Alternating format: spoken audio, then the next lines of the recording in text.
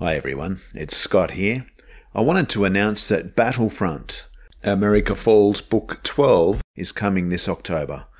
Joshua Raglan will be playing a big role in Battlefront, so I thought while you wait, you might like to revisit The Drifter as it was read by Mike Manz in the original recording. Happy listening, and I'll talk to you soon with more updates. The Drifter, an America Falls novel. Written by Scott Medbury. Narrated by Mike Manz. Chapter 1 Blood orange smears dashed the evening sky. The sun melting behind a ridge of chestnut oaks and pine trees found native to the state of Pennsylvania, where the worn boots of the drifter traveled. Ten long years since the fall of America. It felt like a century to Joshua Ragland. His travels across the ruined remains of his home, the United States, showed it to be a shadow of its former glory. For most who survived, memories of the old life had faded. Not for Ragland. He had been 24 when America fell, when nearly all who survived the virus had been 17 at the most. Now at 34, the world before the virus was like a home he could never go back to a town across a gorge without a bridge to reach it. Reaching down into his pack, Ragland pulled out a metal flask with an inbuilt filter he'd ripped from another bottle long before it fell apart. He took a long gulp, wiped his beard, and surveyed the hills. This'll do, he thought. This'll make for a good camping spot. He'd left it a little later than usual, rushing to erect his small tent in the twilight before darkness engulfed him. Around him, in the woods, he could hear the scurrying of possums and cottontails in the leaves.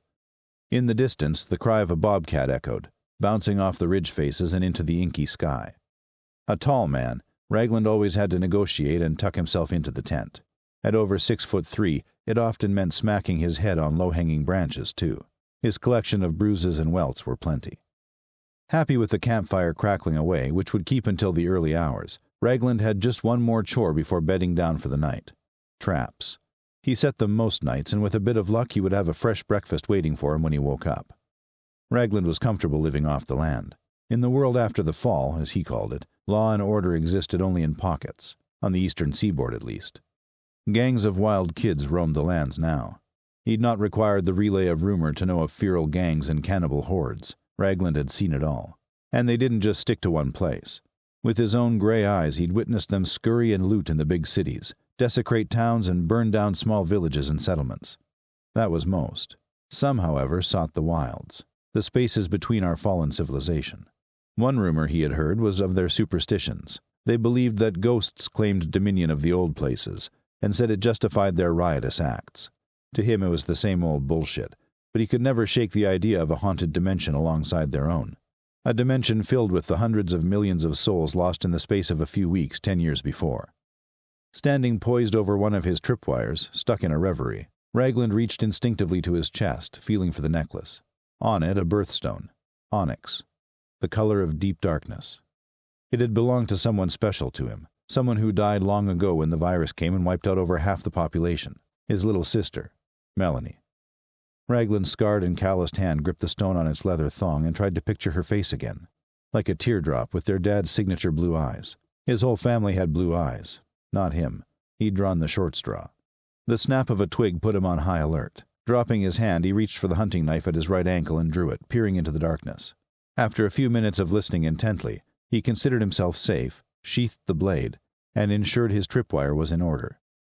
Back at the tent, Ragland fell straight to sleep, dropping off within minutes. It was the one benefit of living the apocalypse. Back before the virus, he had always suffered from sporadic insomnia. But now, with the world outside as good as ended, and society in America in tatters and set back a century or more, he had never slept better. When he woke from his tangled nest, Ragland pulled himself straight out from his sleeping bag, grabbed his knife, and walked blurry eyed into the trees in search of breakfast. He'd not walked far, perhaps a hundred feet, when he found the squirrel snared in his trap. Bending down, one of his knees poking out of his worn jeans, he prized it free and took it back to camp. He usually caught a rabbit, but squirrel would be enough for him to get started. With plenty of experience, Ragland got the dead fire going again after clearing away the ash. Once he'd skinned and gutted the squirrel, he skewered it on a sharpened stick and held it over the fire. The animal was lean and cooked well enough to eat in ten minutes. The meat was tasty, not as good as rabbit, but close, and he savored the fatty juices, licking his fingers after he'd picked the carcass clean. Leaving no time to watch the sunrise, he packed up his gear, breaking down the tent and stacking it neatly into his backpack. As customary, he cleared the site he'd had the fire, throwing away the rocks and brushing the ground with a leafy branch until there was no trace he had been there. He never liked to stay in one place for longer than was necessary. It invited comfort, laziness, and predictability, all of which would come back to bite him if the moment struck advantageous to a group of raiders or cannibals. No sense sleeping in if it meant waking up with his feet cut off, spit roasting over his own fire. Tossing away the what if notion, Raglan threw his well worn backpack over his shoulders, ran a hand through his long brown hair, and tied it back from his face with a bandana as he surveyed the way ahead. He decided he'd go north. His last loop around the northern part of Pennsylvania, south of Canada's Lake Erie, proved to be a gold mine for abandoned towns and villages, some still stocked with canned food that would probably last another century. All well and good, but hunting was still his preferred option for food where possible. Sweeping across the eastern states, he'd hunted everything from small fish to elk. The upside to a vastly depleted human population meant the animals thrived and were plentiful in most areas, even returning to their former masters' urban domains, now just concrete and steel shells, vestiges and relics of a world long gone. Of course, the abundance of game and the toppling of the former apex predator, man, brought its own problems. There had been a population explosion of predators, and barely a day passed where he didn't have to avoid an animal with the capacity to kill him. Wolves, cougars, mountain lions, bears, he had seen them all. Predators weren't the only ones flourishing, though. A year ago, a group of traders had told Ragland of a rumor that bison had returned to the sweeping hills of Wyoming. He had yet to set his eyes on this miracle. Lucrative though it might be, the traders risked a lot by heading west into the occupied territories. He hadn't yet taken the chance, but thought he'd like to before he died. One last long trek, all the way west to the beaches of California. That said, he had witnessed many other miracles in his lonely travels. Of course, he stopped at the occasional town or village to resupply, but only his time out in the wilds revealed the new world's most incredible beauties. Tranquil lakes glistening under a golden sun, untouched by man for years. Farmland gone wild as far as the eye can see, a rich explosion of life. He'd seen so much. With the sun now rising cleanly from behind the pines, its pale light illuminated his lean bearded face and he smiled. He'd always hoped to have a backyard with his first house. Now he had over six million square miles to play with. The apocalypse wasn't without its silver linings.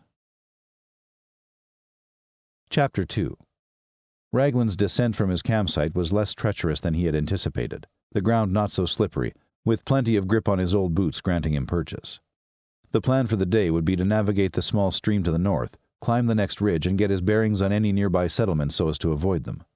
Almost fully stocked, he had no reason to entertain the presence of people. Around him, as he navigated the way down, he could hear a chorus of birds above him, dancing and fluttering between the branches. The further he descended, the more he could make out the distant trickle of water. Beneath his boots, small twigs snapped, and the first leaves of fall wedged themselves into the grooves. Despite the time of year, Ragland had earned himself a decent sweat by the time he reached the bottom. Taking a breath, he drained the rest of his filtered water and followed the sound of the stream. Out on the streets, he suddenly started singing to himself, spying the glint of midday sun off the water between the trees. That's where we'll meet. A song he once heard his dad sing, a song he hadn't heard played in a long, long time. Ragland would give anything to hear recorded music again, and a device he had looked for on his travels, one which was top of the list, was a record player, one he could finally use to listen to music the way his dad's generation had. He'd heard of some still lying around, but he was yet to come across one that didn't require power from a grid that no longer ran. A battery operated one was what he needed. During his many supermarket raids in the early days, batteries were a dime a dozen. He found old MP3 players, Walkmans, and even a cassette tape player that all worked on batteries. During the first few years, he'd listened to a lot of music, but it didn't last. Over time, as others sought to ransack those last vestiges of technology, the batteries dwindled and became extinct. Now only some major towns and cities had any left, but they were still hard to come by. Raglan felt like each year that passed took them further back in time. It didn't feel like the 21st century anymore, not even the 20th, and traveling had proven that notion. Crouching, Raglan dipped his water flask into the stream, the filtering device at the top already at work. Round and round, with water we'll find a way, just give it time. His rendition played to a small family of bucks drinking on the northern shore. He paused then, watched, took in the gleam of their fine chestnut coats their shiny bauble eyes beneath long eyelashes. A scurry to the east had a few of them raise and crane their heads. One of the bucks noticed Ragland. For some reason, he found himself raising a hand in greeting. The buck blinked. Come here often? The buck dipped his head back to the water. Not much for chit chat, I see. Smiling, he rummaged through his bag and pulled out a bag of nuts and berries he'd been collecting, a skill he'd taken the time to perfect. Not keen on finding an abandoned bus to shit himself to death in. Thirst quenched and belly full, Raglan saw off the bucks as they traveled west down the stream, leaving his way open to cross the shallow middle to the other side. The gradual incline of the valley opposite meant he could keep his pace without tiring himself for hunting. Back between the pines, he bent low to look out for signs of life, keen to start hunting early before the sun set in six or so hours. He'd quickly learned in his first year in the wild that time slipped away when you got busy hunting. It didn't take long for him to find the prints of a medium sized bird, a wild turkey if experience served him well. Gripping his bow carefully, it was always strapped vertically to his backpack, he took out an arrow and held it against the limb of the bow, not yet wanting to notch. That would come later. And turkey was his favorite. With males weighing in at over 20 pounds if they were big and healthy, just their heart boiled in salt water would provide him enough for a good snack, the rest of the carcass easily feeding him for the next two days before it spoiled. Unlike the hellish episode he'd had recently with groundhogs, Raglan found he had much better luck with turkeys. Their wing and claw marks on the ground and the little dust bowls they left on the forest floor were all telltale signs. Today he was feeling a bit cocky. Today he would feast. His mouth was already watering when he caught what sounded like, at the very least, a small flock of wild turkey. Raglan clambered across a particularly rocky outcrop, kneeling to spy his prize, and there they were. Foraging just twenty feet ahead, they remained ignorant to his presence. Using this window, Raglan notched an arrow onto his bowstring, pulling it back, feeling the resistance, keeping it in line with his chin and nose. A straight, accurate line for precision shooting. He'd seen other hunters prefer the more unorthodox method of pulling it to their cheek, but he felt it never guaranteed accuracy like his way. And he'd never gone hungry. Taking measure of the distance, the stillness of the air, and the cool temperature, he exhaled slowly, feeling his chest depress, and then loosed his arrow. Feather and shaft cut through the air like a knife, finding its way home in the lower neck of one of the turkeys. The others scattered instantly, dashing between the trees in different directions, their wings scraping the forest floor. Feeling uncharacteristically smug, he continued to admire his shot, and it almost cost him his dinner. A bobcat's whiskers, then its head appeared from the shadows between a few closely knitted trees prowling toward the dead turkey. Raglan paused, stock still, not having heard it coming. In all his time in the wild, he'd heard the cry and scream of a bobcat maybe a half dozen times. They were incredibly agile and silent hunters. Sensing Raglan was poised to move, the bobcat moved quickly to claim the turkey, grabbing the scrawny neck between its jaws. Fucker! Raglan bolted forward, scaring the bobcat away, but as he did so, a sharp, hot pain seared in his ankle, and he came crashing down. Christ! he screamed. The lynx rufus, the scientific name Raglan knew from reading books on his journeys, had vanished, along with his dinner and his precious arrow, leaving him sprawled on the muddy ground, clutching his ankle. A lesson for you, you cocky bastard, he admonished himself. He let his long years of successful hunting and ego best him for just a split second, and it had come back to bite him on the ass.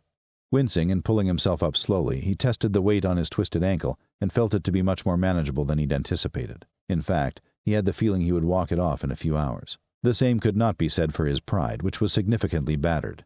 Ragland continued towards the top of the ridge, checking absent mindedly for any other tracks to pursue. After an hour of fruitless tracking, he found a fresh set of claw marks, but his attention had been drawn to something else. A voice.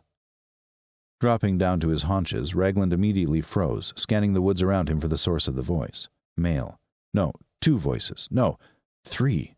He tilted his head and held his breath as he listened, to pinpoint their location. They were downwind, further east along the hill, maybe a little higher up.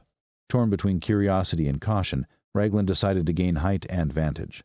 With bow and arrows stashed away and running in a low crouch, he closed the distance to the voices and made his way further up the incline to a large outcropping. When he was settled, he saw them below, some fifty feet away. Three rough looking young men, in all black. One of them turned toward the lip of the precipice that hid Ragland, and he could see the smears of crimson on his cheeks. Blood. Cannibals, he mouthed, ducking lower so only his eyes peeked through the undergrowth, his right hand touching the knife in his boot to make sure it was there. They were talking amongst themselves, hurriedly, debating about how to split up. Then, catching Raglan off guard, one of the cannibals screamed, pointing further down the hill toward another figure. Meat! he screeched. The words fell cold against his skin, making the hairs on his neck stand on end. The war cry was something he'd heard plenty of times before. Cannibals did not see people for who they were, only what they were meat. The figure in the distance froze for a second, then took off, but stumbled as they ran, falling, and they were quickly set upon by the cannibals. Raglan stayed hidden, an audience to their hunt. Their movements were quick, decisive, and merciless. He saw their quarry was a female, and as he watched, the laughing cannibals took her arms and legs and carried her back towards the small camp they'd made below Raglan's hiding spot. The prisoner screamed. As they drew closer, Raglan could see she was young, perhaps only in her late teens. She was putting up a pretty good fight, reaching across to bite one of the cannibals on the arm. He dropped her, and she took a chance to leap up and kick another square in the balls. A howl from him went up, piercing the canopy above. Ouch. Raglan thought she might just fight her way free and make a run for it, but the third cannibal, the biggest of them, stepped forward and unleashed a roundhouse punch that took her on the temple. Like a rag doll, she fell in a heap on the leafy floor. No! Raglan gasped involuntarily. Though not a yell, his voice carried, stirring the ears of the cannibal who had been bitten. His dark, murderous eyes scanned the ridge where he hid. After a few seconds, with Raglan holding his breath and blood pounding in his ears, the cannibal decided it was nothing and moved to help tie up their meal. As they turned the teenager over, Raglan caught sight of her face and froze. It was Melanie. No, she's dead, Josh, dead. You're seeing things again. But the resemblance was unmistakable. The same long black hair, the same Roman nose, the same brow. She looked just like his sister, Melanie. Taking stock of the situation, wanting to take advantage of their vulnerability, Raglan pulled his knife from its ankle sheath and was seconds from pouncing when a fourth man approached from the west, slow and deliberate in his movements. He spoke in a deep voice. We take her to the pack, he spoke, surveying the girl who lay motionless, her arms and legs bound. He will want to see. The other three nodded, the large one picking her up and throwing her over his shoulder. He was easily as tall as Raglan, but broader across the back. It would take a lot to put someone like that in the dirt, but a well placed arrow would be all he'd need. As the cannibals moved off, heading northeast away from him and up the ridge, Raglan decided, against his better judgment, that he would need to get involved. He was going to kill every one of them. Chapter 3 Raglan's stomach growled like a wolf as the crescent moon peeped over the swaying treetops. A sweet breeze reached his nose, but soon soured with the greasy sweat of his prey. Cannibals were close. For the last few hours he'd kept slow and at least a quarter mile away. The last thing he wanted was to alert them. At this distance he could easily track and keep them in sight. If the day had taught him one thing, it was to stay true to his own habits. Be slow, be cautious, be deliberate. He had no idea where their camp could be, or how permanent it was. His familiarity with the area wasn't the best, but as they crested the ridge by dusk, he could see a few winks of light below in a clearing. No doubt their camp. How many would be there, he thought? Would he be met with a whole pack of them? If so, how would he free the girl? As good a hunter as he was, he wouldn't be able to take on more than half a dozen of them, and even then, stealth and surprise would have to work in his favor. Ragland let the distance between he and the cannibals grow as they moved down the slope, descending to the camp. He was keen to avoid dislodging stray rocks or making any noise that might give away his presence. His patience paid dividends when they reached the camp just a half hour later, his existence still undetected. Sticking to the shadows just outside the camp, Raglan began to survey and recon the area to get a good head count. The cannibals, four to the party, had mentioned another, so he knew already there would be a minimum of five to deal with. Circling slowly, avoiding any dry twigs underfoot, he soon learned that the hunting party was only the four plus one, their leader, Dressed only in black pants, he was a gruesome sight, his lean, muscled torso covered in dried blood and other markings. To top off his outfit, he wore a gruesome necklace of ears and fingers. Once he was satisfied it was only a party of five, Raglan pinpointed the girl's location. She was tied against a tree at the center of the camp, head lolling on her chest where she sat, legs bent to the left. How are you going to do this, Josh? He closed his eyes and listened to their muttering, their footsteps, the crackle of logs on the campfire. He could smell the musky smoke, the pine charring in the heat. It whistled in the night, a sound Raglan had grown to love like a friend. As he circled them, a plan formulated in his head. He noticed the ringleader was hanging around the girl, pointing and prodding as she recoiled from his touch. She was gagged with no chance to scream for help. The other four were split into two pairs. Closer to the girl and their boss, the two smaller men huddled together, nudging and pushing each other between laughs. These two were clearly Zoms. Cannibalism had become rife in the years after the attack and the retreat of the invading army. A lot could be said of their Chinese conquerors, but at least they fed the children they enslaved. No one knew where or how it started, but over the years the consumption of human meat had taken its toll on the very young, those whose brains hadn't fully developed before they chose or were forced into the gruesome eating habits. Whilst eating human flesh was repulsive, it was no more dangerous than any other meat if cooked properly.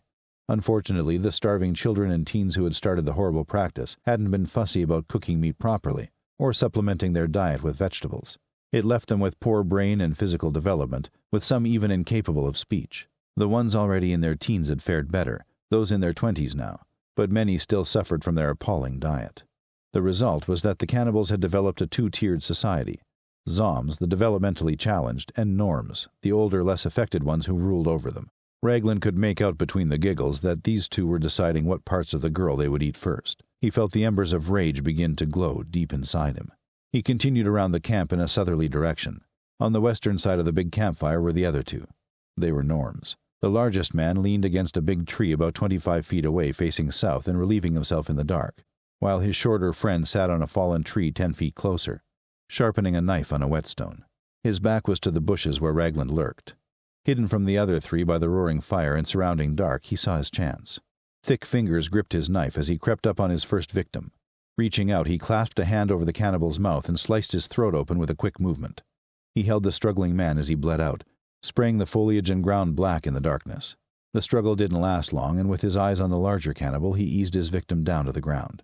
He took a split second to visualize his next move. This man was the biggest of them, and he needed to make sure he got it right first time. His life and that of the girl depended on it. Sprinting forward to apply as much force as possible, Raglan launched his left foot into the back of the man's left knee, buckling him just as he was zipping up. Before the man could cry out, Ragland had already gripped him by the hair and reefed his head backward before hammering his blade deep into the man's right eye. He fell without a whimper. Two down, three to go. Wiping his hands clean, he circled back and reevaluated his chances. The Zoms were so hectic and noisy that an attack silencing them would almost certainly alert the leader. He would put a knife in the girl's belly, and it would all have been for nothing. No, He'd have to cut the head off the snake first. He moved forward, pressing a finger to his lips so the girl wouldn't give him away. It was too little or too late. Her eyes widened at the sight of him, and the cannibal leader spun around before Raglan could close the gap. The cannibal's yell of alarm tore the silence and echoed from the trees. Bats fluttered out from the canopy, and rodents scurried with fright. With his bloodied knife in hand, Raglan was momentarily frozen as his mind sought a solution to this new problem. A half second passed before he spun the knife, pinched the tip of the blade, and raised it to his ear before launching it and breaking into a run to follow its course. The steel blade found its home buried hilt deep in the cannibal's muscled chest, and he dropped to his knees looking down at the worn handle as if trying to figure out what it was. Meat! One of the Zoms screeched behind him. Raglan decided the leader posed no further threat and spun around, drawing his bow. Adrenaline was thrumming through his system, and his rapid heartbeat drowned out the noise of his surroundings. Nocking an arrow, he took aim at the Zoms who were running helter skelter towards him, drool flying from their mouths. His arrow whipped through the dark and suddenly came still in one of their eye sockets. The Zom wobbled as if confused before his legs stopped working and he fell face first into the dirt. His friend didn't notice and continued his charge. Raglan drew another arrow but fumbled the shot and watched as it whizzed by the bastard's pointy head. It was too late to knock another, and the cannibal hopped, then skipped, and then launched himself from a rock and crashed into Raglan sending them both sprawling to the dirt beside the campfire. Meat! he shrieked again. Raglan saw the crazy in his eyes, and he had no doubt the teenager was mad with whatever rotten disease you earned for eating the meat of your own species. His attacker's charnel breath took his breath away, and as he struggled, he turned his face away to avoid the drool dripping from the sharpened teeth. The son of a bitch was strong for his size. The crazed Zom pressed a forearm down on Raglan's windpipe and secured his leg so he couldn't wriggle away. Raglan punched his face and rock hard head, but all it did was irritate the cannibal and hurt his knuckles. With the air slowly choked from him, he started to see static crawl in the edges of his vision. He was passing out. In a last ditched effort to survive, his hand scrabbled at the edges of the campfire until it found a smoldering stick. The pain from the heat was immense, but he ignored it and drove the glowing point as hard as he could into the cannibal's rib cage. The other man squealed in agony, falling from Ragland as if he were molten to the touch, and writhed on the ground trying to pull the stick out. Staring down at the angry red welts on his palm, Ragland ground his teeth in both pain and anger. He didn't waste time tending to the wound, but quickly turned to the leader, who was still kneeling looking dumbly at the knife in his chest. Ragland gripped the handle of his hunting knife, put a foot to the man's chest, and ripped it free, kicking him onto his back before turning to face the Zom. The surviving cannibal was in no state to fight. He lay on the ground in the fetal position, crying pitifully. Ragland felt no pity. He knelt and drove the blade deep between the C2 and C3 vertebrae of the cannibal's neck, driving it until it protruded from his gargling mouth like a silver tongue. He glanced back at the leader. The man was on his back, staring sightlessly at the sky. With the job done, a huge sigh escaped him. He had almost forgotten the girl in the heat of battle, and his heartbeat was only just beginning to slow as he staggered over, covered in dirt and blood, with his knife at the ready to cut the girl's ropes. It's okay, I'm not going to hurt you, he said, watching her flinch as he knelt beside her. The blade sawed through the bonds with ease. He reached up for her gag and paused. Don't scream, okay? I'm here to help. They're gone now, dealt with. Raglan pulled the bunched cloth from her mouth. While she didn't scream out loud, she did scream with her big round eyes and stayed rooted to the spot in absolute terror. He wagered that it may have been the first time she'd seen such violence. That surprised him, living in a world like this. Once she was free, Raglan helped the girl up, but she lurched away from his hands and climbed to her feet before stepping a safe distance away and casting an eye over the bodies and blood. She promptly bent over and vomited, the hot rush splattering in the dirt like lava on sand. Easy there, Raglan said. We need to get you out of here. Where's your settlement or village? The girl's shoulders heaved again, then stopped. Wiping her mouth, she rose slowly, suddenly shaking from the cold. Raglan spied one of the cannibal's jackets nearby and threw it to her. Here. She caught it wordlessly, draping it over her shoulders. Raglan had to close his mouth. In the poor light, this girl really did look like Melanie, the same fine features and complexion framed by long black hair. He rubbed his eyes to make sure the campfire wasn't playing tricks on him. Where do you live? he asked again. No answer. She stood silent, helpless. A howl nearby pricked their ears. The smell of blood would have cougars and wolves eager for a midnight snack here in no time. Not wanting to waste any more time, preferring to take their chances in the darkness, Raglan grabbed her by the arm and tugged her away from camp, heading down into the trees. We need to go, now. She resisted at first, then stumbled on reluctantly, keeping pace with him as they descended into the shadows, the flickering light of the cannibals' camp vanishing in the thickets and tree branches behind them. In the distance, echoing across the wooded hills, the howl of a wolf spurred them on. Chapter 4 Keep up, Ragland rasped, glancing back to see the girl trudging behind. He'd assumed the sun had risen, assumed only because he couldn't see it through the thick fog that clung to the valley they'd walked into. The trees grew thin on the valley floor, opening into a vast grassland before the next ridge. She jogged, matching Raglan's speed, and glanced at him, fearful still. Cautious. Wondering where he was going. With not a single word spoken since he'd rescued her from the cannibals, Raglan had no information about where she'd come from, where her settlement was, or even her goddamn name. You don't speak much, do you? he grumbled, cleaning one of his arrowheads with a cloth. Nothing. If you don't speak by noon, and I know you can speak, I know it, then we're going to have to part ways, you and I. She frowned at him, measuring his words, but said nothing. Well, then, he smirked, that settles that. I think we best get us breakfast. His arrows were quickly bloodied, finding not one but two cottontails whipping through the field. Back as a kid, he'd loved animals. Couldn't bear the thought of harming a single hair on their heads. Not even a mouse. Now, ten years deep into the new world, he didn't so much as blink. It was just life. Eat or die. He cut them and pulled the furs off the carcasses like a glove with a soft thrup sound, revealing the purple red meat beneath. The girl didn't blink, which told Raglan she may be new to human violence, but was no stranger to hunting or butchering. With the ground damp, it took him a little longer than usual to find enough dry kindling for a fire. As sure as it always was, the fire was soon popping, two rabbits spitting across the flames, fat dropping onto the logs and hissing. The girl sat on a rock, knees close together, arms wrapped tight around them. She stared at the rabbit, not blinking, and once again Ragland was reminded just how much she looked like Melanie. Her stomach growled as loud as any hungry bear's. Eat, he said, pointing his knife at the rabbit. No movement. It ain't a request, kid. I need your strength for the hike tomorrow. Nothing but hills and ridges north of here. She glanced at him, shuffling her weight a little, but decided against it. Wow, he thought. Those fuckers really did a number on her. Sympathizing, he took the second rabbit off the fire, stuck one end of the stick into the ground between two campfire rocks, and cut off a wedge of cooked meat like a kebab, handing it over to her. Her hand flashed out and grabbed the food. Ragland had barely blinked and she'd consumed the entire piece. There we go. You're going to have to sort the rest. But she had gotten the hint, tearing at the rabbit with her bare fingers and wolfing the meat down like she hadn't eaten in days. And maybe she hadn't. Ragland watched her ravenous movements with a pang. The resemblance didn't help things, and he found it difficult to compartmentalize what he was seeing, to separate himself and his emotions. For all his travels, he'd witnessed a lot of suffering and pain. New mothers not able to feed their babies, young kids orphaned by the virus fighting for scraps outside trash heaps. Yet for it all, this sight hit the deepest. Sighing, almost choking on the smoke that suddenly turned in his direction, he went back to his own meal, methodically peeling the meat away from cartilage and bone. A habit Raglan knew had been essential to his survival this long had been traps, and not just the kind that secured his breakfast. No. These ones were the others who followed, hoping for a quick finish. Ragland always deprived them of that.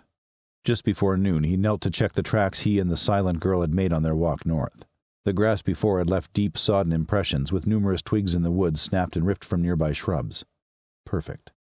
Choosing a particularly overgrown section of the climb, Ragland reached into his bag and pulled out a shotgun slug, something he only used in emergencies. The girl watched as he worked the trap, her curiosity piqued for the first time since he'd rescued her. Setting a thin piece of fishing wire from one tree to the next, he hooked it to a small trap on the bark shrouded in leaves and attached the shotgun shell to it. Standing up with a groan, feeling his left knee pop, he motioned to it as he walked back up to her. Just in case we're followed. Won't kill 'em, but we'll hear 'em from miles off. A blink. Raglan supposed that was as good as it was going to get with her. Jokingly wondered if he'd arrived after they'd cut her tongue out. It was silence from the trauma. Had to be.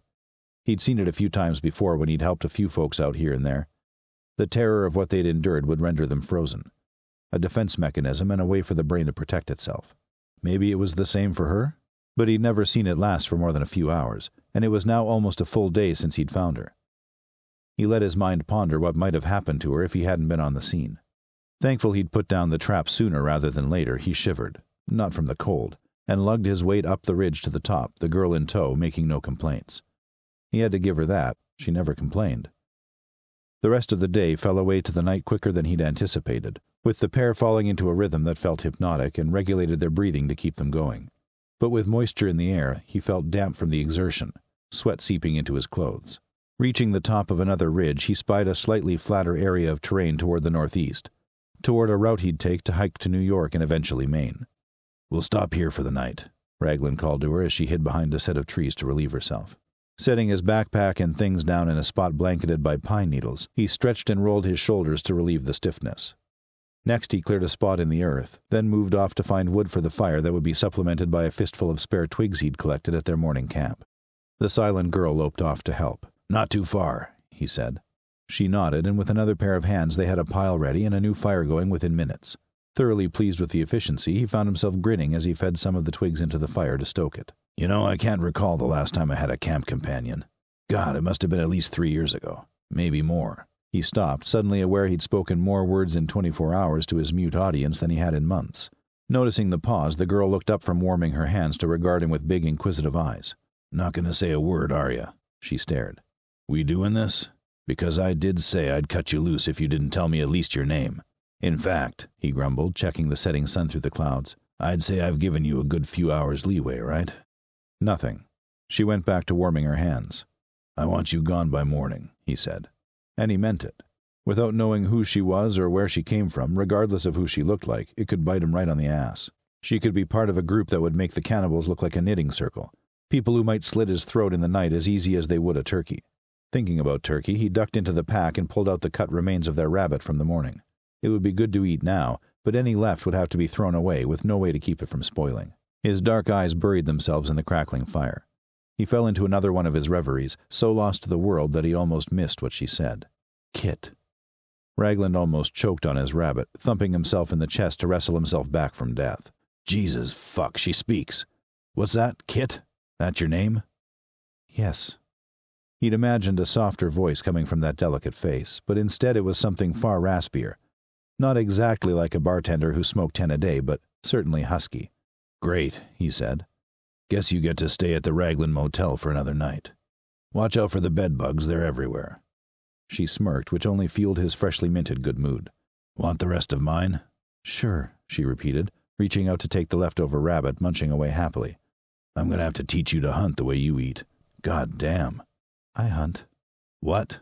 Kit swallowed the last of the food, wiping her mouth with the back of her jacket sleeve. I can hunt. Like small game or bigger? She nodded. Both? That's good, that's good, he said, twisting the tip of his blade into a log next to him. Is that how they got you? Out hunting too far from your settlement? Kit looked to pull back in on herself, building back the walls he'd finally managed to break down. He'd hit a nerve. It's okay, you don't have to say a thing. It's fine, she sighed, shoulders rolling forward as she poked a long stick into the fire, causing a dusty of sparks to leap up from the ash. It was my own fault. They warned me before. They? Your group? Kit nodded, then pointed to his chest. What's that? Ragland looked down, plucking up his sister's onyx necklace. It's something I keep to remember someone close to me. I lost her, my sister, at the start of the fall, when everything happened. I've been alone ever since. Speaking the words seemed to hit him harder than the nightmares had in years. It took a great deal of control to compose himself, thankful the night had drawn in quickly, leaving the light of the fire little chance to illuminate his expression. I'm sorry, Kit said. How old was she? Seventeen. That's rough. Yeah, he said. But what about you? We need to get you home. Are you ready to tell me so we can call time on this rescue operation, or am I going to get that silent treatment again? No, she said, looking back at the fire. I'm sorry about that. I just didn't trust you. Trust me, I saved your goddamn life. Kit threw the stick into the fire. Well, for me, it was five men with weapons taking me, and then another took their place. Wow, he said, incredulous. I fed you and kept you safe. I don't see any bonds on your wrists or ankles. I didn't ask for you to save me. Raglan threw his head back and barked with laughter.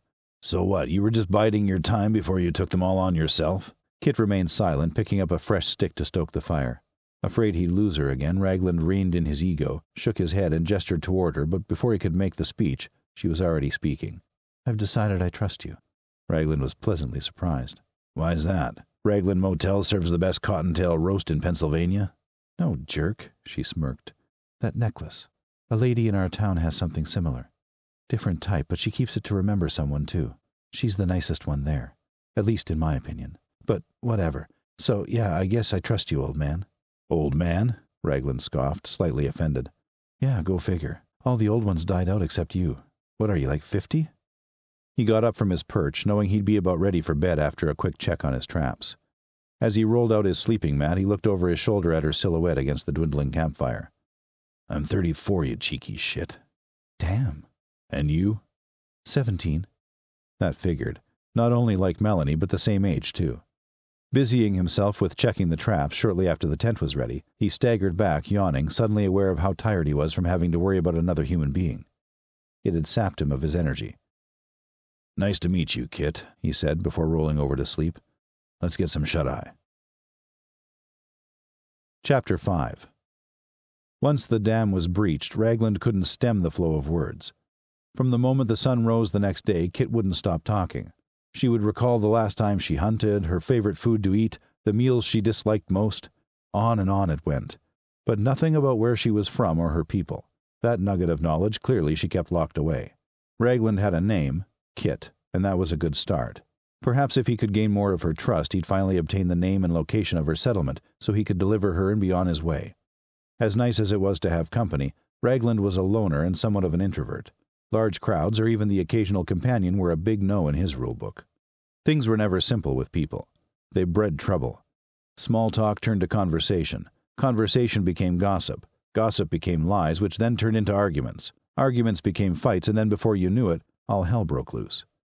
No, best that he kept well away from people and their problems. So, like I said, Kit rattled on, storming through the last of Raglan's ration of nuts, I go out hunting all the time. It's no biggie. All the guys do. Most of the girls don't, though, but I don't give a shit. We all need to eat, so no point just like sitting around making blankets or whatever, right? Raglan was trying his best not to listen. The sun was high in the sky and she'd been talking for hours, and now it was to the point that he was silently wishing he'd never heard her screams in the first place. This is what you get for getting involved, Josh. Right? Tell you what, Raglan huffed, putting down his pack. Take my bow, go get lunch. He pulled the worn limb from his shoulder and handed the bow and a few arrows to Kit, who suddenly didn't look too enthusiastic. What? Go get us lunch, he said. Like, right now? You want me to go find game? Raglan nodded, trying not to lose his patience. Sure. Okay, uh, you trust me with this? I mean, you don't even know me and you're just giving me your gear that you need and. He stared at her with raised eyebrows and folded his arms. Okay, okay, geez, I'm going. She put the bow over her shoulder and, holding the arrows in a tight grip, jogged off into the trees, missing some tracks Raglan had hoped she'd spot. Great going, he thought. We'll be lucky to eat by sundown. With his pack rearranged to accommodate new supplies of foraged food, he made to put his feet up and take a quick nap when he heard footsteps approaching from the west.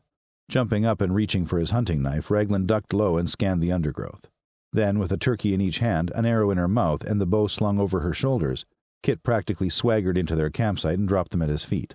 What do you reckon to a pair of gobblers, old man? She spat the arrow into her free hand and handed it and the bow back to him. Thanks, he said, hiding how impressed he was. No trouble? Easy like Wednesday morning. You mean easy like Sunday morning? It's not Sunday, she laughed, oblivious to the song reference. It's Wednesday. Raglan closed his eyes and pressed his thumbs into them. That's not what I. Uh, never mind. Grab those turkeys. We're heading north before we break again for camp and dinner. And stop calling me old man, will you? Sure thing, Gramps. He ignored it, his spirits lifted by the fact her bravado about hunting wasn't bullshit after all. She was quick with her words, but so far none of it had been a lie. As much as he could tell, anyway.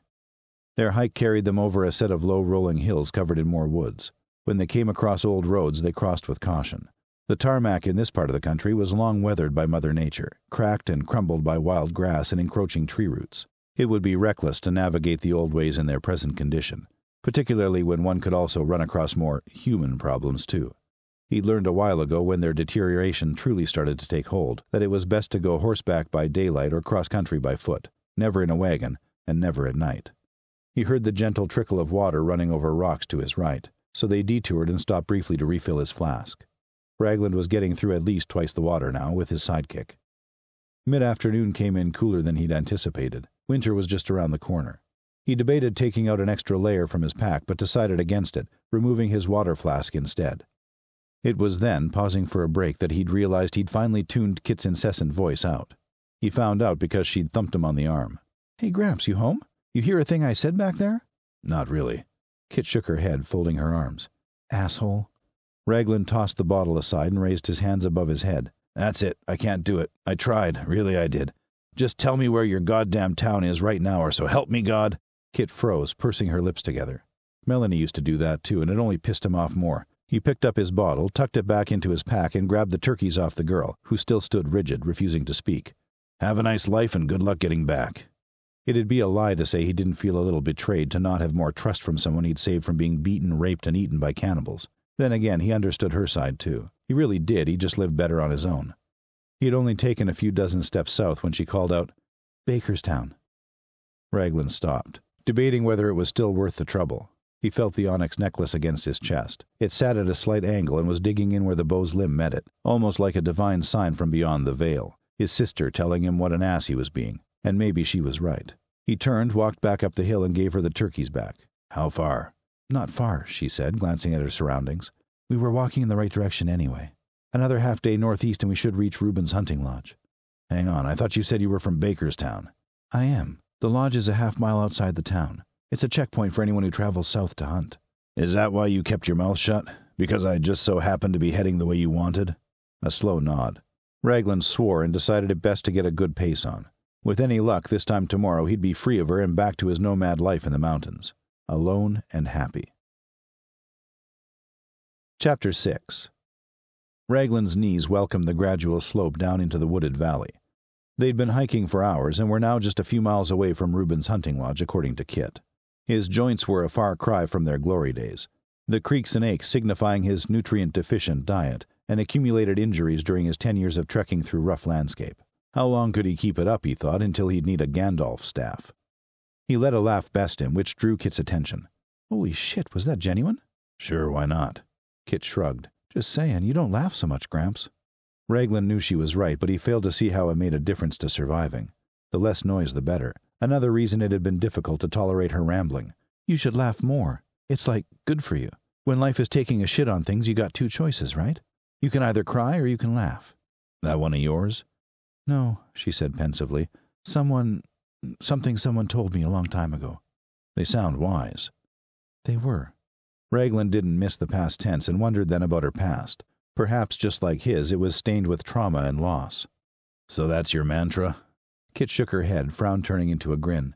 Nah, my mantra is talk trash, get mashed. And I live by it, old man. So don't try any of that knife kung fu on me or you'll be eating dirt. That's so. Uh, yeah. They both exchanged a quick look to see who would break first, and both laughed. Above them, the sky was clear, a pale metallic blue turning to a navy beyond the next ridge as the day marched on. Raglan squinted at the sun, almost missing a circle of birds just a quarter mile from where they stood. He threw out an arm to stop Kit, almost winding her. Hey, what the f. She stopped, seeing the birds Raglan was pointing to. So what? It's probably a dead animal. No, he said. Something seems off. Kit rolled her eyes. Oh, sure. What could it be, Gramps? A body? Maybe even a trap? After what you did to those cannibals, though, it can't be them unless they came back to life. Raglan raised a finger to his lips. We go check it out. Might be nothing, but might also be nothing good. If so, then we detour west. Stay low and quiet. She decided to obey, not wanting to neglect the unease that had crept into her bones, a prickling that ran along her arms and up her back. Something did feel wrong. When the pair broke through a throng of tightly set young pines, Raglan motioned Kit to copy him and squat down low. With the sun setting, she couldn't see a thing in the half light, but he pointed a finger ahead. There, just by the fallen tree, he whispered. Kit's eyes scanned the area and finally saw it a dead buck. I see it. Raglan notched an arrow into his bow and waited. And waited some more. Kit grew restless, shuffling her weight from left to right. What now? she said. It's a trap. We leave, now. A rogue cloud swamped the sun, which was now low on the horizon. Darkness fell over them, and the howl of a wolf pierced the temporary twilight. Kit and Raglan looked at each other, and he saw her eyes were filled with terror. Not needing to be told, she turned and followed Raglan at a quick pace back west up the valley side, moving so fast she nearly stumbled. Oh God, oh God, oh God, she repeated, breathing heavily and trying her best to keep up with Raglan, who had lengthened his stride. We need to keep going, he called back. Their pack will be in the area. Won't they be occupied by the buck? No, he'd already been gutted. Kit clutched at a stitch, navigating an outcropping on their right. So they've eaten. Great. Can we slow down? No, he repeated. It was a trap. Someone left it there. They'd taken what they wanted. The wolves will be in the area now, and we need to leave. Who? How do you know? I don't know who, but I saw their footprints. Kit cursed. She hadn't seen the tracks. Raglan didn't blame her. He'd been hunting and tracking a lot longer than she had. Sweating from exertion, a few more howls to their left alerted Raglan, and so he changed course, making a more northern direction this time. At the top of the valley's side, the trees thinned out into an open area of grassland. He could see it ahead and knew that while it would leave them vulnerable, it would also give them sight of anything or anyone following them. He hoped the latter would be unnecessary, but had a feeling that was wishful thinking. Kit and Raglan broke out from the trees, panting now, and raced across the open ground to its center. They turned on the spot and surveyed the tree line where they had emerged, chests heaving from the effort. What now? she breathed, bending over to suck in some air. We wait a moment. Here. He handed her his bow, taking out the hunting knife on his ankle. Don't hesitate and don't notch the second arrow. Kit frowned, strapping his quiver to her own belt. Huh? Why? It'll take too long to draw again. Take them in your hand and stab them. They'll be on us before you can get a second shot off. Oh, great. Shit. That's reassuring, Gramps. You saved my ass from the cannibals just to serve us both to the wolves? He gritted his teeth. Not if I can help it. The air grew still. Blood pounded in his ears, and after a few minutes of painful waiting, a single wolf emerged from the trees to their right. Then, on their left, two more. The animals' heads were bowed low, eyes fixed on them. A larger wolf followed, nose raised as it sniffed the air. The alpha. Then four more. Seven. They were well and truly outnumbered. Raglan felt his stomach drop. This would be more than they could survive. He could no longer hear, nor taste the salt in his mouth. The world around him was muffled by the adrenaline coursing through his body. He twisted on his heels, grabbing Kit by the arm. Run! The jerk of her arm caused her to drop the bow, and she was in no position to retrieve it, having to pump her legs as hard as she could just to keep up with Raglan. Chased by the wolves, she could hear their ragged breathing gaining on them, imagining their sharp teeth ready to sink into vulnerable flesh. Ahead, Kit could make out a wooden structure. It was an old railroad bridge that looked like it had been decommissioned decades ago. She tried to find the breath to tell Raglan, but he'd already seen it. Go, the bridge! No shit, Sherlock, she thought. Now with a destination, they poured on a new burst of speed, but the wolves were eating up the distance quicker than they were closing the gap to the railroad bridge. Raglan knew it would be a close thing. Kit heard wolves yapping barely yards behind her, and she screamed, almost tripping, before running onto the old wooden sleepers. Now sprinting over the dilapidated structure, her eyes widened at a new danger. The wooden beams were creaking under their weight. She could see ahead of Raglan that it crossed all the way over the narrow yet deep gully, but also saw that many of the supports under the bridge, along with a good number of the sleepers on top, had given way years ago. The steel rails were long gone. The drop was enough to kill them both if it gave way. Raglan, who was a few yards ahead of Kit, skidded to a halt and turned with his hunting knife in hand. He moved to the side as Kit flew past him, then stepped back into the path of the huge wolf on her tail and lunged, sweeping the weapon in an upward arc as it leapt at him. The force of his blow embedded the blade to the hilt, but the momentum of the animal sent the wolf sailing over his head. The rickety bridge shook as the shrieking animal landed, then skidded over the edge, taking his hunting knife with it. The rest of the wolves slowed their charge and cantered cautiously onto the bridge, now wary of Raglan's threat. Kit continued her wobbly run across the bridge, arms out like a circus acrobat. Good, he thought. At least saving you from the cannibals won't have been in vain. Deciding the wolves wouldn't delay for too much longer, Raglan took his chances on the bridge and ran after Kit. The wolves gave chase. Raglan yelled for her to keep going. His lungs were on fire, heart pounding in his chest as the wolves gained, snapping and snarling as they got closer. He caught up with Kit. Keep going, he urged her, before he felt sharp teeth clamp down on his calf. The pain was searing. Raglan tripped and knocked Kit over in the process. The combined weight of the wolves, him, and Kit hitting the old timber sent up dust, and a creaking wooden groan punctuated by three ominous cracking sounds. He kicked out at the wolf, still biting and pulling the denim of his jeans, intent on getting to the flesh beneath. It didn't flinch, and its packmates were moving in warily to get their share of the pending kill, when the bridge began to tilt to the right. Run, Kit! Raglan screamed, his throat raw. Run! It was too late. As Kit rose to make an escape, the structure beneath them gave out with an explosive crack. No! Raglan dropped, desperately grabbing Kit's ankle and with his other hand a fractured support beam on the rotten substructure of the bridge. As gravity bit and Kit stopped falling, the sudden weight of her almost wrenched his arm free of his shoulder socket. His cry was louder than the wolves' yelps and squeals as he watched them, along with sleepers and splintered debris from the bridge, plummet into the gully where they were dashed against the rocks and scrub below. Raglan struggled to contain his panic and regulate his breathing. He looked up and saw the baleful yellow eyes of the pack leader eyeing him from the edge of the broken track, sniffing the air as though weighing up the risk of leaping down onto the narrow beam his erstwhile meal now clung to. Dismissing the wolf as an immediate threat, Raglan peered down at Kit, who had her eyes closed and a splash of blood on her scalp. Shit, he said. Hey, Kit, hey, you awake? Ah! His shoulders burned with the strain of holding their combined weight and he felt his little finger slip and lose purchase on the beam.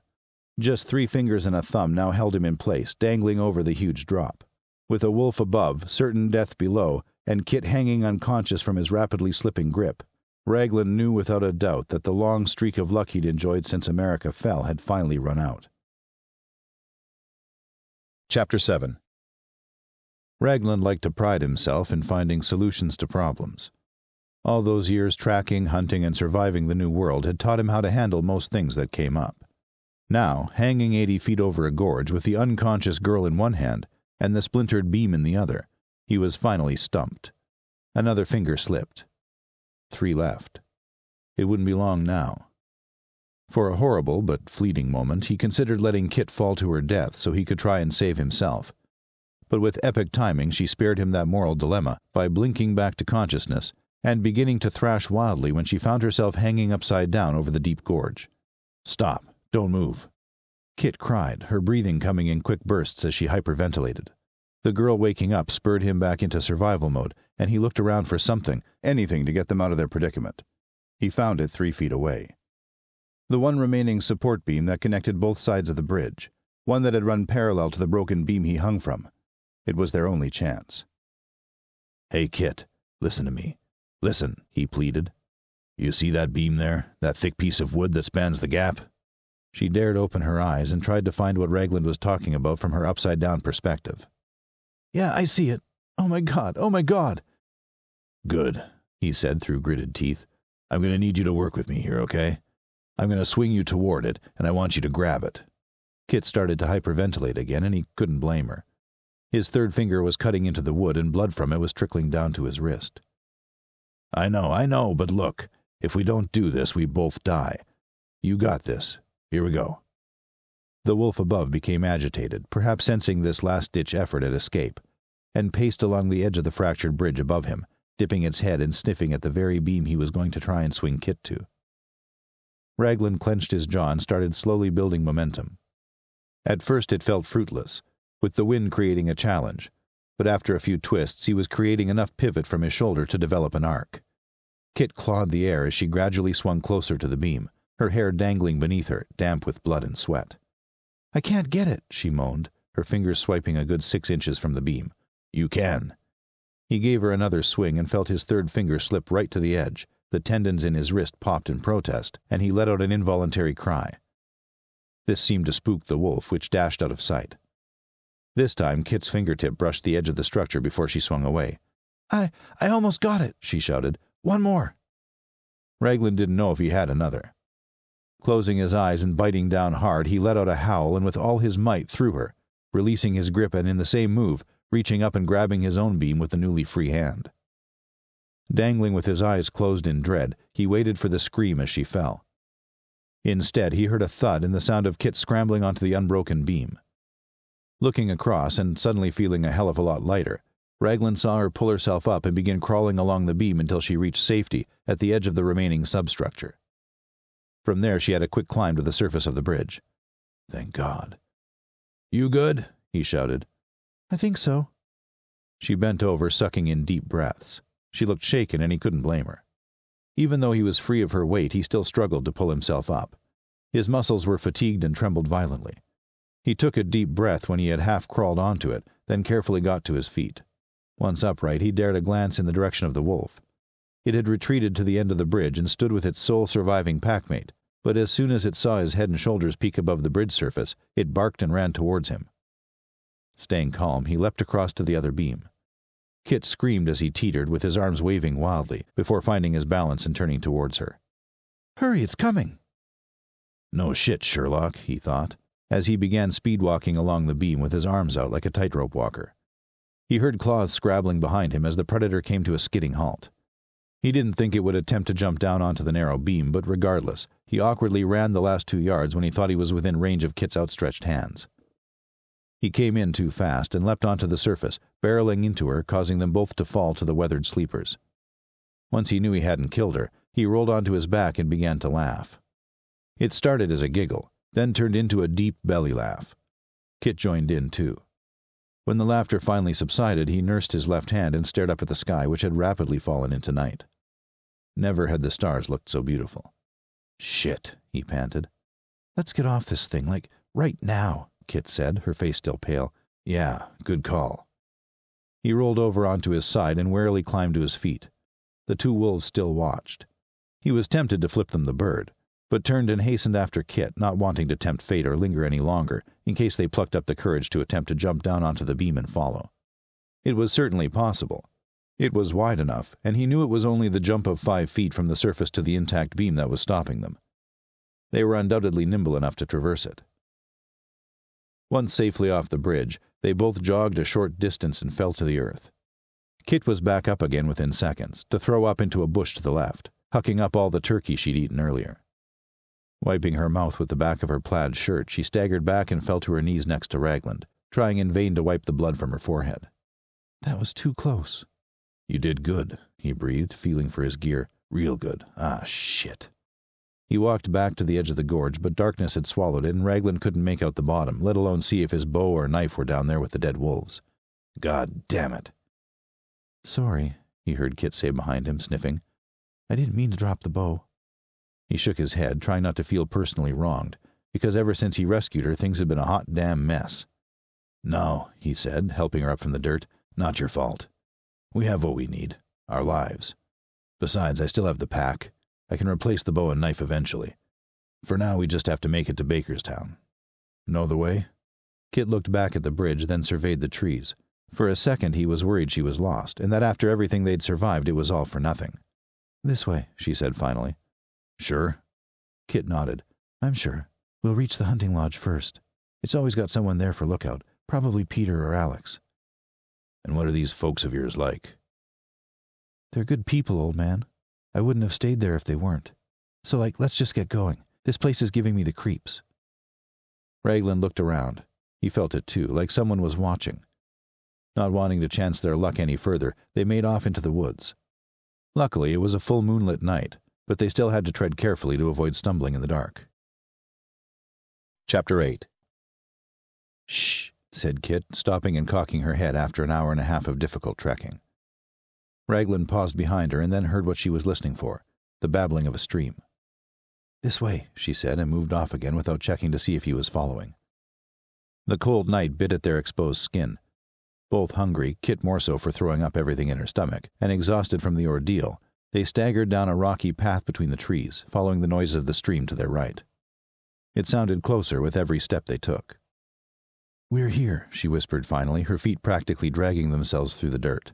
Raglan was about to ask where exactly, but before he could open his mouth, the flickering of torchlight winked at him through the branches. The woodland path opened onto a narrow walkway over the rocky stream that cascaded down from the higher ground to their west.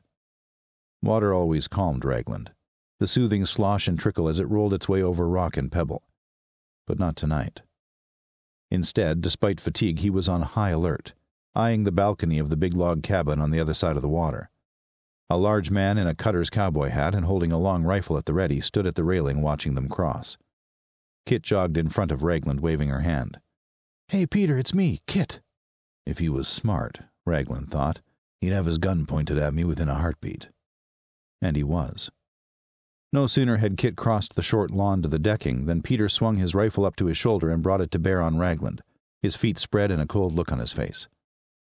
That's about far enough, Peter, Kit protested, grabbing her savior's arm. His name's Raglan. He saved my life, twice. We owe him. Food and a bed for the night at least. I'll decide what we do. Where the hell have you been, girl? We was worried sick. Thought you'd gone and got yourself lost. Me and Alex were fixin' to go lookin' for you tomorrow. Peter, please. Raglan remained stock still on the lodge end of the bridge, his hands up and waiting patiently. Toss that bag over here, the man ordered, not paying Kit any attention. Listen, Peter, is it? I'm no bother. I can just leave right now and we don't. I said toss the bag. You deaf or just dumb, old man? It was all he could do not to groan. This scrawny hero, Peter, looked at least a decade younger than him, with his jeans held up by a too big belt whose excess length flapped down beside the gun holster on his hip. You sure I can't persuade you? Throw it here. Peter clicked back the hammer. Raglan didn't like the look of his trigger discipline, or lack of. He took off his backpack reluctantly and threw it towards the deck. Peter nudged Kit, who stepped down off the veranda and picked up the bag. She looked at Raglan, mouthed sorry, and took it back to Peter, setting it on a wooden table near him. Pull up your shirt and give us a turn, Princess. He's not messing around, thought Raglan. This Peter, no matter how young, knew the rules of survival, at least when it came to strangers. Feeling only mildly humiliated, he lifted up his shirt to show no concealed weapons and turned slowly. I'm unarmed, Raglan shouted when he had done his 360 turn. Just give me my gear and I'll be gone. No can do. Why's that? Don't trust you. This could be some sort of trap or something. You don't get to come any closer, so on your bike and don't come back. Raglan turned to Kit. Is this the welcome party you mentioned? Peter, she said, for God's sake, stop this macho shit right now. No one cares. You've stripped him of everything. Can you at least let him in? The young cowboy seemed to think on it. It was clear he wanted to show he was in charge, but a flash of doubt crossed his features in the torchlight. That doubt made him look more like a kid with a button nose trying to play adult than a hardened sentry. Look, Raglan said, his already sore arms aching from being held up too long.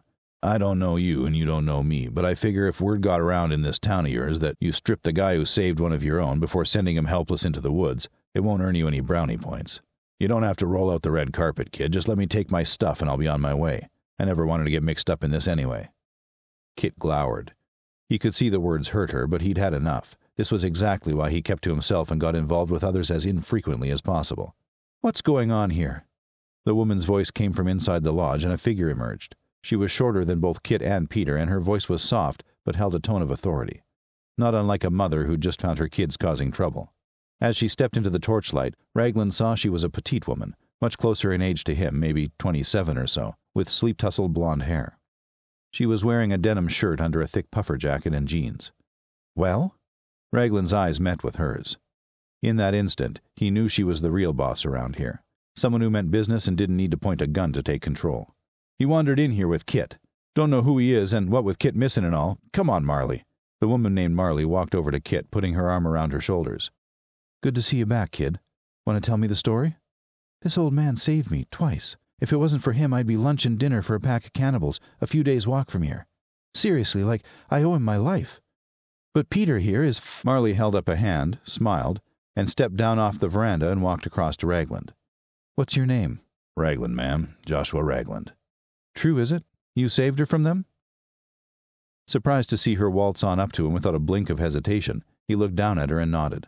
The height difference was almost comical, and she had to crane her neck up hand on her hips to get a good look at him. Yes, that's pretty much how it went down. She regarded him a second longer, then nodded. I can tell when a man's lying, Peter, she shouted over her shoulder. Put that rifle down, you big lump. and go send word to Claire. Peter hung his head, embarrassed, and skulked off back into the lodge. So we good then? Sure. Sorry about him, Peter. He gets awfully protective about what we have here. Doesn't take kindly to strangers. It's no bother. Mind if I get my stuff? She gave him a quick once over, then nodded. Raglan sidestepped Marley and grabbed his backpack from the table on the veranda. Kit was still there, and she looked on the brink of collapsing. It was after throwing his backpack on that he considered the issue of losing his bow and hunting knife. He'd had both for a very long time and had grown attached to them. He was lucky to still have his pendant. Holding the onyx stone in his hand, he knew in his heart that venturing back out into the wild without a weapon and the means to hunt would be suicide. He needed to stay, regroup, and replenish his energy before figuring out his next moves. Marley joined them, smiling at Kit and rubbing her arm. When Alex gets here, we'll get you right on over to Claire, okay? Kit nodded. Given how uncharacteristically quiet she was, Raglan thought she must be on the edge of exhaustion. Who's Claire? he asked, adjusting the straps on his bag. Our town medic. Raglan's eyes widened. Those aren't too common these days. We're lucky to have her. Here, let's get inside and start a fire. Alex will be a while yet. Still on edge and checking the shadows, Raglan followed Kit and Marley into the lodge. The interior was, as expected, dark wood, dusty taxidermy, flags and badges all over the walls, and a big old gun over the stone fireplace. A long couch ran for a good fifteen feet next to a shaggy rug that had seen better days. Kit slumped onto the lounge, taking up a moth eaten blanket and tucking her legs in. Poor kid, he thought. Opposite the living area, an island bench that looked like it had been surgically removed from another building entirely and grafted into the lodge designated the kitchen. He wandered over to the kitchen island, wiping his muddied hand over it. Knew where it might be, but it was thick with dust. Hey, Sasquatch, want to help me with the fire? Marley called to him, bending down to poke the charred remains in the hearth, making room for fresh wood. Sure, he said. What you got? Tinder's over in the basket there, she pointed and some more logs out on the porch. You get those? Raglan smiled. She sure had a way with managing people. She'd known him all of five minutes and already had him running around doing errands. His boots echoed across the floorboards on his way to the front door. Next to it, in the half open drawer of the side table, he could see the rotten covers of old fiction titles and a few magazines. On top, there were a few melted candles and a tin dish filled with coins and screws that no one would have a use for ever again. Out on the porch, the cool air ruffled his hair. North facing, the lodge's front caught most of the weather, feeling substantially colder than the back where they'd entered. To his right was a porch swing covered in leaves with an old book face down on the seat. To his left, the logs Marley had requested. Grabbing an armful, he returned to Marley, who had cleared a good space, adding plenty of smaller kindling. Raglan knelt, knees clicking, and arranged the logs across each other to maximize oxygen. Got a match or lighter? No matches, sorry. We ran out years ago. Same with lighters. You don't have any yourself, do you? Marley asked, looking vaguely hopeful. No, sorry. Flint, then. Marley picked up a rock and a small piece of flint from the top of the mantelpiece and handed it to him. Raglan took it and noticed the scratches and burns across the rock where it had been used hundreds of times. He'd used matches and lighters in the early years. Then, when they ran out, he'd taken to using flutes of wood and kindling to generate a fire. An old trick he'd picked up from books, but one that played havoc on his hands. It was only after a year that he decided to start collecting flint when he could. It proved to be a game changer. The shame of it taking him a good year to move to flint still stung on occasion, the calluses on his palms a permanent reminder. Thank you, he said, striking the flint just twice on the rock, sparks leaping off and catching in the kindling immediately. Orange heat flared and glowed hot. Raglan bent close and blew gently on the kindling, creating a thick plume of gray smoke to fill the space between the logs. He stopped, took a breath, and blew again. The fire took, flames belching into life, curling their hot fingers around the wood. Raglan sat back on his haunches and glanced over at Marley. Should do. She nodded with a smile. Not bad, old man. Hey, I get enough of that from the kid, he said, pointing a thumb at Kit, who was already fast asleep. For good reason, she said, frowning now as the same light lit up Raglan's face. You're the oldest person we've seen in a very long time. We thought the virus had killed them off. How old were you when it happened? 24. Wow, life must be hard out there on your own. You look like you're pushing 40 with that beard. No offense. Raglan felt exposed. He couldn't remember ever meeting someone so capable of seeing right through him. She was right. The years in the wild had been hard on him. He felt like each year aged him by three. I'm gonna go grab some air on the veranda until your guy comes down. Marley grinned.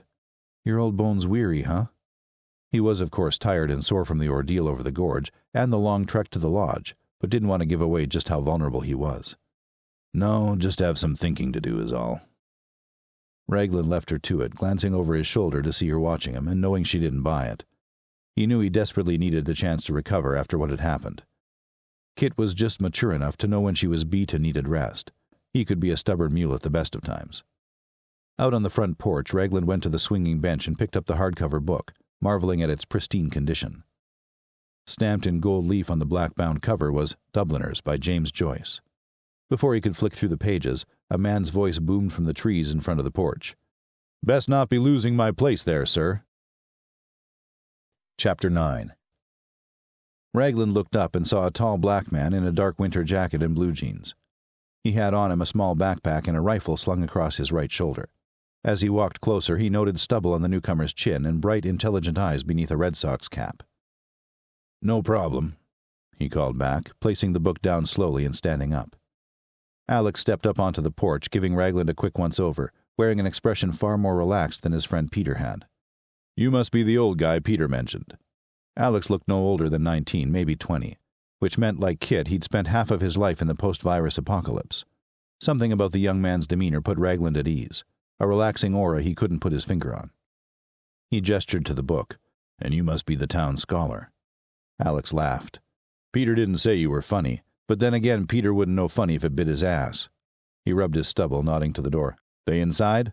Raglan nodded. Kit's resting up. The two men stepped back into the lodge. Marley sat on the edge of the couch with Kit, using a damp cloth to wipe the blood and dirt from her face. Alex took care to be quiet as he put his gear down. Hey, just got in. What happened? Marley glanced at Raglan, then placed a hand on Alex's shoulder as he sat opposite next to Kit's feet. Raglan remained standing by the fireplace, warming his back. Don't know the full story yet, and I'm not sure what Peter told you, but this man saved Kit from some bad trouble and brought her back to us. Alex looked back at Raglan, a smile brightening up his face. He nodded, then took off his hat. Thank you. Raglan nodded.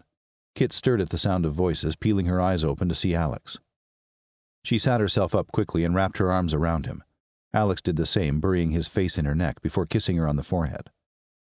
Marley got up to leave them to it, shoving her hands into her pockets. She walked over to Raglan. Alex will swap over from Peter for the night watch. We'll walk back with Kit to Bakerstown. I'll get you a bed for the night and feed you breakfast tomorrow. After that, what you do is entirely up to you. But I must emphasize that what you did was a good thing. The town will be thankful for it, and you'll be welcomed. There's enough food to go around, and another pair of hands would go far. So if you ever. I appreciate the offer, Raglan interrupted, averting his gaze from Alex and Kit whispering and kissing each other. But that's just not me. I'm happy to have helped, but food and shelter will be a fine repayment, really. Marley's eyes studied him again, searching. She stopped, dropping her gaze and placing her hands on her hips. Very well, Mr. Raglan. Let's get us all back to Bakerstown. Alex, you all set up and good? Alex was in the middle of softly admonishing Kit. Raglan heard snippets about leaving without warning or backup. He was inclined to agree with the boy, who appeared to have a good head on his shoulders. Yeah, all good here, said Alex before standing up, walking over to Raglan and holding out a hand. I mean it. Thank you. Let me know and I'll repay you in whatever way I can. Don't even mention it, kid. A life is gift enough. I'm serious. Name your price. And so am I. No payment needed. Kit, Marley said, grabbing her own small backpack, you think you can manage the hike back into town? She nodded. Yeah, just a little tired. I'll be all right. Groggily, she climbed off the couch, throwing aside the blanket, and grabbed a jacket from the clothes peg by the front door. Hey, one more thing, Alex said to Raglan before he left with Marley and Kit. Sorry about Peter. He told me he had you at gunpoint. He's always been like that, protective. Go easy on him. The other folks will be happy to see you. Raglan frowned. How many people know I'm here? Ah, it's not like that. Peter doesn't gossip. Sure. Thanks again, old man. Say, what's your name? I only got your surname. Joshua. You can call me Josh. Alex smiled, slapping him on the arm.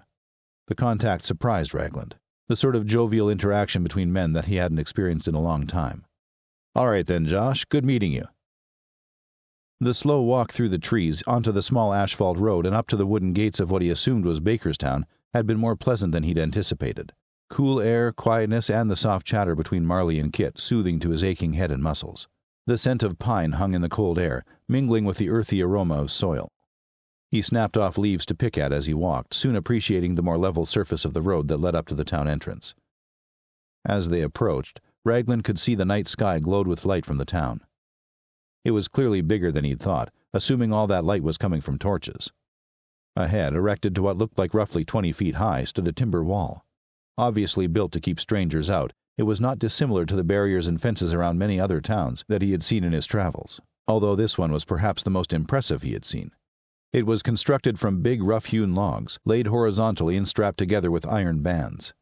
The gates were reinforced with iron plates and looked heavy enough to withstand a battering ram for a good hour or two. At the top of the gates, torches silhouetted two figures with guns pointed down toward their party. Marley walked out in front, waving. It's Marley. One of y'all go fetch Claire. We've got a couple of injured people to look at. Open up, boomed one of the voices. The rumbling creak of the gates sounded in the night as they rolled and scraped over the road, two figures pushing them open. Looks like a lot of effort, Raglan remarked. We had a winch mechanism before, Marley replied. Long story short, shit happened, and we had to rebuild quickly. It'll do for now. Fair enough. We'll get you through to see Claire, make sure you're all right. If it's all the same, I think I'll just catch some Z's. She shrugged, already several paces ahead of him. Suit yourself. Don't expect a marked grave if you die in your sleep. Raglan smiled. Passing through the gates, he looked at the folk standing guard. All eyes on him, the stranger to Bakerstown. They all looked young, much younger than he'd been when he'd gone from his last year of law school to living in the after days, and yet their faces spoke of hard experience. The grim reality that one didn't get to choose, it just came knocking at the door and had to be dealt with. Raglan felt a small sadness then, just as he had when he'd seen it before in other kids across the country. Childhoods ripped away from them when the virus took their parents, their friends, their ordinary lives. He didn't see the sadness reflected in those faces, just grit and their will to survive. They might be young, but they weren't to be underestimated. Thank you, Rufus, Marley shouted up onto the wooden walkway that had been built like scaffolding behind the perimeter fence. A skinny white kid with curly hair nodded. Next to him, an Asian kid pointed at Raglan. Who's that? None of your business, Charlie. Keep the watch. You did ask for it, remember? Raglan saw the kid's shoulders slump, but had already moved on. In front of him was the town, similar to any other from the age before America fell, but changed by necessity. The road they walked acted as the main avenue bisecting the town. A big sign proclaimed Main Street. On the left and right, several smaller streets led off from it. Raglan noted that many of the original buildings were still intact, some even refurbished. He concluded from the rough bricks and new mortar that they had a stonemason in their ranks. Not bad considering that the oldest person he'd seen would only have been 17 at the most during the fall. Even in the dim light, he could tell that some of the wooden structures also looked just a few years old. And there were a lot of them, too. As the trio walked down through the town, deserted due to the time of night, Raglan could see that Kit's hometown was sprawling, full of growth and sustainability. It occurred to him that Marley's offer to stay as a much needed pair of hands was just kindness. They didn't need him at all. If anything, he'd probably just get in the way. Bakerstown was thriving. Opposite what looked like a converted bookshop, Raglan saw a tall brunette emerge from one of the repurposed shops. Judging by the large red cross above the window, this was the town medic, Claire. Hey, she said to Marley, smiling at Kit and taking a furtive glance at Raglan. Everything okay? Peter and Alex told me. Just a few scratches and bruises, but we should be sure. If you take Kit, I'll get our guest here to his quarters for the night. Sure you don't need looking at? the doctor offered, looking Raglan over. He held up a hand. I'm fine. We'll be good as new after a few hours shut eye. Whatever you say, stranger. She turned to Kit, rubbing her shoulders. Hey there, you okay? Let's get you cleaned up. The doctor led Kit back across the street and into her office, which looked to be lit by a few lanterns. Raglan often wished he'd trained to be an electrician or another useful trade. There was no call for lawyers in post America, but to be able to work on a plant and revive an electricity grid, even a small one, would have been something exceptional. Instead, they were in the Dark Ages, with such a minuscule number of adult survivors after the fall, lanterns and torches and the occasional small generator would be the best they'd ever have, at least until an industrial rebirth. You there? Marley called, clicking her fingers. Don't fall asleep on me now. That there was Claire. She's an angel. She looks after this town more than anyone, including me. Claire, right. Yeah, sorry, I guess I'm tired. No bother. Let's get you over to the shack. We have a small house at the end there where we put up travelers or people passing through. We call it the Creaky Motel. Creaky? It wobbles like a bitch. One of Charlie's first projects. Rahul helped. You'll meet them all tomorrow. There's some of the handymen in town who keep things going. Right. The two walked down the rest of the avenue in silence, Raglan turning his head left and right to soak it all in. They passed more stores and buildings converted into living space. Some were demolished on the outskirts of town, fenced up and used to grow crops. To the left, a church, and then to the right, what looked to be the original town school, looked after and, according to Marley, still used for its original purpose. The juxtaposition of original buildings and new wooden structures reminded Raglan they were living and breathing a real American apocalypse. Thrown back into the Wild West, with wooden swinging doors, horses as main transport, and canned beans the new delicacy. Do you ever miss it? Raglan said, deciding to break the quiet. The old world, before the virus hit? Sure I do. You know how long it's been since I've seen a meme? They both laughed, shaking their heads at the lost technology that used to seem so important. She tapped his arm. Not sure I miss all that, but I miss how easy it was. My biggest gripe back then was Mom waking me up too early on a Saturday. He saw a sadness cross her features, and he reminded himself she really was just a kid, too. Early twenties at the most. Now it's how to help the town survive another winter without losing another soul. I'm sure you've seen it on your travels. The struggles and harshness of life now. Seems funny that most people back then were more concerned about whether you were a Democrat or a Republican, or the price of gas, or Bitcoin, or Elon's next tweet. I think the virus was more like a time machine than anything else. Took us back a century, but who knows? Maybe that's what we needed. Raglan liked the analogy. It did feel like getting hurled back in time by an invisible hand and waking up living in an old Western movie. Elon Musk. I haven't heard that name in years. You know, I heard a rumor about a year after from someone that he lifted off for Mars in one of his rockets a week before the attack. It was all in the hush hush, of course, just him, his family, and a select group of scientists. No, bullshit. You know, it probably is bullshit, but a tiny piece of me hopes it's true, that he got to live out his dream. They both looked up to the stars and were silent for a minute, contemplating the possibility it was true. What about you? she asked. You miss it? His hand touching the onyx stone on his chest didn't go unnoticed by Marley. A few things, sure. Certainly took electricity for granted, didn't we? Sure as hell did. Though I heard a rumor last year of folks a stayed over trying to rebuild a plant and learn how to run it. Really? Hell yeah. It's not over for us yet, Mr. Raglan. They had finally arrived at a rundown looking shack with a front door and no windows. Scrawled in white paint above the door was Creaky Motel. A big old Coca Cola sign made from tin and spotted with rust was nailed to the wall. Raglan wasn't sure it was there purely for decoration. Thank you, he said, opening the door to peek in. It was bare, with only a fireplace, a bed, and a chest of drawers on the opposite side. A small fire was crackling away in the fireplace. You're welcome. Had Peter come by and set it up for us. How'd you know I'd stay? Marley smiled, giving him a wink. You'll get to know my ways. Sleep tight now. Come by the square at sunup. I'll introduce you to the town and organize you some breakfast. Sure thing, he said, nodding. And call me Josh. She returned the nod and pulled the door closed. The weary drifter stowed what little he had left, then collapsed onto the bed, asleep almost as soon as his head hit the pillow. Chapter 10 Three loud gunshots ripped Raglan from a deep sleep. He bolted upright, the room dark, feeling for the hunting knife he'd lost the day before. He was still getting his bearings when the bangs came again. No, not gunshots. It was some damn fool rapping on the tin Coca Cola sign next to the door. He climbed off the battered mattress, rubbing his back, and realized just how cold it was with the fire out. Grumbling, he staggered over and pulled the door open. Kit, patched up and in fresh clothes, stood with her arms folded. You've been sleeping this whole time? Raglan squinted up at the cloudy sky. What time is it? Time you got dressed, old man. Here. She bent and picked up a bag she'd left on the steps and flung it into his arms. Fresh clothes, towel, homemade soap? There's a shower behind this shack. A shower? Kit smirked. Well, more like a bucket. I'm sure it'll be an upgrade from bathing in rivers, though. It'll be cold. We don't heat water for bathing unless it gets to winter, just to conserve our resources. Raglan nodded. Makes sense. Listen, about yesterday. You doing okay? It was a hell of a getaway. Yeah, she said, fidgeting with her jacket sleeve. Claire checked me over, nothing major. So, like, I guess I'm invincible or whatever. Anyway, I just swung by to wake your ass up and give you the clothes. Marley's expecting you in the square, so I'd hurry up if I were you. She hates tardiness. Roger that. She was right. The water was cold.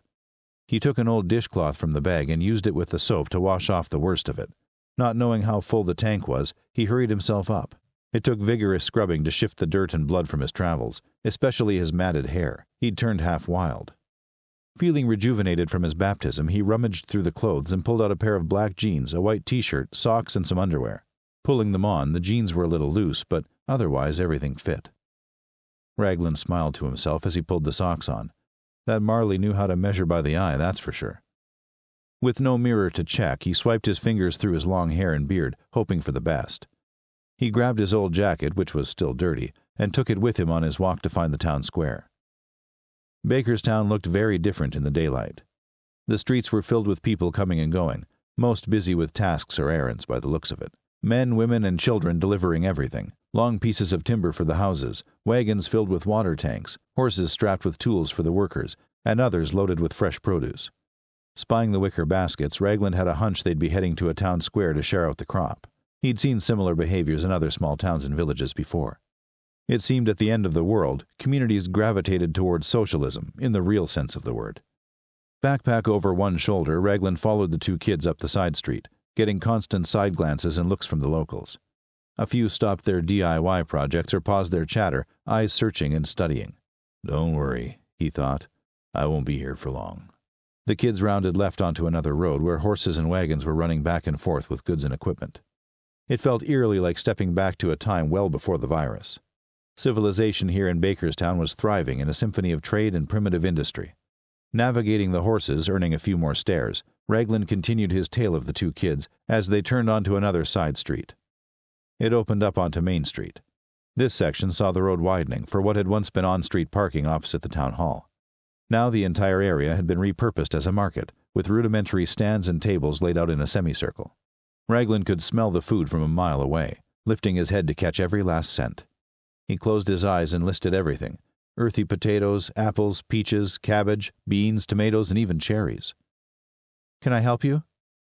Raglan peeled open his eyes and looked down to his right. A kid no older than eight, with scruffy brown hair and big eyes, gawked at him with a single eyebrow raised. The drifter smiled. Hey, kid. I'm no kid, jerkface. You're not from here, are you? You got that right. He turned to survey the market. No one had noticed a stranger talking to one of their own just yet. Everyone was too engrossed with handing out the food. It looked to Raglan like they'd formed a rudimentary system of bartering. Know who Marley is, kid? My name's Jackson, not Kid. Don't call me that. Call me Jackson. Everyone knows Marley, jerkface.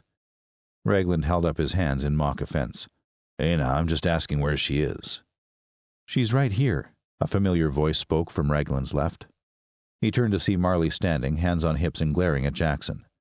Now, what have I told you, Jackson, about calling people jerkface? It's not nice, is it? What would your mom and pa say, huh?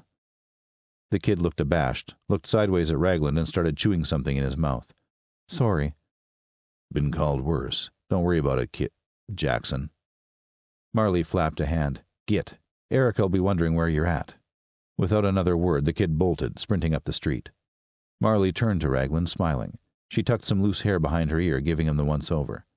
I see you found the shower. Anyway, I promised you a tour. Have you eaten yet? No, ma'am, he found himself saying, which made her laugh. We can nip that in the bud right away, old man. I'm not your ma'am. Call me Marley. The kids call me Mare Marley for fun. Whatever gives you your kicks, I guess. Marley it is. Let's get you fed then. Simon will have some oats ready for you. Marley was straight into the action, saying goodbye to a few of the folks at the market and waving at others as she turned back toward the avenue. For a short person, she sure had a stride on her. Raglan had to focus to keep up. That right there is the florist. Casey and Fred run that. A florist? She laughed. I'm guessing you're wondering why we'd need one, right? Low on the priorities?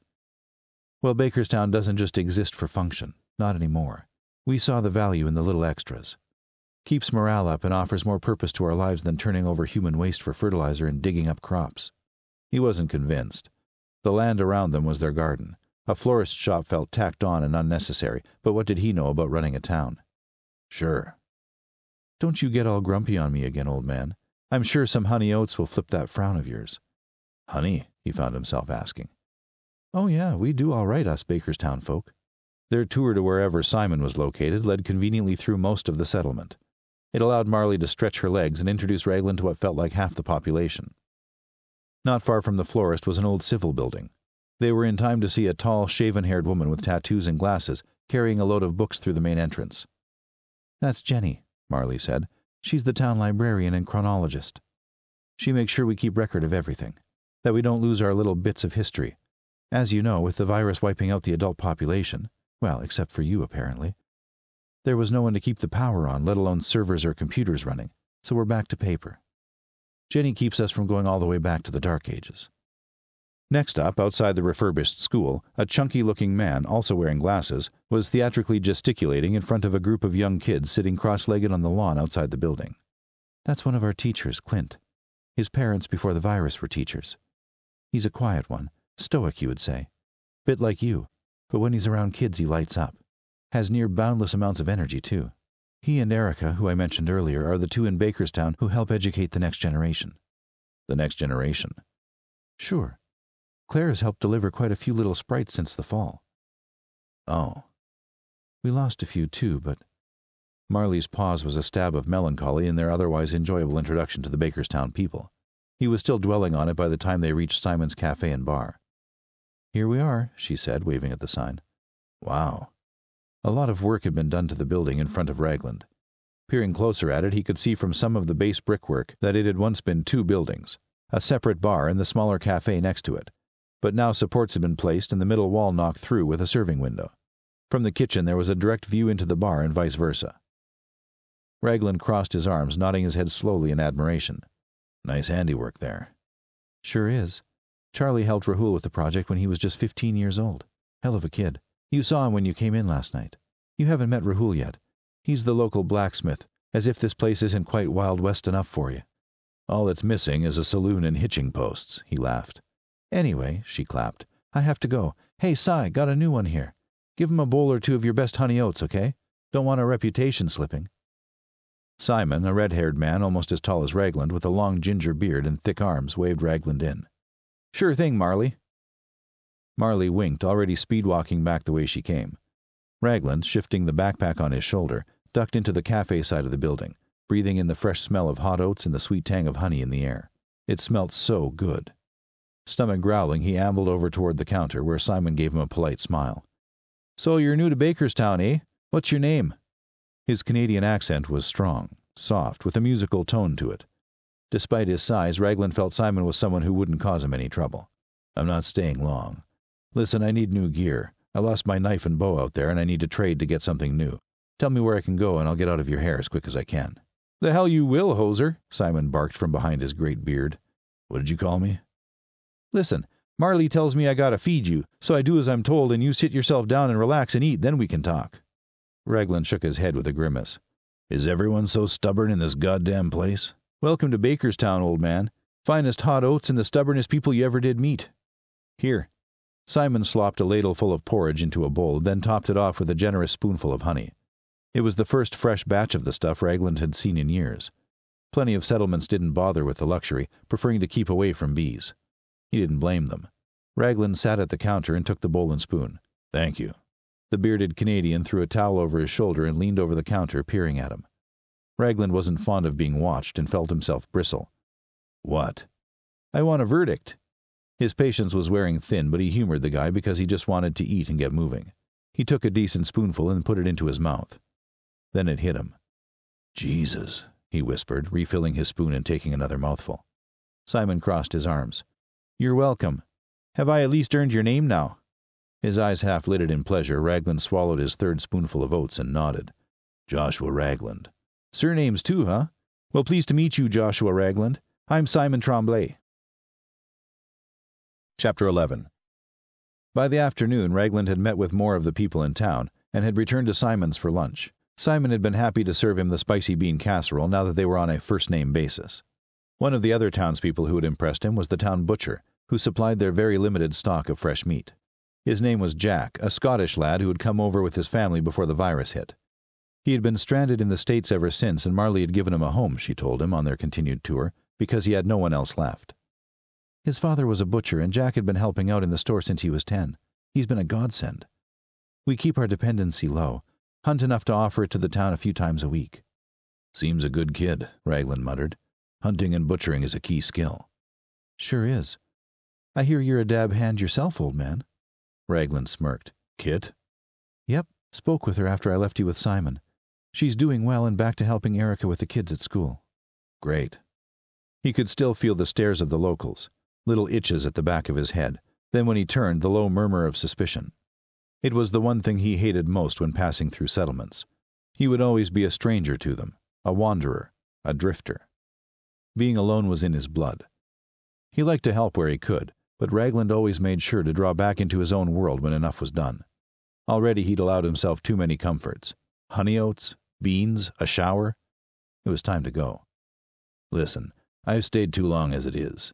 I need to replace my gear. Do you have somewhere I could. Marley nodded. Why don't we pay Rahul a visit? On the edge of the town, beside an open plot of unused land, a large double door garage belched heat.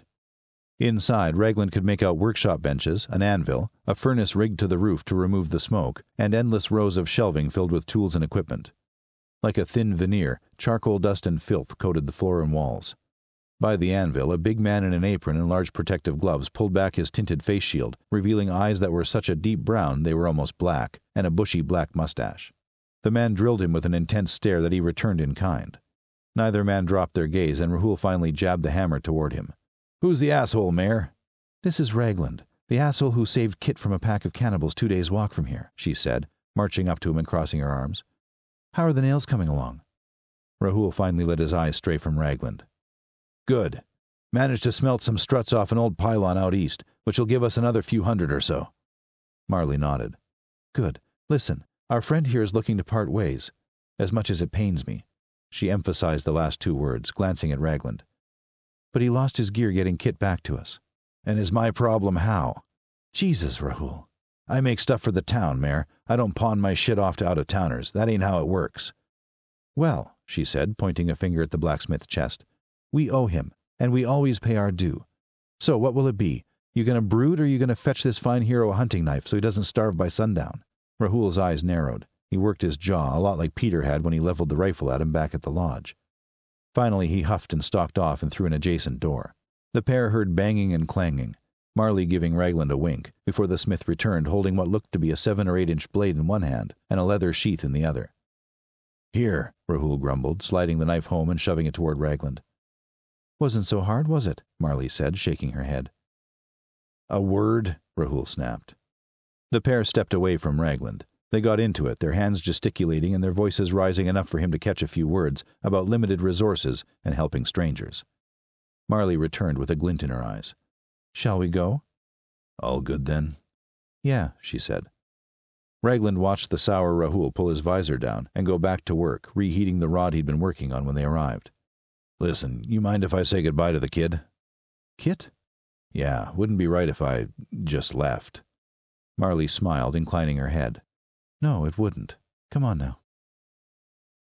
Chapter 12 Kit stepped away from the group of young kids after placing a crayon and piece of paper next to them. Her expression clearly painted her disappointment in the news. When are you leaving? Now. I've just restocked. Marley helped me out with a knife and some food for the road. What about your bow? Isn't that like key for hunting or whatever? I'll manage with traps for now. Have done it before. The classroom Raglan and Marley had interrupted proved too loud for conversations to continue, so the three stepped outside into the cool, crisp air that was signaling a turn toward winter. Why not stay until spring when it gets warmer? she said, rubbing her upper arms. The weather will only get worse. Can't imagine how friggin' cold it gets out there, you know? And you're no young buck neither, right? I'll be just fine. Looking uncomfortable, perhaps sensing that trauma had created a certain bond between the two, Marley cleared her throat.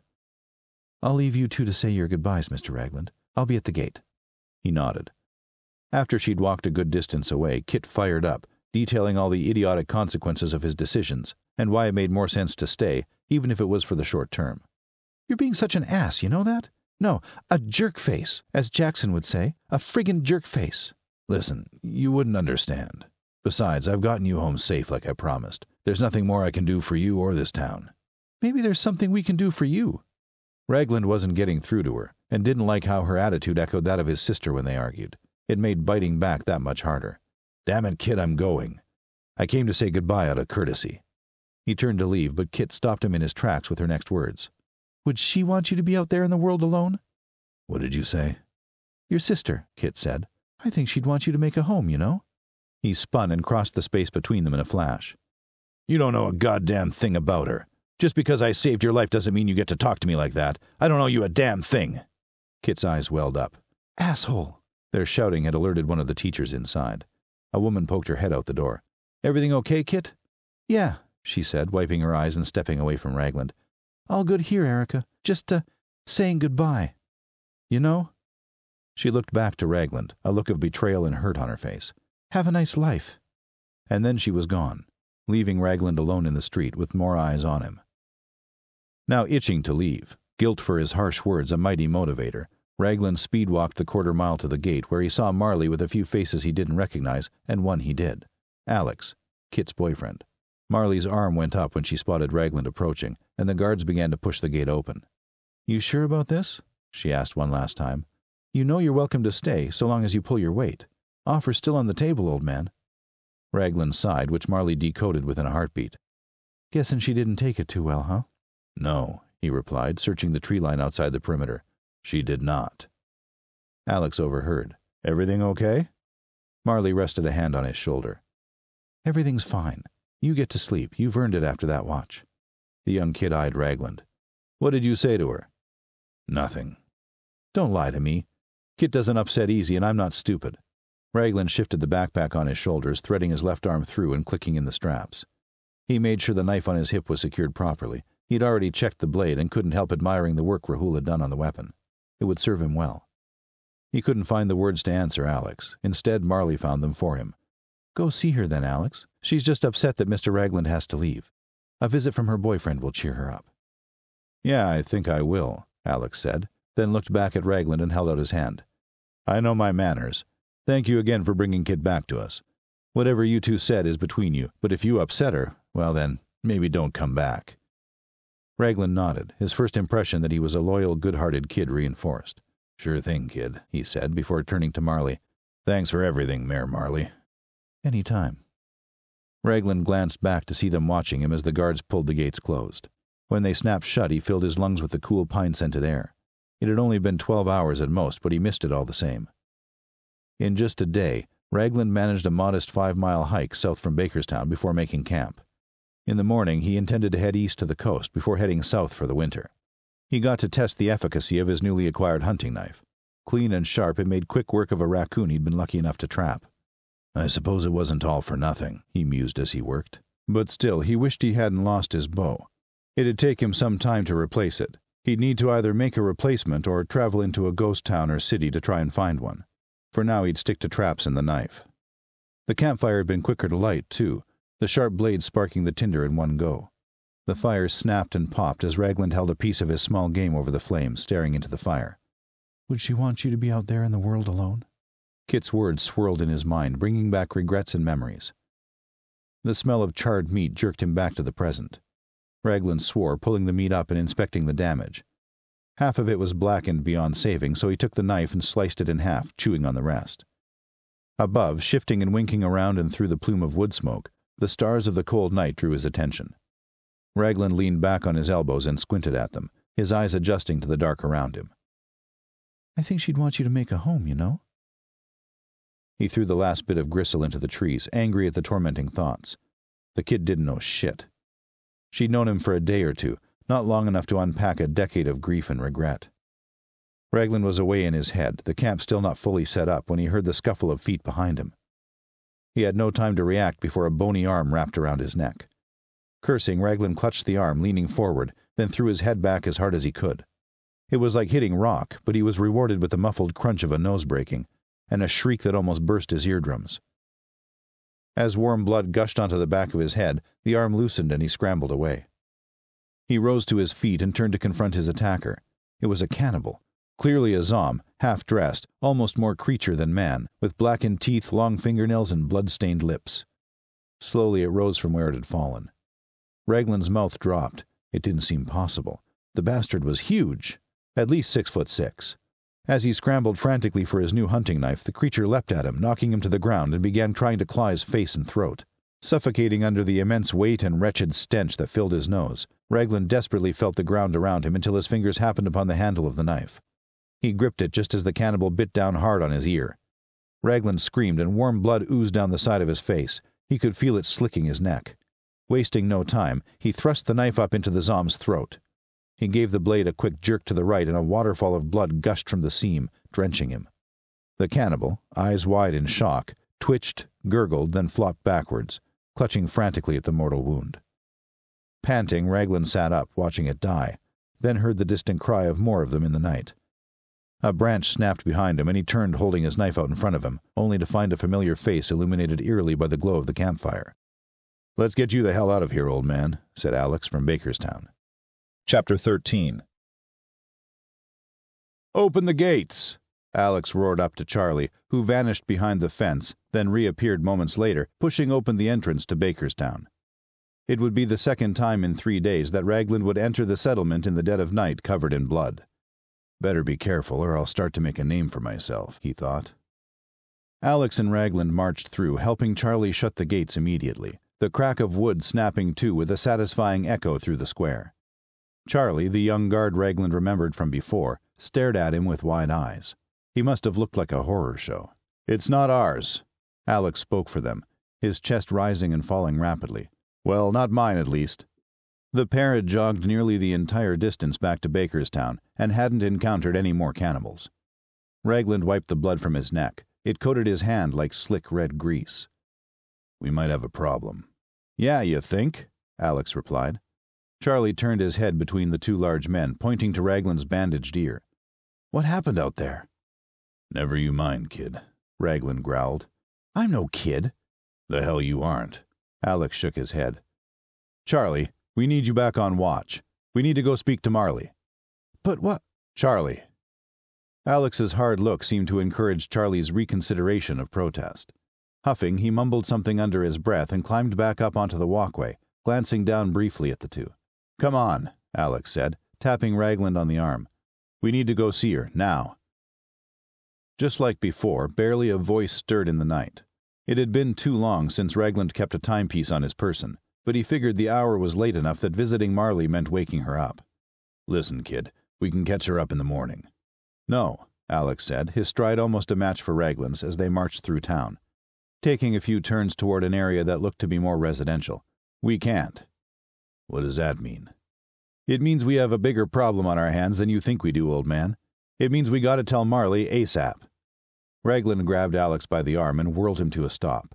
The pair stood, shrouded almost entirely in darkness, beside a large stone building that must have once been a series of department stores. What do you mean, a bigger problem? Alex shifted.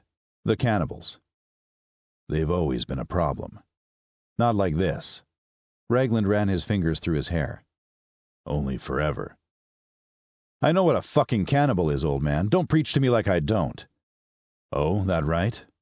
They have leaders, order, even a government. They send out feral packs like scouts, rangers, looking for the most vulnerable settlements and people, people like us. Meat.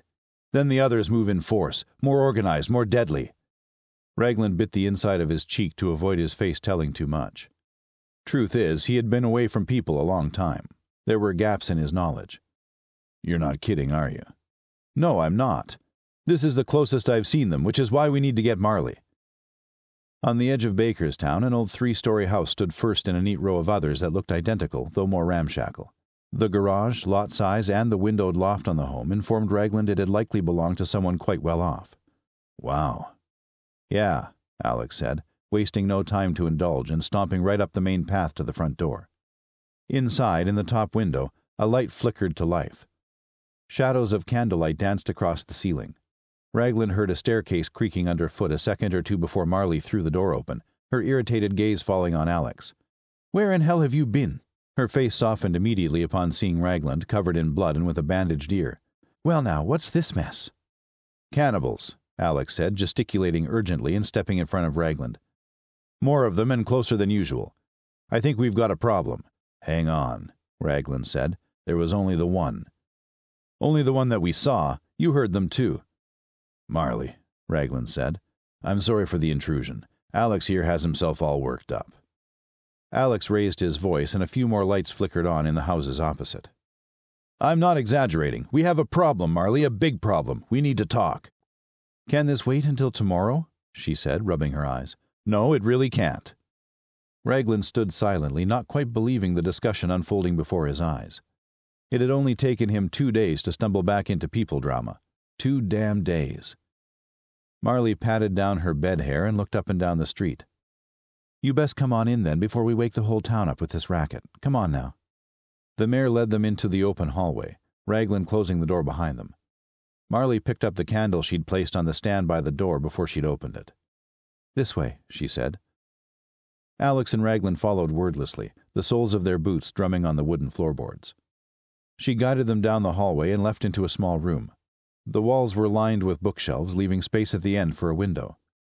In the middle sat a long table with coasters haphazardly placed on it. Marley pulled out two seats, then walked around to the other side and sat down opposite.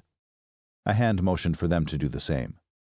Raglan caught the smell of printed paper as he navigated the table, placing his backpack down beside his feet before sitting in the chair next to Alex. Marley placed the candle on the table, casting an eerie glow over her features. From the beginning, tell me what happened. Alex, you go. We'll get to you last, old man. Chapter 14 Alex began to explain how he had left to follow Raglan later on the day he had departed. A lot of the story came as a surprise to the drifter, and he was annoyed at being tracked without his knowledge, and worse, that the kid had seemed to track him with ease. Still, he gritted his teeth and listened. The tale continued until it reached a point Raglan hadn't foreseen. Alex had been distracted by smoke in the southeast and had briefly veered from Raglan's trail to investigate. Half a day in that direction, he had come across a big encampment. Turning back, he decided to catch up with Raglan and let him know he'd been tracking him and warn him about the danger to the south.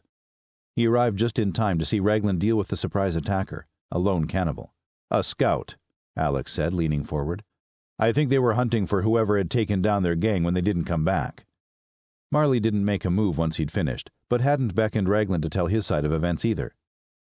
What did you take with you? she asked after a pause. Alex frowned. What? I'm asking, what provisions did you take with you on your little adventure?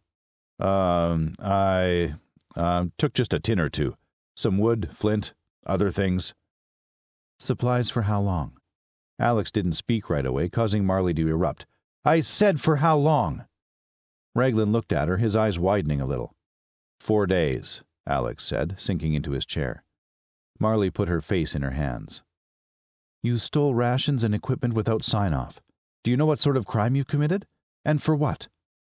For the right reasons, he protested. Raglan decided to jump in.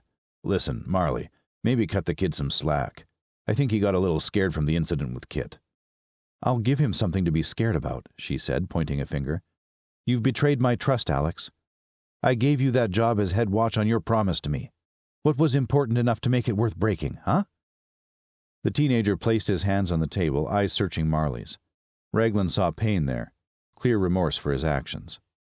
We all know about cannibals, Marley, but it's been a long time. Most won't see the danger. Some of the younger ones refuse to believe they exist at all, but you and I know. I had a feeling that after Raglan killed their crew, they might come back looking for revenge. Alex wiped his nose. This man saved her life. I love Kit, more than anything. I couldn't just watch him go like that because something in my gut told me they'd be hunting for him.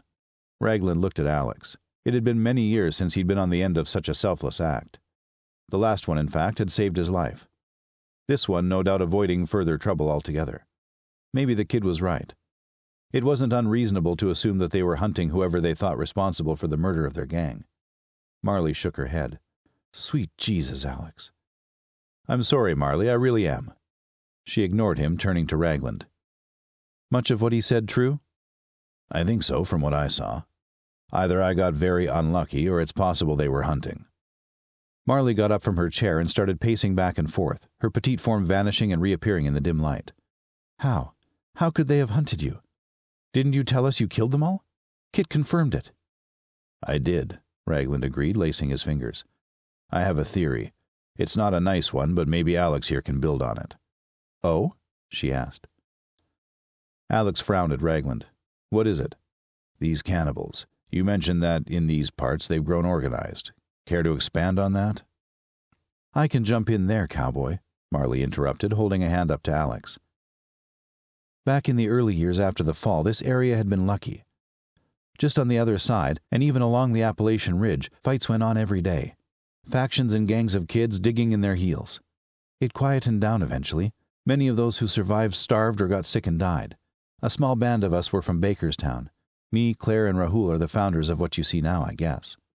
We lived here before and got together to defend it from those who wanted to take what wasn't theirs, but also to welcome those who needed refuge. Eventually, we started to hear about a gang who were snatching people near the woods, killing and butchering them while they slept by their campfires, that sort of thing. It was hell. For a while, we were terrified to leave this place. It was then that we decided to fortify, and within a few years, we were completely barricaded from the outside world. Like it is now? Raglan asked. Marley shook her head, licking her lower lip. Not quite. A year after the wall went up, we lost a lot of good folk. They came, Alex interrupted, his eyes haunted in the low light. The cannibals stormed the gates, tearing them down. It was all we could do to hold them back. We weren't combat trained, Marley continued for him, but their numbers were smaller than they are now, and they were driven mostly by a shared hunger and desperation, and we got the best of them. Not before we lost a lot of our own, though. How does this story factor into what's happening now? Raglan asked. With what Alex has said, they grew in numbers and got organized? Marley nodded. That's what we have heard and guessed. We've not seen many since, only rumors of sightings now and then from traders, but always a long way from us. But you have your suspicions that they're growing? Raglan asked. Yes, some of us. Raglan raised an eyebrow. As he did, the tightened skin pulled at the wound on his ear. The wet ooze of blood dribbled down his neck. A souvenir. Some? Just a year ago, Alex here decided to gatecrash the local town meeting. He mentioned everything we have tonight, but topped it off with a cherry most couldn't stomach to swallow, let alone bite. What does that mean? Raglan turned to Alex, who had sunken further into his seat. I suggested that the cannibals had developed a sort of society to rival our own, that they weren't all just dumb eating machines like the feral ones, and that there were smart ones in charge, and that we should prepare for them if they ever came our way. He held up his hands as Marley shook her head. Raglan listened with interest. Clearly, they hadn't heard of Norms and Zoms, but the kid had nailed it without knowing the titles they'd been given in other states. Still, the term society was a stretch. More like a few loose and scattered communities from what he'd seen and heard. So have you seen it with your own eyes? he asked, wanting to ascertain how the kid had come to his conclusion about the two tiers. I have. Once. The bastard smiled at me from a distance. I was out one day checking the ridge with an old pair of binoculars. I could make out his face, behind the smeared blood, tattoos all down his body. He had one of the feral ones on a leash and winked at me.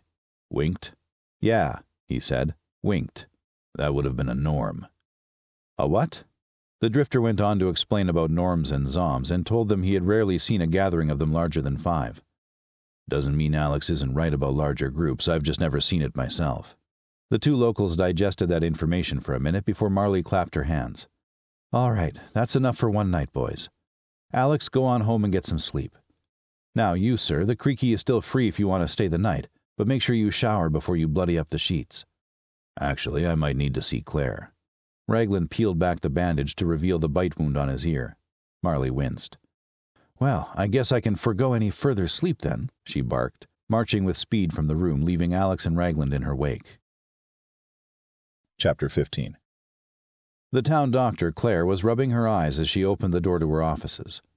Marley simply gestured to Raglan, and when she saw the state of him by the candlelight, Claire made a low hissing sound. You're back.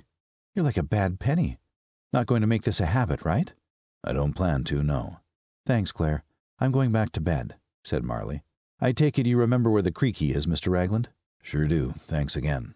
Raglan followed Claire through the waiting room to her office. He noticed that aside from the absence of leaflets and computers, everything still looked remarkably similar to the way a family doctor's did in the days before the fall.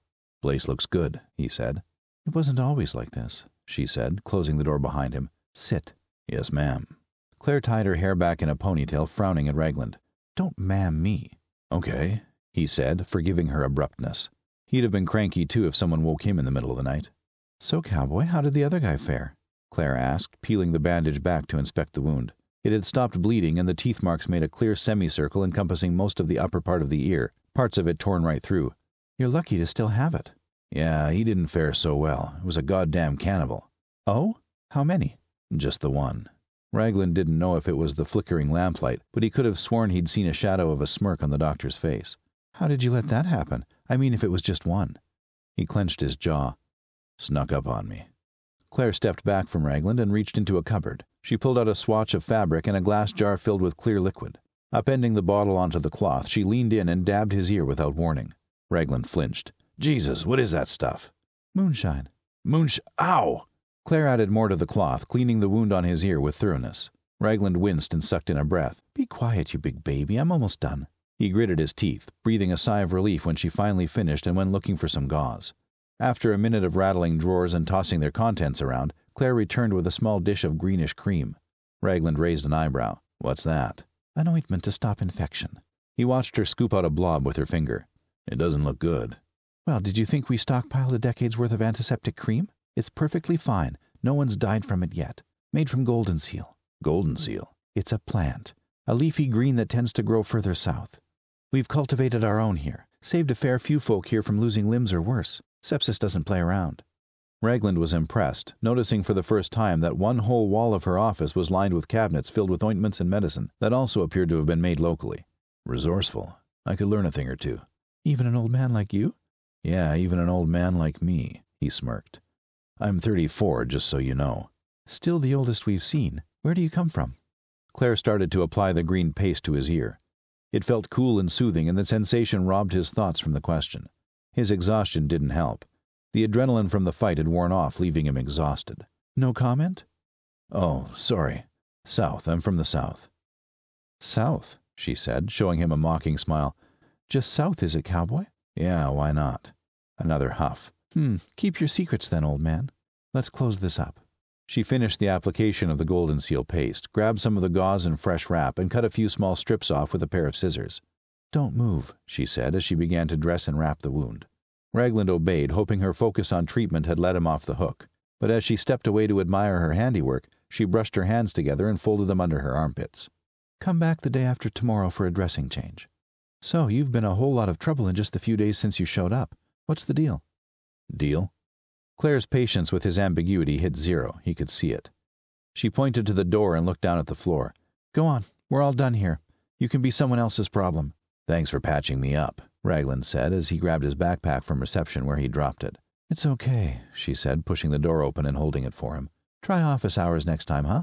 Will do, he said, tipping an imaginary hat as he went through. Outside, he inhaled a lungful of cold, fresh air. His ear felt better already, the pain having subsided to a dull throb. Up above the hills, he spied the moon sinking low behind branches. If he had any luck left in the tank, he might catch a few hours' sleep at the creaky motel. Shouldering the backpack, he took a quick glance back at the dark windows of the doctor's office, bit his lip, and went on his way through the sleepy, dark streets of Bakerstown. Sunlight was streaming through the windows of the creaky when Raglan woke up. All things considered, he didn't feel too bad as he sat on the edge of his bed. His leg muscles were sore from the run back, but his bandaged ear had gone from a dull throb to just feeling kind of heavy. He thought about his next move. The overwhelming urge to get back on the road fought with a growing notion that maybe it would be better to hunker down in Bakerstown until he had more of a beat on the cannibal threat. He was sure Marley's earlier offer would still be on the table, and he was happy to help out to earn his keep. He went round back to where he'd had the shower on his last day. A second shower in a week was unthinkable, especially given how cold the last one was. So he settled with lifting the lid of the barrel, splashing cold water on his face, and smoothing down his hair. Feeling rejuvenated, he wiped his hands on his jeans and went out into the street. It was still relatively early, and few people were about. He decided to head to Simon's rather than disturbing Marley after her interrupted night. He'd walked most of the way when he spotted Simon speaking with a man on horseback outside the cafe. The man bent and helped the Canadian take a sack that was lying over his saddle. Raglan hung back, not wanting to intrude, but the interaction came to a quick close, both men shaking hands before the rider turned and rode by Raglan, heading towards the gate. Raglan gave the rider a cursory nod as he passed. Out of town delivery? It made sense. Settlements over the years had redeveloped trade. So far, he hadn't seen a distillery, so he could only surmise that Claire had gotten the stash of moonshine from a neighboring settlement. Morning, Simon called. I didn't expect to see you again, no offense. He smiled. None taken. Need a hand? Simon busied himself with the mysterious sack of goods and nodded to some crates stacked next to the wall on the sidewalk. Sure, why not? Good way to earn breakfast. I'm guessing that's why you're here, right? Folk love those honey oats. Just happy to help, but those oats were damn good, Raglan replied, bending and lifting one of the crates up, taking care to use his legs to take the strain. It would be easy to blow one's back out. The thing weighed a good thirty or more pounds. He followed Simon in, through to the back where he was stacking a walk in pantry. Raglan was surprised to see small containers of ice littered about, preserving other goods, and even spied jars of milk amongst them. How did you manage that? Raglan inquired, placing the crate down and stretching, checking out the ice with his fingers. Simon smirked. Old Wild West trick. It's why we keep Jenny around. Jenny? Sorry, I can't remember. The chronologist here. She keeps track of all books and records. Right. So we found a way to store ice during the summer, he explained, following Raglan back out to the street to collect the last of the food. We carve up the ice from the rivers and haul it back here. There's a cave not far. We used that at first. Then Jenny read about how they would dig great big holes in cellars back in the 1800s and cover the ice in straw to keep it cold enough through the summer. Jesus, Raglan said. That's impressive work. The two big men finished stocking the pantry, or what served now as a walk in refrigerator, in quick time and stepped back into the main cafe bar area. Raglan took a seat at the nearest table while Simon navigated the kitchen, pouring oats into a large pot before filling it with milk and water. Come to think of it, I heard about an ice cave just west of here. It's a week long hike, but we did too. But it's too far and we can get ice locally without any risk. Besides, it'd melt before we got it back. True. No bother, eh? Look at us now. Simon's smile was broad and lit up his entire face. Raglan watched Simon cook and busy himself with kitchen prep for the day, in between stirring the big pot. He briefly considered mentioning the cannibal business, but it wasn't his style. He didn't gossip, and if anything needed to be announced, he'd leave it for Marley to do the announcing. Simon had served up the oats, and he was about to take his first spoonful when Marley came through the door, the morning sun bathing her in its warm yellow light to ensure the entrance was a memorable one. Morning, Simon. Morning, Josh. Raglan jolted at the use of his first name. He'd gotten used to others referring to him by his surname, and it had stuck. Over the years, he'd fallen into the habit, whenever prompted, of giving his surname. As unaccustomed to it as he was, it sure beat old man. Morning, he said, taking a quick spoonful of his breakfast as she sidled up to him. When you're done with breakfast, can I have you for a few minutes? Now that you'll be a Bakerstown resident for a while, I think it's time we see where we can put you to good use. Raglan caught the edge of Simon's smirk and raised his eyebrows at Marley. Resident. Cut the crap, old timer. You're staying put. His refilled spoon paused halfway back to his mouth. He'd already come close to making the decision to stay for the winter. He let Marley's bold certainty push him over the line. How's Alex? he asked. Marley flashed her eyes briefly to Simon, then back to Raglan, hands going to her hips. He's fine, all taken care of. Right he said, looking down at the glistening streaks of honey in his oats. Best get this porridge down me, then. Don't want me passing out of hunger while you work me into the ground. Excellent, Marley nodded. I think I know exactly where to put you. Chapter 16 Cabbages? Raglan asked, fiddling with his beard as he surveyed the small farm they'd made for themselves on the edge of town. You got it in one, old man. That back of yours is not going to give up on us, is it?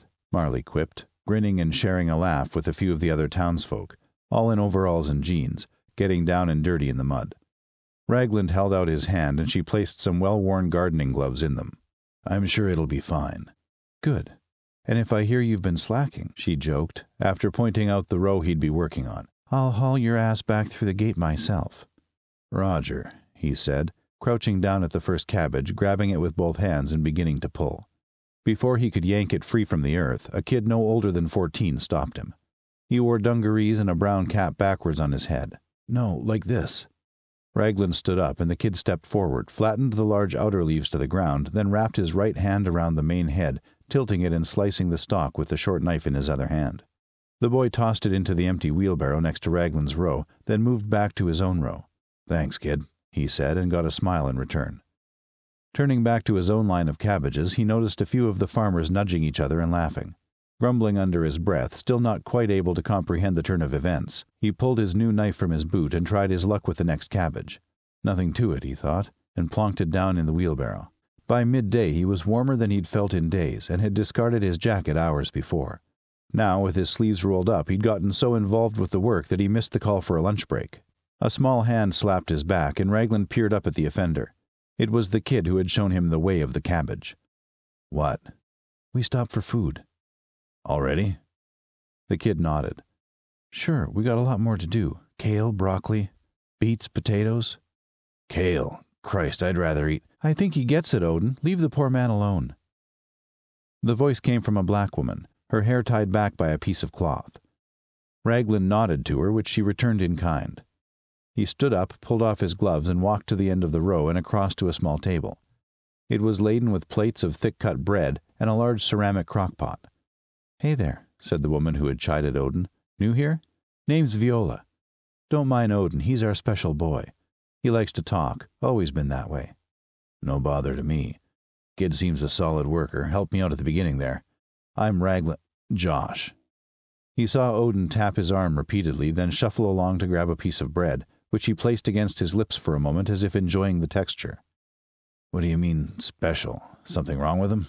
Oh, no, Viola replied, grabbing a bowl next to the large pot. Nothing wrong. We've read into it, and we think he has a mild form of autism. He struggles in the classroom, too. Is that why he's out here with you folk? In part. He's not a fan of school, then. Viola shook her head, picked up a ladle, and scooped the steaming hot chicken broth into a bowl. Raglan's mouth watered. Not quite, she said. Comes and goes. Some days he doesn't mind the indoors. Some days he can't stand it. But since he was young, he's been great with his hands. Not always the farm. We get him to help on the building, too. Or sewing. Rahul has even taken him in as an early apprentice. You met Rahul yet? Raglan rolled his eyes, taking the ladle from Viola and serving himself a generous portion. I have had the pleasure. Oh, you have, have you? Is he like that with everyone? Just strangers, she said.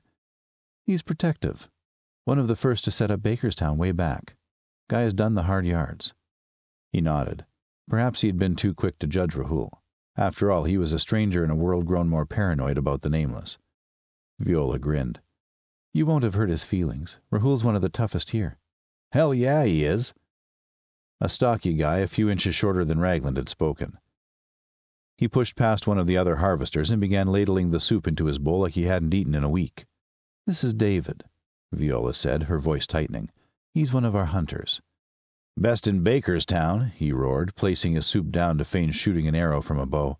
Raglan held out a hand for him to shake, but he either missed or ignored it, instead grabbing a slice of bread, dunking it into the soup, and then into his mouth without missing a beat. Incredible, David said around the food in his mouth. Simon does it again. He seemed to notice Raglan again. So you're the new one? Yep, Raglan replied, shuffling along with Viola to grab a piece of bread. Killed those cannibals a day south. Yep. David laughed. You don't talk much, do you? What's up with that? A man much taller than Raglan rocked up to the table, grabbing his soup, followed by another two very muscular looking guys, all wearing thick winter jackets and carrying guns, axes, and bows. Maybe he doesn't like you, David, one of the men said. He was a tall black man with a deep voice. Ah, can't be that, Travis. Just can't be. Everyone likes me, Viola snorted. You may be good with a bow, David, but you sure are full of shit. The men, including Travis, laughed. He shot them a menacing look, and the laughter petered out. Turning, he noticed Raglan watching him, and the scowl swiftly morphed into a humorless smile that was somehow more menacing. This time, David held out a hand. Nice to meet another hunter. He gestured to the men. This is Travis, Viola's brother. Big boy here is Matthew. Some call him Blackbeard. Can you see why? Yeah, and this is Sang Hoon. Don't worry, he's Korean, not Chinese. Travis thumped him, and Viola hissed. Come on, man. Ah, David held his hands up in mock apology. Sorry, he's a good boy. He's one of the good ones. Sang Hoon held out a hand of his own to Raglan. Just call me Sang, friend. Friend? David scoffed. You only just met the asshole. He saved Kit, Sang replied. And Kit is always getting into trouble. Why should he get the blowjob welcome party? I mean, he could be anyone, right? No offense. Say, what's your name again? Joshua, right? Raglan had practically crushed the bread in his hand as flat as pita. That's right. Right, okay, well, good to meet you, Josh he said, closing the space between them until his face was inches away from Raglan's. We'll keep in touch. You see, we're a bit like protectors here in Bakerstown. We keep an eye on our own. Viola had heard enough, judging by the hand on her hip. Cut that shit out, David. Travis, why do you hang around with this jerk? He's got a point, sis. David laughed, stepping away from the newcomer, and thumped Travis on the shoulder, causing his soup to slosh onto the ground. Yep, come on, let's go eat. See you around, Joshua. The four men left, Sang the only one to give Raglan a half smile. They strolled over to horses hitched up by a tree and walked back toward town, still holding their soup and leading their horses with them. Raglan turned to Viola. Care to explain why I haven't met that crew before? They were probably out hunting, she said. Best you keep away. If you think Rahul doesn't like strangers, you haven't dealt with the Baker's boys. Baker's boys? Hmm, that's what they call themselves. She and Raglan sat down and began to eat their meal in silence. He was hungry enough to let the topic hang for a moment, eager to fill his stomach and forget about it. Once he'd mopped the last of the soup up with his flattened bread, he wiped his mouth. They some sort of local gang? They seem to think so, but no, more like a militia. Yes, David's an asshole, but generally they mean well. Of course, they can get carried away. Looking for purpose, I guess. Aren't we all? Viola gave Raglan a quick glance, then smirked. You're a man of mysteries, aren't you? Don't know about that. No sooner had they stacked their empty dishes into a box next to the food when Marley appeared, Kit at her side. Raglan could tell by her face that sleep and food had worked wonders. She wore a mustard beanie over her dark hair and a meek smile. Hi, all. How's the work? A chorus of nods and choice words from all the farmers greeted their mare. Marley seemed satisfied as she walked over to Raglan and Viola. How's everything going? Marley asked. All good, he said, then nodded at Kit, who gave him a half smile. He's not slowing us down too much, if that's what you're getting at, Marley. Viola and Marley both chuckled, Kit still watching Raglan. Good to hear. Well, I just wanted to pop by. We've got another keen pair of hands who wants to muck right in. That good with you, V? It sure as hell is. How are you feeling, Kit? Viola asked, getting up and putting a hand on her face affectionately, checking her over. Kit smiled. Much better. Like totally different. Marley raised her hands up and clapped. All right, then. I'll leave her in your capable hands. If you could swing by with the yield numbers later, that'd be great. Sure thing, Viola called back. Marley already a few strides toward the road. Oh, check on David and the boys, will you? Why's that? Marley shouted. They're down Jack's, probably. Getting their game seen to. You know what they're like. Raglan saw Viola tilt her head towards him. Marley seemed to get the gist of what her friend was saying and waved. Loud and clear, V. See you later. What was that all about? he asked. She took Kit over to the field, finding another pair of gloves for her. Never you mind. Lunch is over. These vegetables don't pick themselves. That night, as he readied for bed as weary from the hard day's work as he'd been in a long time, he was disturbed by a light knock on the door. It was Marley and Alex. I've decided to send a team of three on a scouting mission to see exactly what we might be facing if these cannibals decide to pay us a visit. I see. Who would that be? Young Alex here. He knows the territory as good as the hunters, and two of them, Travis and Sang. Just scouting? he asked, looking at Alex. Yeah, just scouting. I made it clear that they are not to engage. Just find their location and numbers if they can, and then get the hell back here. Good. Sounds like a plan. Marley looked at him carefully, and he wondered if she was waiting for him to volunteer. Truth was, he was enjoying the farm work and having somewhere to call home. He was in no rush to hit the road again, especially in the company of others. Okay, then, she said after a pause and stood up. Just thought you'd like to know. I appreciate it, he said, and then to Alex, Don't take any chances out there. Chapter 17 The next three days passed without trouble for Raglan as he helped the rest of the townsfolk make sure the approaching winter didn't freeze their food in the ground. Each morning, a step outside the creaky motel seemed to greet a deeper chill than the day before. His morning routine led him down to Simon's to enjoy a half measure of coffee, fresh merchandise from a long cart ride down to the southwest. Raglan hadn't had coffee in years, and Simon mentioned it was a delicacy for them in these parts, too. It took a long time for the supply team to travel, but despite the risk, it had always worked out well so far. Simon explained they didn't just come back with coffee, but rice and other old world trinkets and bits and pieces, too. Our traders go well armed, he explained one morning. They take weapons and things to trade. Rahul is making quite a name for Bakerstown steel. If things get nasty, though, well, they know how to handle themselves. And coffee sure boosts the morale around here. Raglan was inclined to agree. On the fourth day, he'd really gotten into the swing of things, meeting Viola and the others down in the dirt to pick potatoes now that the cabbage and kale had been farmed. With half a week under his belt as a Bakerstown citizen, his face had grown familiar to the local folk earning the occasional nod and wave from some. He got on well with the butcher, Jack, and stopped for a chat with him whenever they passed each other. He even had the pleasure of sharing an all too brief talk with Clint, the teacher, who, even though he was at least ten years younger than Raglan, was knowledgeable about the old world. But his heart had been softened by the farmers. Odin, especially, who had taken a liking to him and always found a way to make sure he was next to Raglan when they were picking. Viola hadn't missed it. On the fifth day, just after lunch, she giggled on the way back to the field, nudging him. Might want to start calling yourself Thor. Why's that? he said, slipping his gloves back on. Odin has grown fond of you very quickly. Must be your calming influence, I guess. Raglan looked over and spotted Odin pressing his hands into the dirt and watching the earth pour off his fingers. Then, once it had all returned to the ground, he did it again. Then the kid looked up at him and smiled. Maybe he does, but wasn't Odin Thor's father? Viola laughed again. Probably, sorry. Norse mythology isn't my strongest topic. On the sixth night, with the sun tucked behind the hills and the inky black sky studded bright with a billion stars, The townsfolk had gathered at Simon's bar for a harvest supper to celebrate the end of the season. They filled the sidewalk with wooden tables and erected additional torches and fire pits. Marley had extended the invitation to Raglan, who felt just as comfortable after a long day in the field as spending the evening alone in his shack getting shut eye. Not on my watch, she had said, jabbing his chest with her little finger. You did good this week.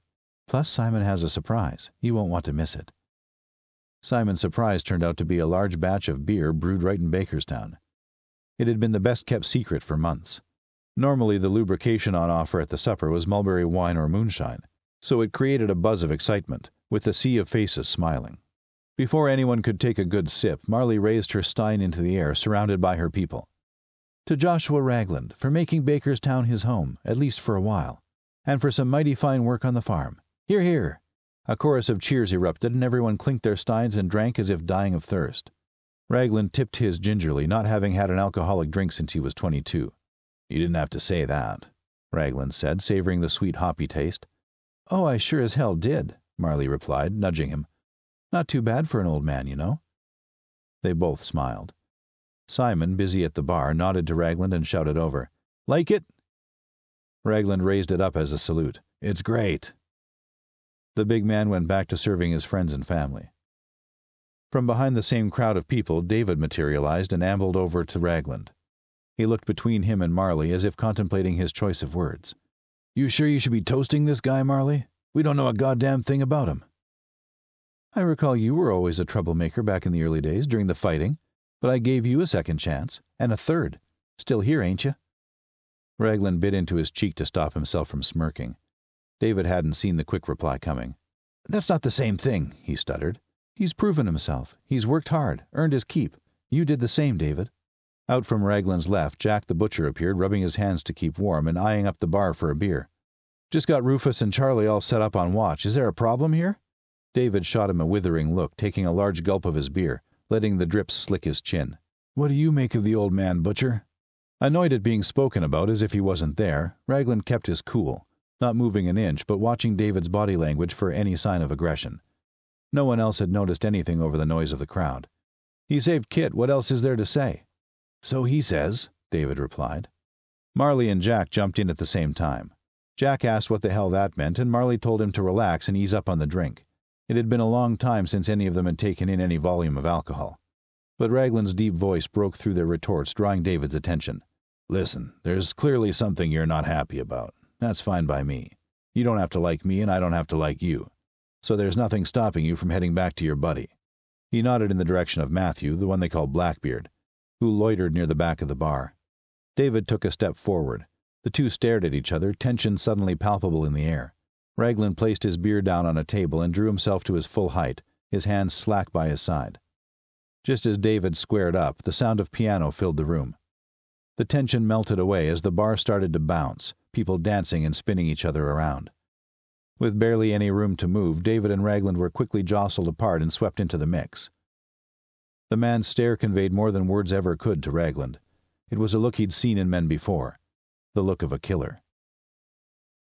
Chapter 18 The headache the following morning was almost worth it. Raglan peeled himself out of bed in the early hours before the sun had rose, throwing on his jacket and gloves, before meandering his way through Bakerstown in search of nothing in particular except for fresh air and respite from his spinning head. Raglan's wandering took him back to the gate where Charlie and Rufus were still standing watch, the low mumble of their voices barely audible from the ground. Mind if I join you, boys? he asked, craning his neck. Two heads appeared, dark splotches against the moonlit sky. There was a brief conversation. Sure, Rufus said, tapping the ladder. Come on up. Raglan climbed his way up and hoisted himself onto the wooden walkway. When he stretched to full height, he towered over the two teenagers. Rufus's eyes widened, and Raglan smiled to put him at ease before turning to look out over the trees. Textured smudges in the dark, highlighted by the three quarter moon. His warm exhale produced a cloud of vapor. You have one of those hangover things? Charlie asked, leaning on his bow, which was almost the same height as him. Something like that, Raglan replied. Rufus chuckled. Alex gave us a little beer. Haven't felt like that before. So that's what you old folk used to drink before the fall? Hey, kid, I ain't old, he said, pointing at his head. You see any gray hair? No offense, Rufus shrugged, but you're the oldest person we've seen literally ever. Charlie backed him up. It's true. Sorry, dude. Dude. Raglan pressed his thumb and middle finger into his eyes and rubbed them. It did nothing to alleviate the pain, so he gave up and looked down at their water flask. Mind? They shook their heads, still grinning, and watched as Raglan took a few thirsty gulps, spilling some onto his beard, a tangled beast that could do with some taming. He handed them back the flask, gripped the edge of the fence, and watched the world in silence for as long as it took to let the nausea and spinning subside. The first tinge of dawn crept over the top of the hills, slowly illuminating the dark woods in the orange, yellow, and rust shades of late autumn. It was a pretty sight. Is it true, Rufus said around a yawn, that you, uh, you know, fended off like twenty cannibals on your own and saved Kit? Raglan raised an eyebrow. What? Charlie thumped Rufus in the arm. Not cool, dude. There it was again. Dude. It sounded foreign to his ears. He hadn't heard the word in years, and to hear it from a pair of kids in a small Pennsylvania settlement a clean decade after most of the population had been wiped out amazed him, especially when they would have been about five years old at the most during the fall. What have you heard? They both started to speak at the same time, which only frustrated Raglan more. He put up a hand. One at a time, boys. What have you heard? Rufus looked at his friend Charlie, who nodded. He went on to explain where he'd heard the rumors. It sounded to Raglan like a classic case of embellished Chinese whispers, just talk and town gossip that grew in grandeur every time it passed from one person to another. Okay. So it's true? You really did that? Rufus said, his eyes wide. Raglan shook his head. No, a quarter of that. And it's not like the stories out there. It's messy and it's hard. And you never get away clean. Rarely. Don't think about any grand adventures or trying to be a hero. Your friend Kit thought the same, and if I hadn't gotten lucky, you'd never have seen her again. Charlie and Rufus nodded, seemingly sobered, then looked over to the ladder, which was creaking as someone climbed it. Raglan turned, half expecting David's face, but it was Kit. So am I, like, interrupting anything? Nope, said Raglan. He watched the boy shuffle aside to give Kit room to climb up onto the crowded ledge that ran the length of the Bakerstown southern perimeter a perfect platform for recon, hangover recovery, and gossip. I was just telling your friends that grand adventures out there, he gestured out over the forest, aren't all they're cracked up to be. In fact, they'd be silly to go off without the right preparation or telling someone. A small smile creased her lips. She wore a thick puffer jacket Raglan hadn't seen before, jeans, and the same hiking boots as before. Was this a morning stroll or something else? She seemed well slept and prepared. Does that make me silly? Yes, Raglan said without hesitation. She rolled her eyes.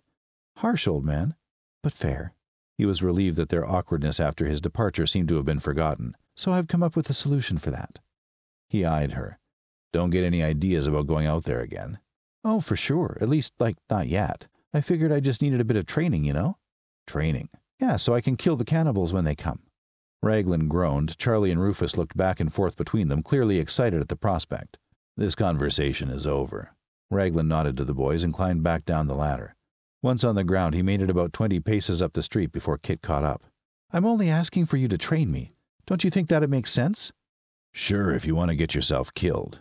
Kit huffed, jumping in front of Raglan and crossing her arms. You're not fooling anyone, old man. Raglan stopped, tilting his head back and silently counting to ten. When he looked back at Kit, he saw a bitter determination, an expression he'd seen plenty of times years before. His hand went up subconsciously to touch the onyx pendant, but stopped himself. Kit had noticed. I'm not her, you know. Like, I'm my own person. You're not going to stop, are you? Her eyes were resolute, and he would have bet money that she'd picked up a lot of her ways from Marley. Nope, not until you agree to train me, especially if you buy half of what Alex has been saying. Raglan noticed movement further down the street and narrowed his eyes as he peered over her shoulder. A figure disappeared into the shadows as quickly as they had appeared. He wasn't sure if it was paranoia. However, from the person's build, he thought it might be David. Fine, he conceded, splitting his attention between her and the place the mysterious lurker had disappeared. We'll meet on the far end of town, near the fields. Bring a bow and some arrows. Yes, you won't regret it. So, like, when do you want to start? Now. Kit paused, not quite believing him, then darted away at a run down one of the side streets towards the home she shared with Alex. He began to walk again, perhaps spooking the lurker who materialized from the shadows briefly before disappearing around a corner. Hooded though they were, it was David, he was almost certain. Fully awake, the ebb of his hangover subsiding, Raglan walked to the corner, giving it a wide berth in case of ambush, and looked up the street. Nothing. He was gone. What is that man's gripe? Raglan puzzled. No matter. Clear headed, without last night's infusion of alcohol, he decided that if David started trouble, he'd go to Marley and set things straight. He was the stranger in town, not David, and the last thing he needed, with the possible arrival of a horde of cannibals, was to provoke the town into kicking him out. Chapter 19 When Kit arrived, she had the bow and arrows as requested, but argued that maybe they should move straight to hand to hand combat. I already know how to shoot an arrow. Didn't I catch you two nice turkeys? Sneaking up on a fat wild turkey and sticking it from ten feet is different to shooting at a person, especially if they are running at you waving an axe or a blade. She couldn't argue with his logic. All right, show me your form, he said. The two had found an open piece of land by a tall cedar. The earth was filled with roots and therefore had never been farmed. Raglan had marked the tree with a piece of flint, chipping away some of the bark to make a circular target about eight inches across. Then, after much protest that she could shoot from further, he'd convinced her to stand only twenty feet away. She lifted the bow and nocked the arrow, drawing it back to her cheek and aimed at the cedar. Okay, stop. That won't do. Let me show you. She rolled her eyes and passed it to him. Raglan lifted Kit's bow and pulled the bowstring back, pulling until it ran dead center from the tip of his nose and down the middle of his chin. See how it runs straight, nose to chin? No one shoots like that, Kit protested, chewing at her thumbnail. They hold it to their cheek. Well, they're doing it wrong. All of them? Raglan dropped the bow and looked back at her. Yes. Then rubbed his eyes. No, not technically. Do you want to learn proper form or not? Well, yeah, I kind of like don't want to die, you know, or almost die, not like before. He passed the bow back to her along with one of the three arrows she had brought along with her. They had been handcrafted by someone in the town, judging by the wood of the shaft and the not so clean fletching. The tip, however, was sharp and purposeful. Here you go. I want your left arm bent slightly, notch the arrow, and pull back to your chin like I showed you. All right, Gramps. She laughed, copying his instruction. Okay, I think I'm ready, she said. Then loose. What? Shoot the damn arrow, kid. And she did. It sailed through the air, hitting the tree trunk with a deep thunk, missing the mark completely, a good half foot below the rough circle. Her sound of exasperation made Raglan smirk. It was only her first go, and she'd landed it in the tree. Most would have done worse. Okay, he said, walking up to Kit and kicking her feet with his. Set these apart and stand more side on. Try to aim a little higher there, too. Here you go. Raglan passed her the next arrow. This time, Kit's attempt made it within three inches of the mark. She spun around on the spot, her mouth open. Oh my god, did you frickin' see that shit? I'm a natural. Steady on, he smirked, raising a hand. Plenty more to learn. Take another shot, then collect the arrows for another round. He sat on the grass as she went to retrieve the arrows. He half expected her to call him for assistance, as they were embedded deep in the wood of the cedar, but as stubborn as him, she worked and pulled at them until she had collected all three. Of her next three shots from 40 yards, three were on target. One just missed. Not bad, kid. Not bad at all. Not bad. I'm friggin' awesome. Well, don't get too carried away. You had skill before, but now that you have the correct technique, no turkey will be safe. Your technique helps, I guess, she conceded. I want you to practice more on your own this afternoon. See if you can get some more arrows. Maybe have a friend doing retrieval so you don't wear yourself out. Do 10 from 30 feet. If you get them all, then move out to 40. When you can hit the target 10 times in a row from 40 feet without a miss, you're ready. Easy peasy. Do you remember what I told you about the second arrow when you're being rushed? Yep. Don't try to shoot, just use it as a stabbing weapon. Good. Now we can move on to self defense in close quarters. Raglan picked some soft ground away from any protruding roots and faced Kit, rolling up his sleeves. Next, we're going to learn what to do when the fight gets a little closer. What, like kung fu? Raglan raised his eyebrow. No, not exactly. I want you to walk up and try and punch me. Kit's face changed. Huh? Punch me. Try to, at least. Are you like, are you serious? Haven't got all day, kid. She positioned herself, clenching her fists, then charged forward, hurling a knuckled blow toward the left side of his face. Raglan stepped to the left at the last moment, grabbed her arm, and yanked it down gently. With the momentum of her missed punch, Kit went flying, sprawling into the ground. Hey, she said, coughing and getting back up, dusting the dirt from her coat. She unzipped it and tossed it aside. Raglan did the same. They would start to build up quite a bit of heat from the workout. The corners of his mouth went up. That all you got? Kit tried again, falling foul of the same trick.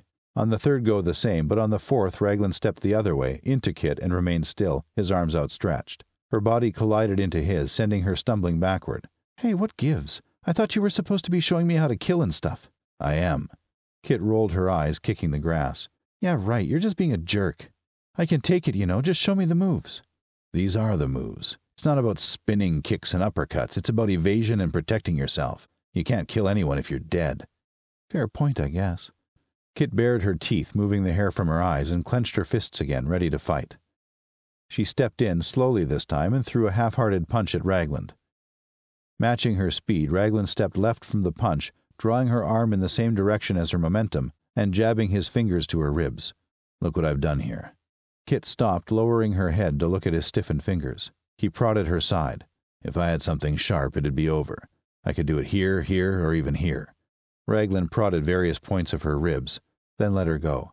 She looked disheartened as she straightened her shirt. Fine, she said finally. So, show me what I'm supposed to do. First off, kid, you're not meant to go on the attack. You wait. You bait them if you have to. Let them go for the attack first. My dad always said you never attack first, but if they ever start something, you always end it. Very wise and shit, ain't you? Raglan shook his head at her little dig.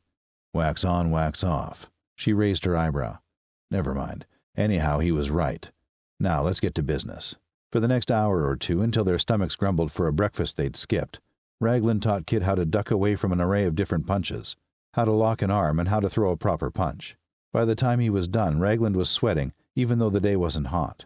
Kit looked like she could go for another hour. Grabbing up their equipment and jackets, the pair headed back into town. Kit thanking Raglan for the training before turning left from the main avenue. He fancied a cool off under the shower before eating and headed towards the creaky motel, which had somehow become his home. It was the first home he'd had since the early days hiding out from the invaders in abandoned houses, sometimes for weeks at a time. When he reached the creaky, he stepped in, threw his jacket on the bed, and reached over to the cabinet for the bar of soap and towel Marley had provided. The crack across the back of his head was sudden. It dazed him, and he sprawled over the top of his chest of drawers, the soap skittering across the floor. Dazed, he put a hand up to the back of his head, his fingers coming away slick with red. Son of a bitch, he cursed, starting to get up before another heavy blow came across his back. A pair of large hands grabbed him from behind, hurling him into the wall. The whole building shook as Raglan crashed to the floor and got to his hands and knees, looking back at his assailant. David. He looked like a man possessed, eyes alert, face red, fingers twitching. Behind him was Blackbeard. Raglan got up slowly, feeling the back of his head again. You don't want to do this, buddy. David pulled a knife from under his jacket and held it up to Raglan. I think I do, asshole. David came at him, swinging the blade in quick swiping motions. Raglan backpedaled, and his attacker missed most of his attempts before finally catching Raglan on the arm. He cried out and gripped the wound, blood oozing through his fingers. Stop, Raglan panted, bending over slightly and holding out his blood soaked hand. The local closed in to finish the job, deceived by Raglan's phony surrender, throwing all his weight behind the thrust. The drifter saw it coming a mile off. He sidestepped, caught the knife arm, and rabbit punched David in the rib cage. He was rewarded by a sharp yelp of pain, and the thug spun out of his grip, clutching at his side. His knife arm wavered as he tried to catch his breath from the unexpected blow. Oh, you are fucking dead, old man! Oof. Raglan hit him hard. It was a good old fashioned rugby tackle, his shoulder catching the local in the midriff and sending them both hurtling into Blackbeard. The force of the crash tackle sent them bursting through the door in an explosion of wood and splinters. Cries of surprise and shock met his ears, and looking up, he spotted Marley in the distance, running towards them as he wrestled David for the knife. Blackbeard rolled away when he saw the mayor, but David was still fighting for control of the weapon. Stop! Marley cried as Raglan finally shook the knife free of David's hand and pushed his forearm down onto his assailant's throat. The blood streaked Raglan looked up as Marley approached, her face blanched white with shock. Before any of them could say a word, the whine of a siren filled the air, accompanied by more shouts and cries of alarm. What now? Raglan wondered. That's the warning siren at the gate, Marley said. The words were barely out of her mouth when Charlie sprinted into view and ran towards them. He stopped by Marley, bending over to catch his breath. The gates, he panted. Raglan eased the pressure on David's throat, and the other man didn't try to make trouble, but he wasn't ready to let him up just yet. Charlie's eyes widened at the bloodied state of the drifter and David. Who, Charlie? snapped Marley. Who's at the gates? Peter and Alex and the hunters. They said the cannibals are coming, a whole damn army of them. Chapter 20 Marley stood over Raglan and David with her arms folded. He rolled off his attacker, who moaned and clutched his side. What's your prob? It was then he noticed the blood seeping through the pale fingers, Somehow in the struggle, David had been struck by his own knife. The wounded man's eyes bulged when his hand came away covered in blood. You stabbed me, you bastard! Marley swore under her breath, and Raglan's head spun. Marley, interrupted Charlie. Not yet, Charlie, Marley snapped, kneeling down beside David. We need to get him to Claire. Can you lift him, Ragland?" Raglan looked around to find David's sidekick Blackbeard had disappeared. Why not? he said, feeling slightly peeved at the accusatory look in her eyes. He bent over and helped the wounded man to his feet and put an arm under his shoulders. David screamed and almost ruptured Raglan's eardrums. Got him, he said, looking at Marley. This wasn't my fault, you know. Let's talk. We need to go. Charlie, run ahead and prep Claire. This is a nasty one. Despite everything, Raglan would help the bleeding man to Claire so he could be stitched up, but he wasn't doing it for David. That much was certain. He and Marley set off into town, in the direction of Claire's office. The walk, while hampered by David's moaning and squirming, took less time than expected. Within eight minutes, they were at the front door, held ajar by a crimson faced Claire. Her eyes ran through Raglan like hot daggers, her jaw working overtime. Stepping delicately through the narrow doorway, he carried David through the reception, down the hall, and into Claire's treatment room. There he helped him onto a bed that was already prepared for him. Claire appeared behind him, reaching for her stethoscope and pressing the circular end against David's chest, after she and Marley had removed his shirt. There, for all to see, his stab wound oozed blood. She went to the sink and washed her hands in silence, the room filled only with David's groans, before grabbing a cloth and cleaning his wound with alcohol and covering it in gauze to stop the bleeding. Marley, Claire called, turning to the doorway where the mayor had retreated. Could you grab me the liquor from the right cupboard, bottom shelf? Sure, said Marley, her face as pale as David's. She retrieved a large bottle of overproof rum, still labeled, and handed it over. That's some of your good stuff there, Claire. I know, but it's the best stuff to ease the pain quickly. Raglan watched Claire looking for a cup for David to drink from. Already feeling in the way, his thoughts were interrupted by Claire's withering gaze. You can go. You're no use here. Raglan nodded. What did Charlie tell you? That you're bad fucking news. A pause, still watching the gauze to check for blood. No, he said it was an accident, but I don't want an excuse. As far as I'm concerned, you're bad news. Please leave. I need to work here. Marley nodded at Raglan, reaching out for his arm. Come on. As he went through the door, he paused. Claire, where did Charlie go? He went back to the gate, she said. There's something going on. Thank you. Back outside in the street with Marley, Raglan noticed how soaked through his shirt was from David's blood. There was no time to change. I need to get to the gate, Marley. A heavy sigh escaped her lips. Go see what the fuss is about. Rahul will help you deal with it. We'll deal with this later, she said, then turned and headed back to Claire's door. Marley. The mayor stopped and turned to look at him. What? He found he didn't know what to say. He couldn't help but see the disappointment in her face. The woman compelled to protect her town had encouraged and given refuge to a stranger, and since then, chaos and danger had followed his every move. Sorry, he mumbled, then ran off towards the gate. Walking rapidly, arms pumping, Raglan navigated the side streets to the main avenue. There, in the distance, at the main gate, a small crowd had gathered at the perimeter fence. From his left, Simon appeared, walking just as fast and with a towel over his left shoulder. He nodded to Raglan and regarded his bloody clothes when he got close. Should I ask? Best not, Raglan said. Right. When they arrived, his bloodied clothes a frightening sight for those gathered. A few familiar faces turned to them and called over. One such person, Rahul, charged through the crowd after spotting Raglan's shirt. The fuck is this, outsider? You bring the cannibals down on us? He barked, causing a few townsfolk to gasp and murmur. Simon stepped between them. Steady, Rahul, he's here to help. My ass! I'll help him right now. Rahul brandished a hammer he'd no doubt carried from his smithy. Raglan couldn't shake the image of a crazy Thor. As sullen and petty as his first impression of Rahul had been, he couldn't deny that he was a menacing figure. Where are they? he said to Rahul. Marley sent me. After glaring at the drifter for a moment longer, the swarthy Rahul nodded over his shoulder to a shelter with a water trough and a few benches. The crowd separated and allowed Raglan through, Simon at his back. Alex, Sang, and Travis were sitting in the shade, still catching their breath and drinking water. Alex stood and stumbled over to Raglan. He looked exhausted. There's a pack hunting us, at least twenty. How'd they spot you? We were spying at night. We were careful, but missed one of their peripheral guards. Sang wounded him, but he raised the alarm. We made it out of the area okay, but they sent some after us. Raglan swore under his breath. You should have led them away, kid.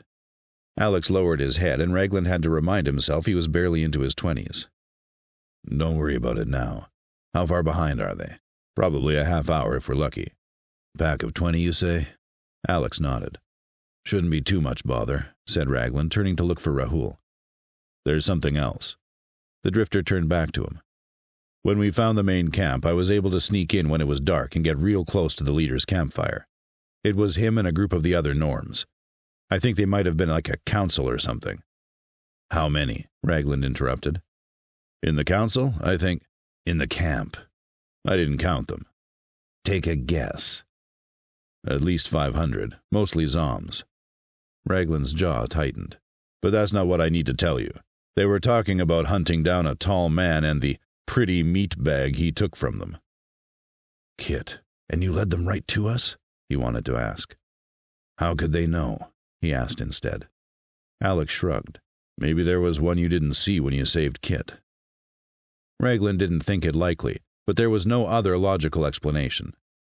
He turned to Simon, who had been watching the interaction with a worried frown. Can you tell Rahul we need people on the wall with bows and guns ASAP? And someone needs to get word to Marley that we're going to have visitors. What do you want me to do? asked Alex.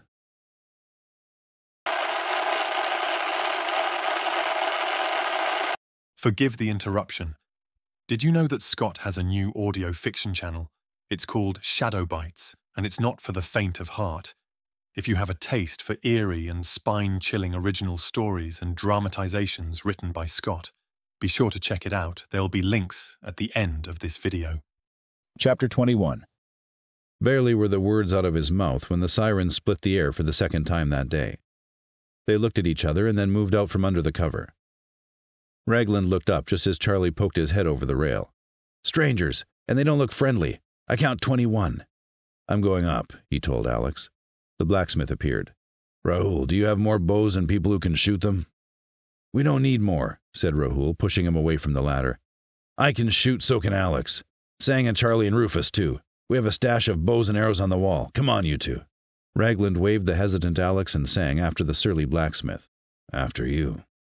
By the time he was to the top of the wall, all three men, along with Charlie and his fellow sentry Rufus, had bows drawn and aimed over the wall. Raglan heard harsh laughter and taunting from the pack outside. As he approached the rail, Rahul jabbed a finger at him. I'm watching you. If you give a signal or say something to your buddies out there, I'll cave your face in. I don't doubt it, Rahul. Twenty yards from the gate, the cannibals were assembled in a group, a rancid gathering of dirty flesh and blackened teeth. They were armed with a variety of spears and clubs. One man stood out from the rest. He was taller and more upright than the Zoms around him, and on his forehead had the livid pink scar tissue of a carved pentagram. But what really set him apart were his eyes. They found Raglan and zeroed in on him with a focus and intelligence that the others did not possess. He smiled, revealing a line of teeth sharpened so they resembled those of a shark.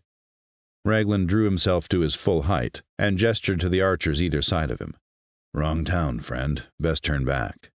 The cannibal leader's laugh sounded like gurgled spit. It proved infectious, and the rest of his pack joined in. No, he said. I don't think we'll leave just yet. You have something that belongs to us. Where is the pretty piece of meat you stole? Alex growled, and before anyone could prevent him, he loosed an arrow that embedded itself in the eye of the cannibal shuffling from foot to foot beside the leader. The pale creature spasmed briefly, then fell back, dead. The leader didn't flinch, or in fact even look at his fallen comrade. His smile widened. Was that meant for me? he scoffed. You need some practice, boy. As the cannibals laughed, a furious Alex fumbled for another arrow, but Rahul, apparently satisfied at Raglan's handling of the situation so far, lowered his bow and put a restraining hand on the boy's wrist. Somewhat unnerved at the unafraid complacency of the leader, Raglan hid his disquiet by joining in the laughter.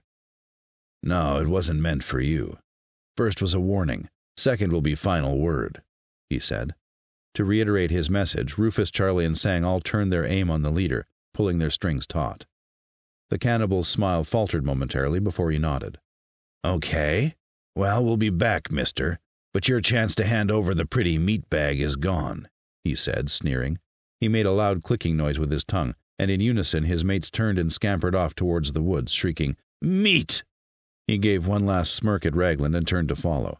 When they had all vanished into the undergrowth, Raglan let the bowstring slack and placed it against the rampart. What now? Charlie asked as they lowered their bows. The old man looked back into Bakerstown. This town needs to prepare for a fight. A big one. A war? Yes, Raglan nodded, looking Alex dead in the face. And I don't think it's ready. You know nothing about our town, growled Rahul. Besides, I think they are full of shit. Marley will decide what's best for this town, not you. Who says there was any cannibals there? shouted one of the gathered Bakerstown citizens. Hoax! screamed another. I don't trust him. He tried to kill David. A voice of reason challenged them. I heard him. Only a matter of time before those cannibal fuckers come back. You heard what they did to Kit. Rahul had disappeared when they reached the bottom of the ladder, and now Raglan and Alex fought their way through the crowd. They were accosted by the heavy hands of agitated residents. What did they look like? A woman no older than twenty asked Raglan her face plastered with sweat despite the cold. Like killers, was all he could say.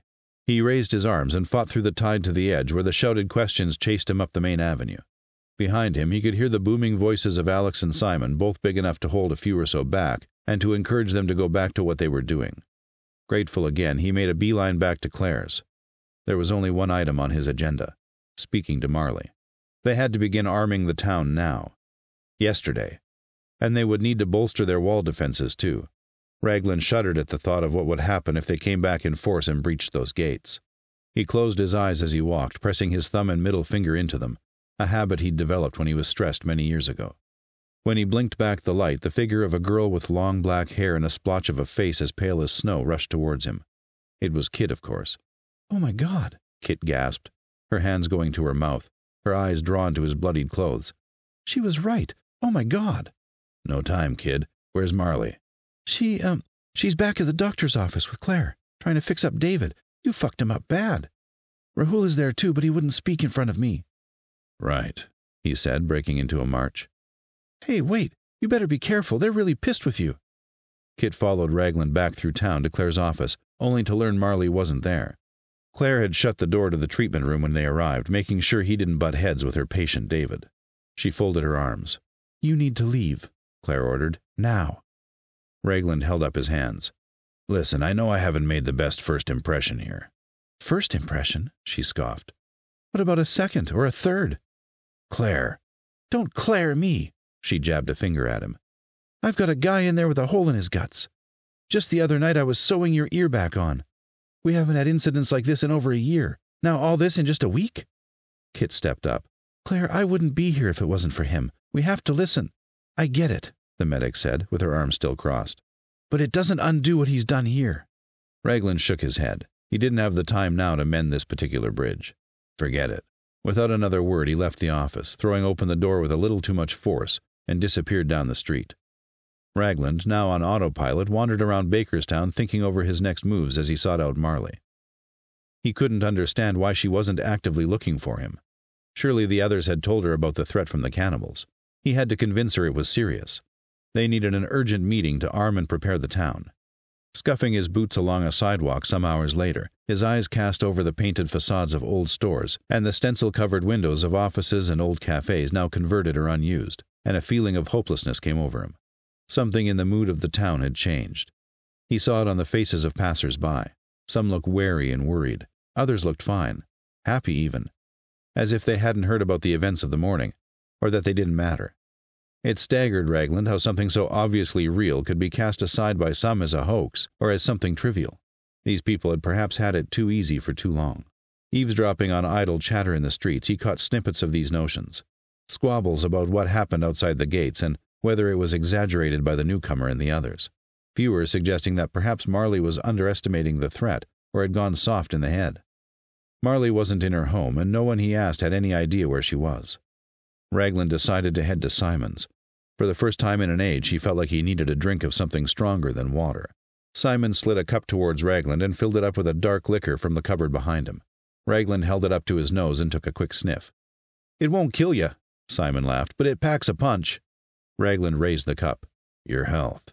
He swallowed it in one gulp, feeling it run down his esophagus like liquid fire and settle in his stomach, leaving his eyes watering. Wow, he rasped. Told ye, eh? Said Simon, throwing a dishcloth over his shoulder. He rolled up his sleeves and leaned over the bar, his eyes darting back once or twice to check no one was listening. You're not mad. Raglan raised an eyebrow and met his gaze. Never said I was. But you're feeling it, eh? Maybe, he replied and looked over his shoulder. A couple walked by the window, giving him a furtive glance, and quickened their pace. Word got around that quick, huh? About you stabbing David? Oh, yes, sir. And you still poured me a drink. Simon smirked. Well, I never took to the guy myself, and I figure there's more to it. Can't see why a man would save a kid, work the fields, only to shank some asshole one fine morning. Unless, of course, you know him from before. Raglan shook his head. Never met him till I came here. Well, that settles it then.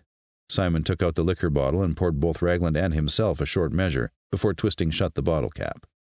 Thanks, Raglan said and swirled the dark contents pensively. What about the cannibals? According to some, I'm still in contention for the crazy bastard or biggest liar of the year award. Simon didn't respond right away. He eyed his own drink for a minute. Raglan could practically hear the cogs whirring in his head. Had the same thoughts myself before they showed up this morning. Right. I guess the town needs a wake up call. Not everyone has it as good as us, right? Raglan nodded. That much was true. He'd certainly navigated his fair share of ramshackle dwellings and wild settlements on his adventures, places that almost endorsed human suffering. Bakerstown was definitely the gold standard of the settlements he'd come across in the after days. His eyes bored back down into his whiskey. Now, with what felt like the town turning against him, he wondered if he'd ever bother with human beings again when he moved on. After all, what had his efforts gained him here except suspicion and an attempt on his life? Hey, sir, you all right there? Simon waved a hand in front of Raglan's face. What? Oh, yeah. Lost in my own head. So, he said, licking his lips, what are we toasting to? Simon raised his cup and clinked it with Raglan's. To not being crazy bastards. To not being crazy bastards, he chimed in and swigged the liquor back in one go. Not giving it time to settle, Raglan rose from his stool and threw on his jacket. Do you have any idea where I might find the mayor? I think she's avoiding me. Try the school, Simon said. She's there most days at this time.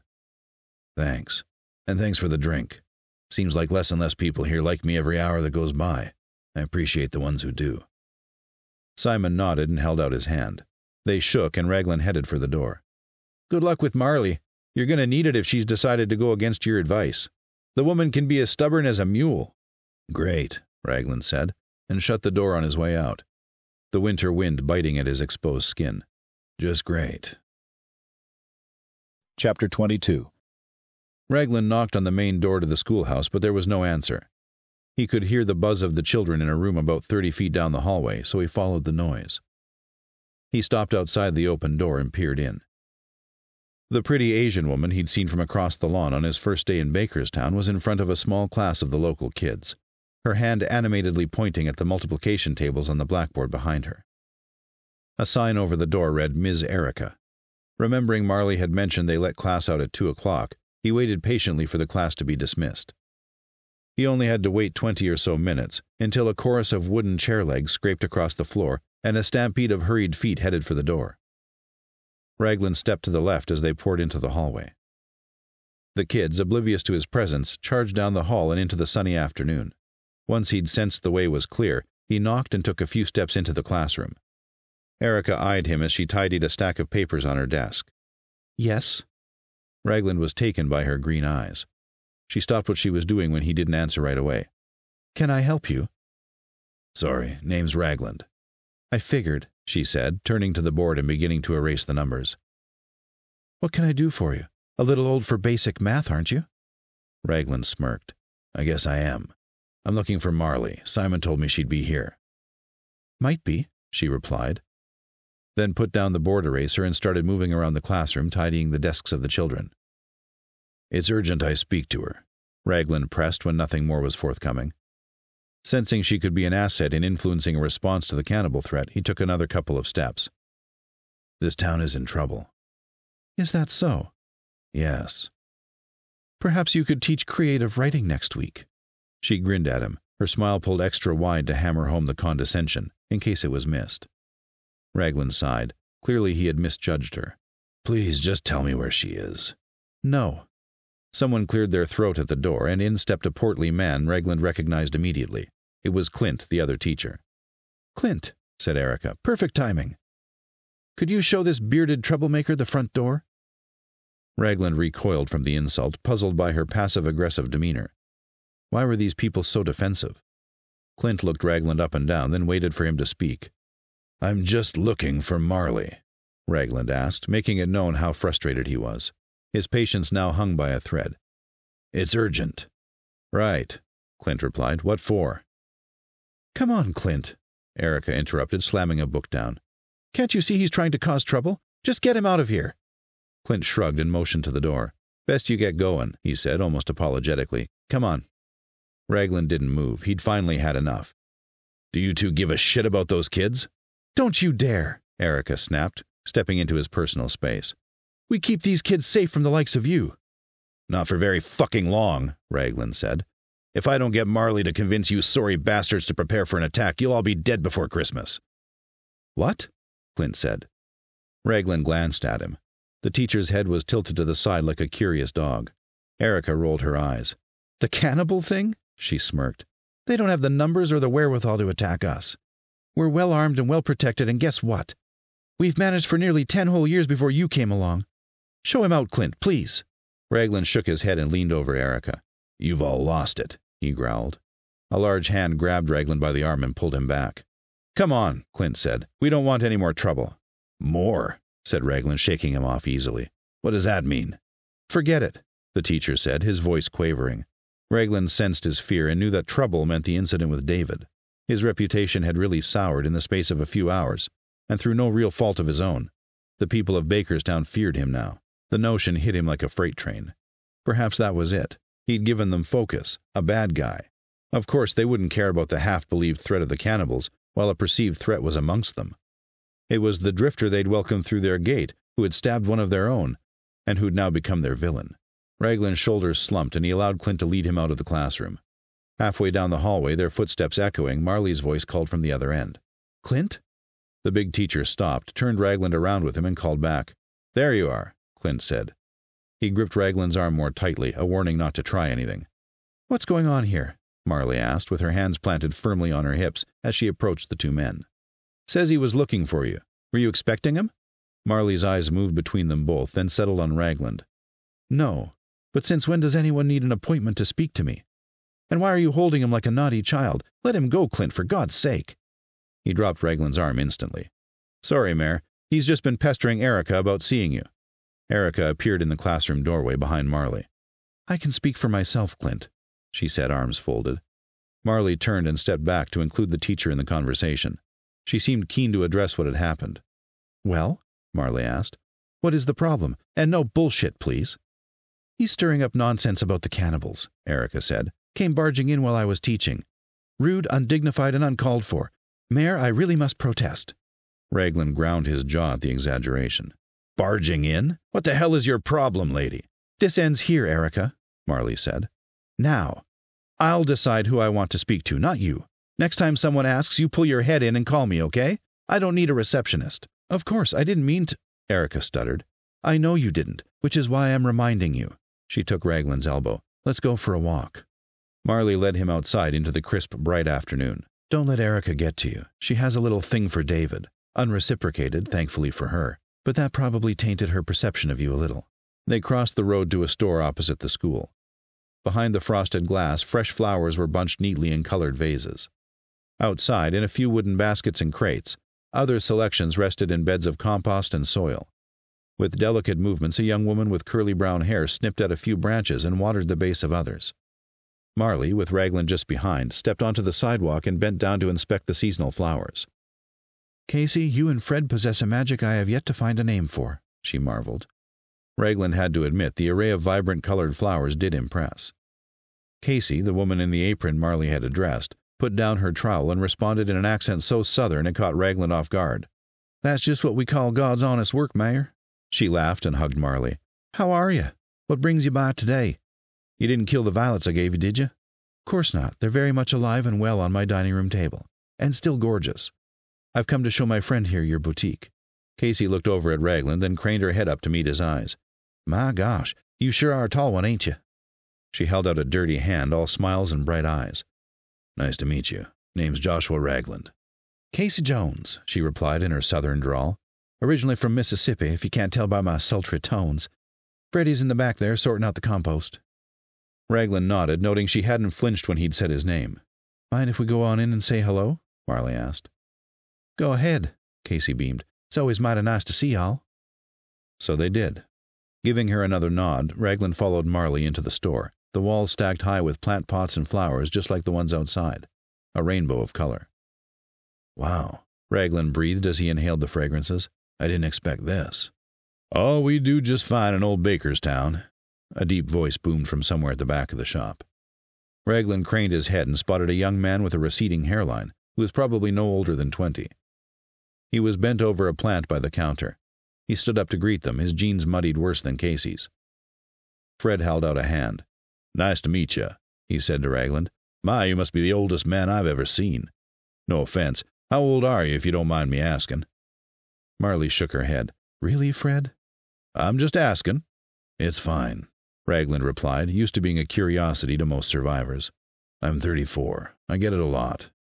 I was one of the oldest when the virus hit and killed most of the adults off. Fred chortled. Bet you've been asked that a few times since the fall, right? Right, Raglan confirmed. Give or take a thousand.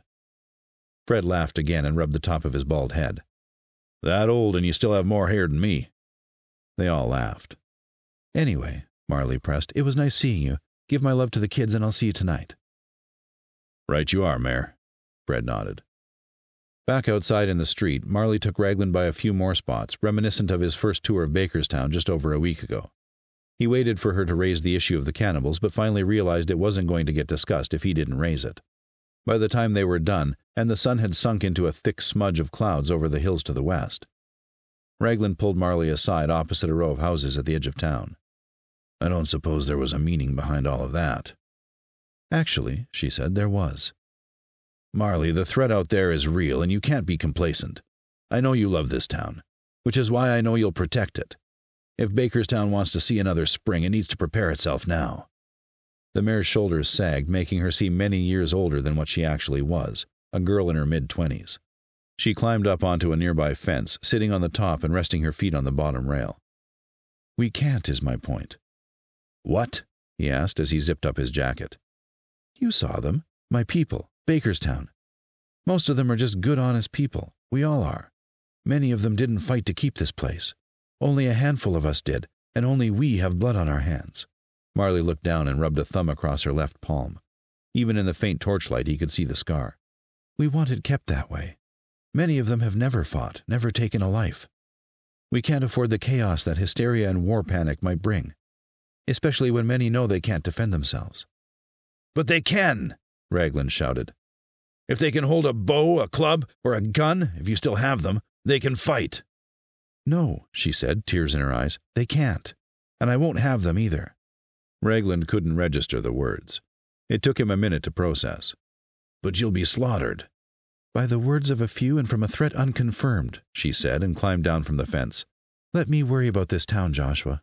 I am its mayor, and I'll find a way so that we don't need to fight. Chapter 23 Early winter snow drifted and fluttered down from a steel gray sky. Raglan, perched against a row of hitching posts, spent the morning after his disappointing conversation with Marley thinking about his next move. Just how could he convince the town to prepare for a fight when the mayor thought there was another way? He had half a mind to call it quits and leave. But he knew he wouldn't. His fingers found the onyx stone on the leather thong around his neck.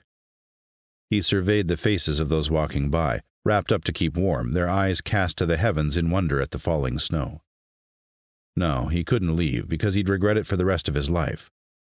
He needed to speak to Alex. Making sure his makeshift poncho was tightened under his chin, he began walking to the gate. Raglan spied the man he was looking for astride a chestnut horse, loping slowly towards him five minutes later. It was a beautiful specimen. Morning. Raglan called up to him on his saddle and nodded. Alex smiled. Morning, old man, he said with a glint in his eyes. Snow day happiness? Hey, want to give me a hand? Sure thing. Raglan took the reins from Alex, which left him hands free to climb off the saddle and unload the saddlebags. The sleeve of his winter coat rode up, and for the first time Raglan noticed a long scar on his wrist, the rest of it hidden under his shirt sleeve. He didn't want to ask about it just yet, so he steered the horse over to the hitching post and tied it neatly. The horse whickered and bobbed its head. Raglan smiled warmly, reached up with a hand, and rubbed its face a few times. Gorgeous. Does he have a name? Alex heaved the saddlebags over his shoulders. She sure does. Barbara. Raglan raised his eyebrow and then bent over to look under the horse's belly. I see. Sorry.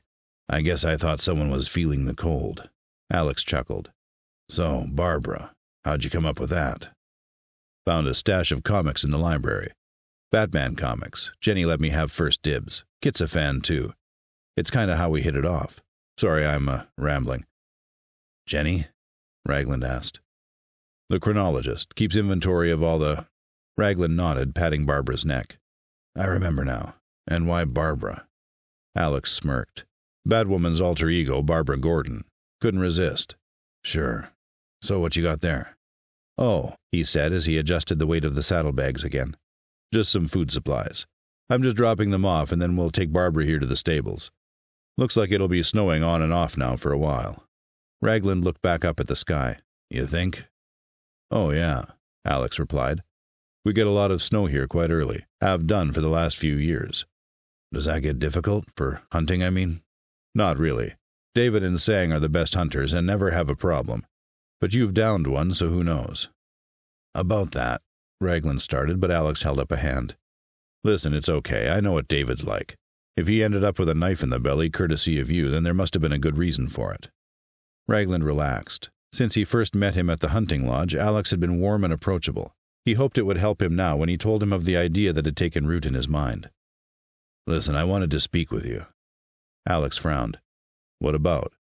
The cannibals. I spoke to Marley, and she's not seeing sense. She doesn't even want to talk about defense. I know. Then what's being done about it?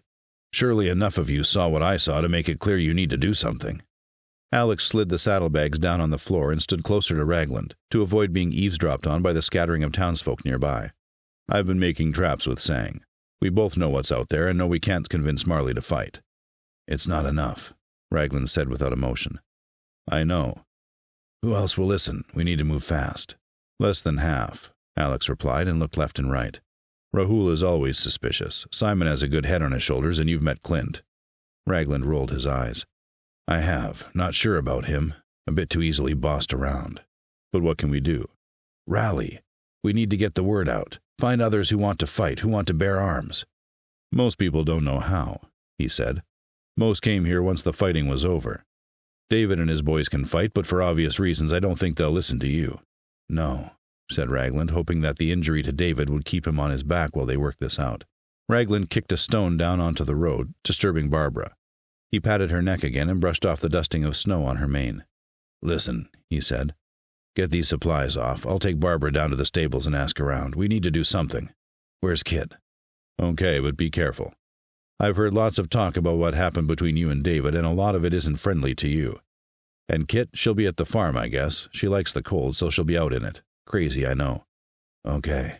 Raglan nodded, untying Barbara from the hitching post and turning her around. He had no intention of riding her. Adding suspected horse thievery to the growing list of grievances against him would not help matters. All right, then, he finished, nodding to Alex.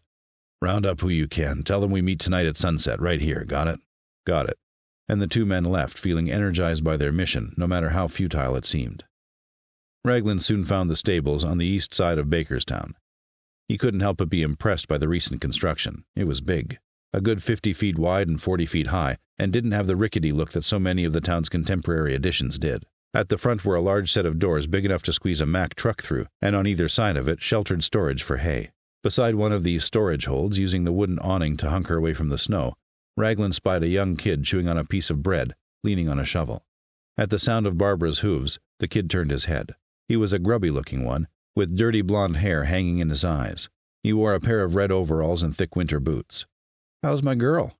The kid cooed as he waltzed up, taking the reins from Raglan without a word. She's all right, Raglan decided to reply. Just handing her over for Alex. Got you doing errands? Just a quick favor. The kid nodded unfazed and patted Barbara on the nose, which she seemed to enjoy. Not wanting to appear rude, Raglan held out his hand. Raglan, new around here. The kid took it and blinked a few times. You that guy that tried to kill David? Look, kid, if I had tried to kill him, he'd be damn well. Raglan heard the strident tone in his voice, and his voice trailed off. He took a deep breath. No, I didn't try to kill him. He's fine. Hopefully, he's learned a valuable lesson.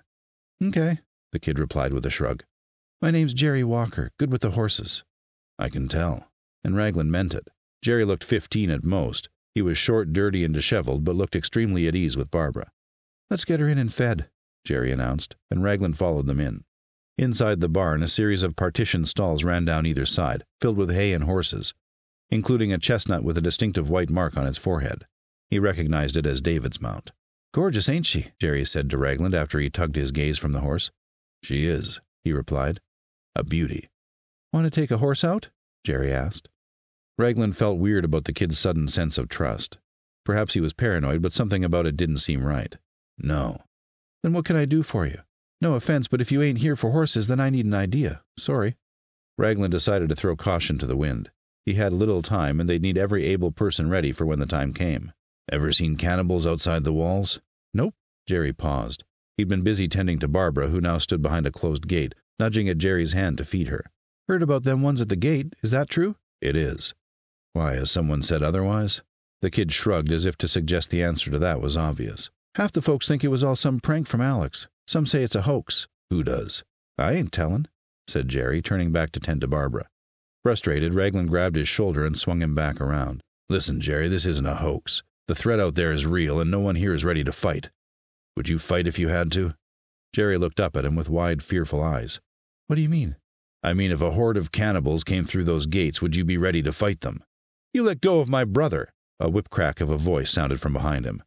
Raglan let him go, and when he turned, found himself confronted by a feisty young woman of about twenty, and behind her a burly man of about the same age, with a well used baseball bat cradled in his left hand.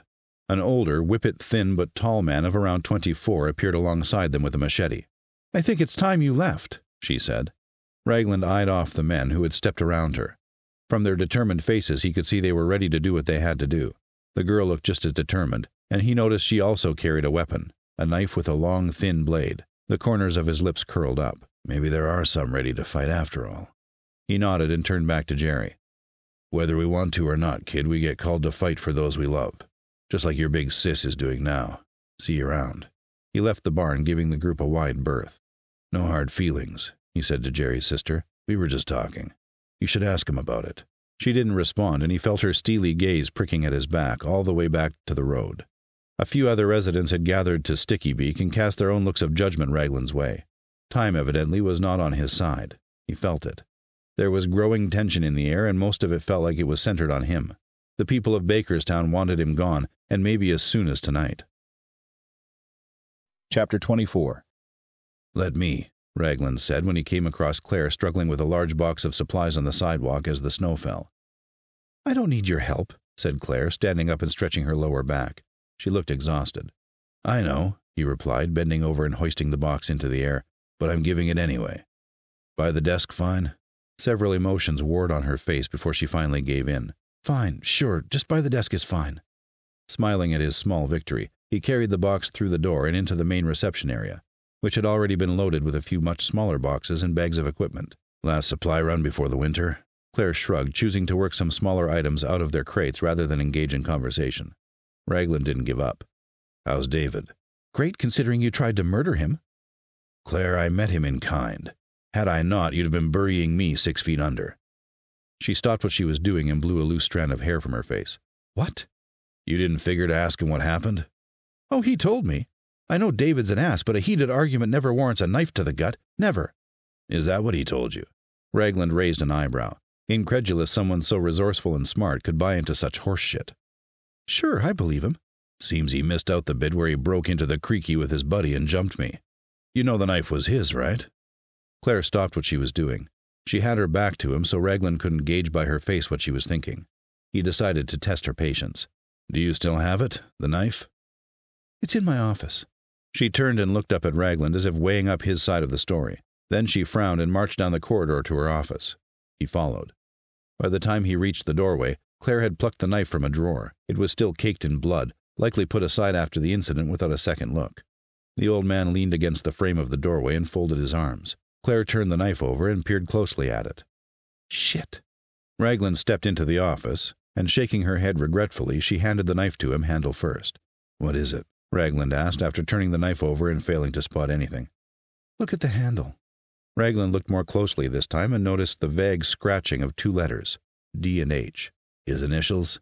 Claire nodded. David Henderson, full name. No other DH in Bakerstown. She sighed. I owe you an apology. No, you don't. She looked at him sidelong. Yes, I do. Don't be an ass. I know when to admit I'm wrong. She took the knife back and tossed it back into the drawer. Nobody's perfect, Claire, not even me. A smile briefly lit up her features. He had made progress. But listen, he continued, I didn't just come here to set the record straight. It's not about whether you like me or not. Oh, really? Do tell. She narrowed her eyes at Raglan. It struck him then, in the half light of a lantern on her desk, how pretty she was. Behind her, snowflakes danced past the window, and he wondered briefly if it would be appropriate to tell her what he was thinking. Not the time, he told himself. No, I came here because out of everyone I've met so far, you seem to be a voice of reason that Marley might listen to. This is about the cannibals? Yes. She won't fight, or even tell me what she plans if they come back. If it's true that they'll be back, there's no way we could fight or hold them back. I agree with her. But do you believe me? Claire approached Raglan, peering up into his face to search for a hint of a tell. Her blinkered expression told Raglan she couldn't come to a satisfying conclusion. Instead, she stepped back and shrugged. Honestly, I don't know. I don't know you, and nor does the town. Does Alex's word count for nothing? Claire froze, and a look of anger crossed her face. Really? she said. Alex's word? No, it doesn't. What do you mean? Raglan asked, genuinely puzzled. No one's told you? The last time Alex kicked off about a threat from a settlement two days' walk away, we sent a scouting party and lost lost one of them. Her voice cracked on the last word. She turned and pretended to tidy her desk. So, you know, people don't really trust Alex. Took him a whole year to make it up to Marley and be given the watch command. Raglan felt foolish for having blindly trusted him, and equally terrible knowing he had been responsible for getting one of their folks killed chasing a shadow. Still, that didn't change anything now. He's right this time, he said. Marley will find another way. Raglan sighed and pinched the bridge of his nose. This isn't right, he said. For Christ's sakes, they've been at the gates and told us they'd be back. I can't believe how many of you are turning a blind eye to this. Whoa, cowboy, calm down. We just mended a bridge back there. Seeing how worked up he was, she softened her tone. Fine. Let's take some fresh air and go speak to. Claire stopped and cocked her head to the side. Did you hear that? she asked. Raglan listened intently and heard it too, a low buzz in the distance. A second later, it became clear what the sound was. Is that people? he asked. Sounds like it, she said, and a lot of them. By the time Claire and Raglan had reached the main avenue, they could see in the distance a large gathering by the school, several dozen at least, some of them holding up torches against the flurry of snow and encroaching twilight. Claire tugged the coat tight around her. What the hell is this? No idea, but isn't that David? Claire followed Raglan's pointed finger and groaned. That ass! I told him to rest or he'd open up those stitches. I'll kill him. The pair walked toward the crowd, and as they did, David spotted Raglan and his voice boomed, grabbing the attention of everyone. There he is! The mob turned and almost as one rushed them, angry faces and lunging hands enveloping them. Claire yelled and tried to intervene, but she was tossed aside as they grabbed Raglan. He grappled with a few of the men, trying to pin him down, punching one and elbowing another, but he was quickly overwhelmed and hit in the face and head several times before he was subdued. Kicking and protesting, five large men, including two he recognized from earlier at the barn, pulled him towards David and held him. David climbed to the top step of the store they were congregated in front of and gestured they should stand the prisoner on the step below so the mob would see him clearly. The man of the hour, he declared after a theatrical pause. A trespasser no longer welcome. Come on, David, Raglan grumbled, his face aching from the loose fists he'd caught. Stop this. Where's Marley? Where's Marley?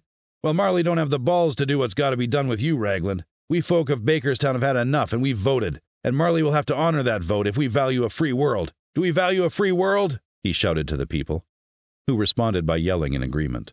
Let me through, Claire called, struggling through the crowd before drilling the ringleader with a fiery gaze. David, you idiot!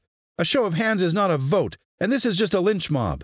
With a furious gesture, David had Claire grabbed and marched back the way she had come. She kicked and screamed all the way. You asshole, Raglan said. Fuck you! David clenched his fist and drove it into the side of Raglan's head, drawing blood at the first punch. The crowd cheered and bayed like animals. Raglan raised his head once it had stopped spinning and spat some of the blood in his mouth onto the dirt. His ears rang, and through the hair hanging over his eyes he saw more people arriving, and, encouragingly, they were protesting to the crowd. He saw Alex, Simon, Viola, and a clearly frightened Kit, but the rest were caught up in a frenzy, for now his would be saviors were helpless and he was on his own. Now, as I was saying, we voted and it's a hanging we'll be having today. David basked in the power as the crowd roared, and reached behind him, taking something from Blackbeard. He thrust his hand into the air, and gripped in it was a rope with a hangman's noose.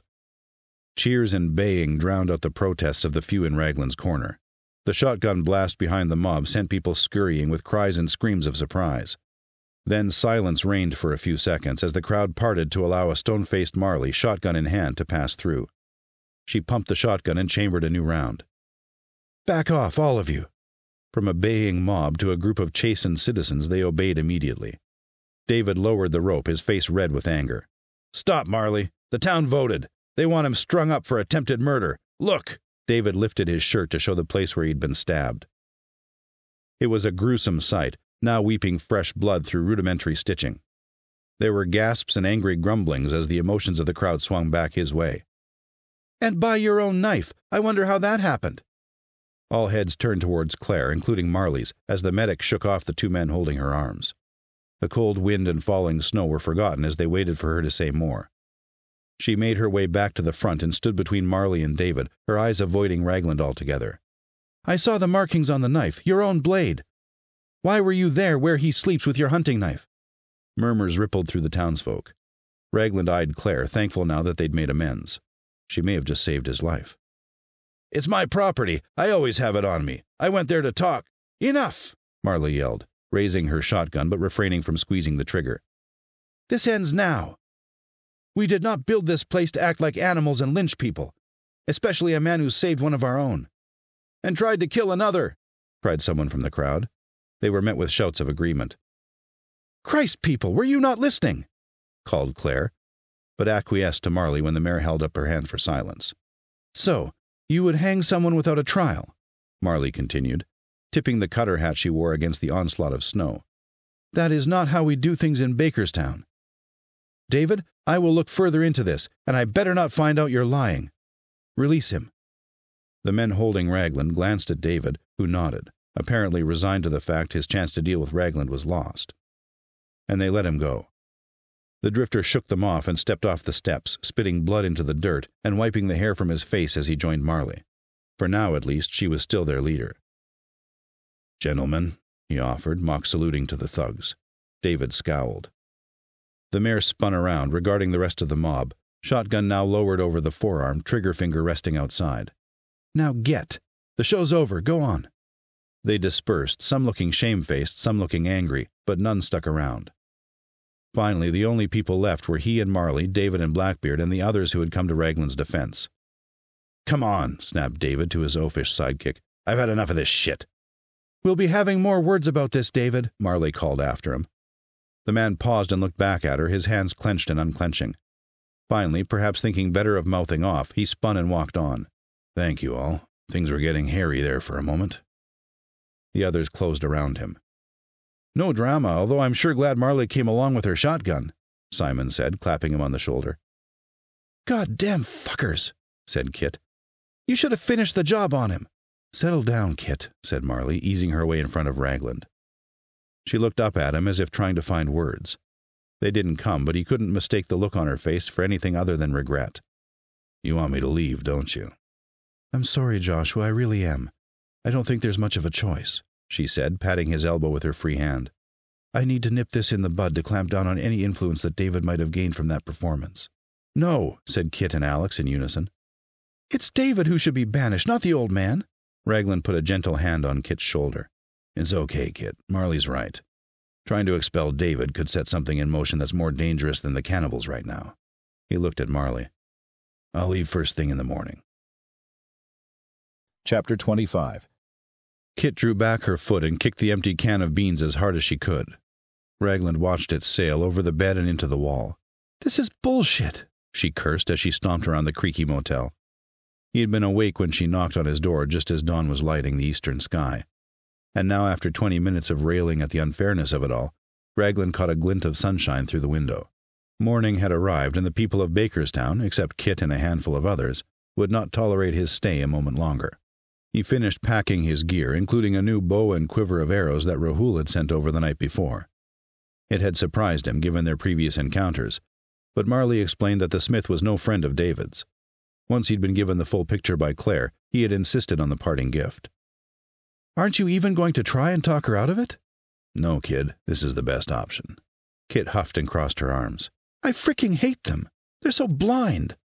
This town used to be better, Gramps. I promise you, it was never like this. I believe you, he said. Everyone goes soft with comfort and routine, gives people like David a chance to thrive. Hopefully, Marley deals with them. Yeah. Raglan donned his thick winter jacket, zipped it up to the throat, and fed his arms through the straps of his backpack. In his left hand, he took his new bow and slipped it onto his left shoulder, leaving both hands free. How do I look? he said, grinning. Well, you know, like the old man who frickin' saved my ass, she said, then turned away abruptly. You all right, kid? Yeah, just like dust in my eyes or something. Shit. Raglan shook his head. He hated that he had to leave like this, and seeing her get upset hurt him more than he'd like to admit. Reaching up, he placed a hand on her shoulder. Want to walk with me to the gate? Kit turned, wiping her left eye and not fooling Raglan for one second. Sure. Taking one last look at the ramshackle hut he'd slept in for less than two weeks, Raglan peered about at the emptiness of it the old bed, the rickety cabinet, and the beaten up wooden chair. It was cold, musty, and dusty, but he'd grown weirdly fond of his temporary home. Listen, there's one thing before we set off, Raglan said, clearing his throat. I want you to have this. The old man untied the worn leather thong hanging around his neck and handed it to Kit. She eyed the onyx pendant, slowly reaching out and grasping it.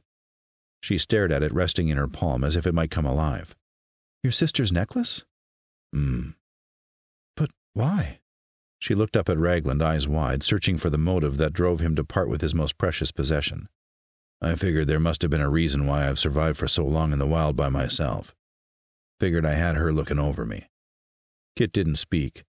Instead, she held it up close, turning the blackstone over in her hands. Then, with care, she tied it around her neck and laid it down on her shirt.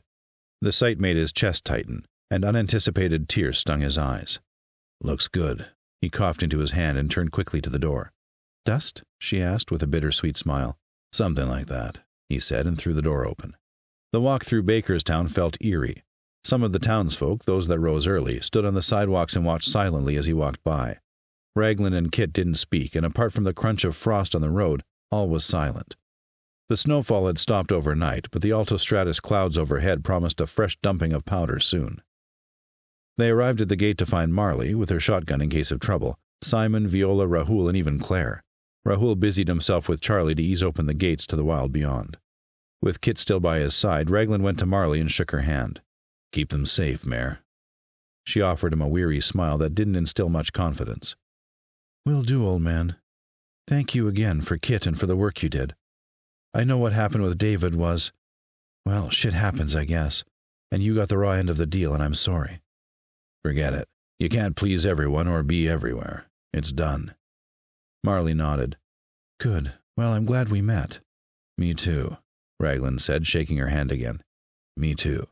Raglan continued with the others, getting a laugh from Simon and a warm hug from Viola, who said she didn't give a hoot about what the town thought, and he was always welcome back at the farm.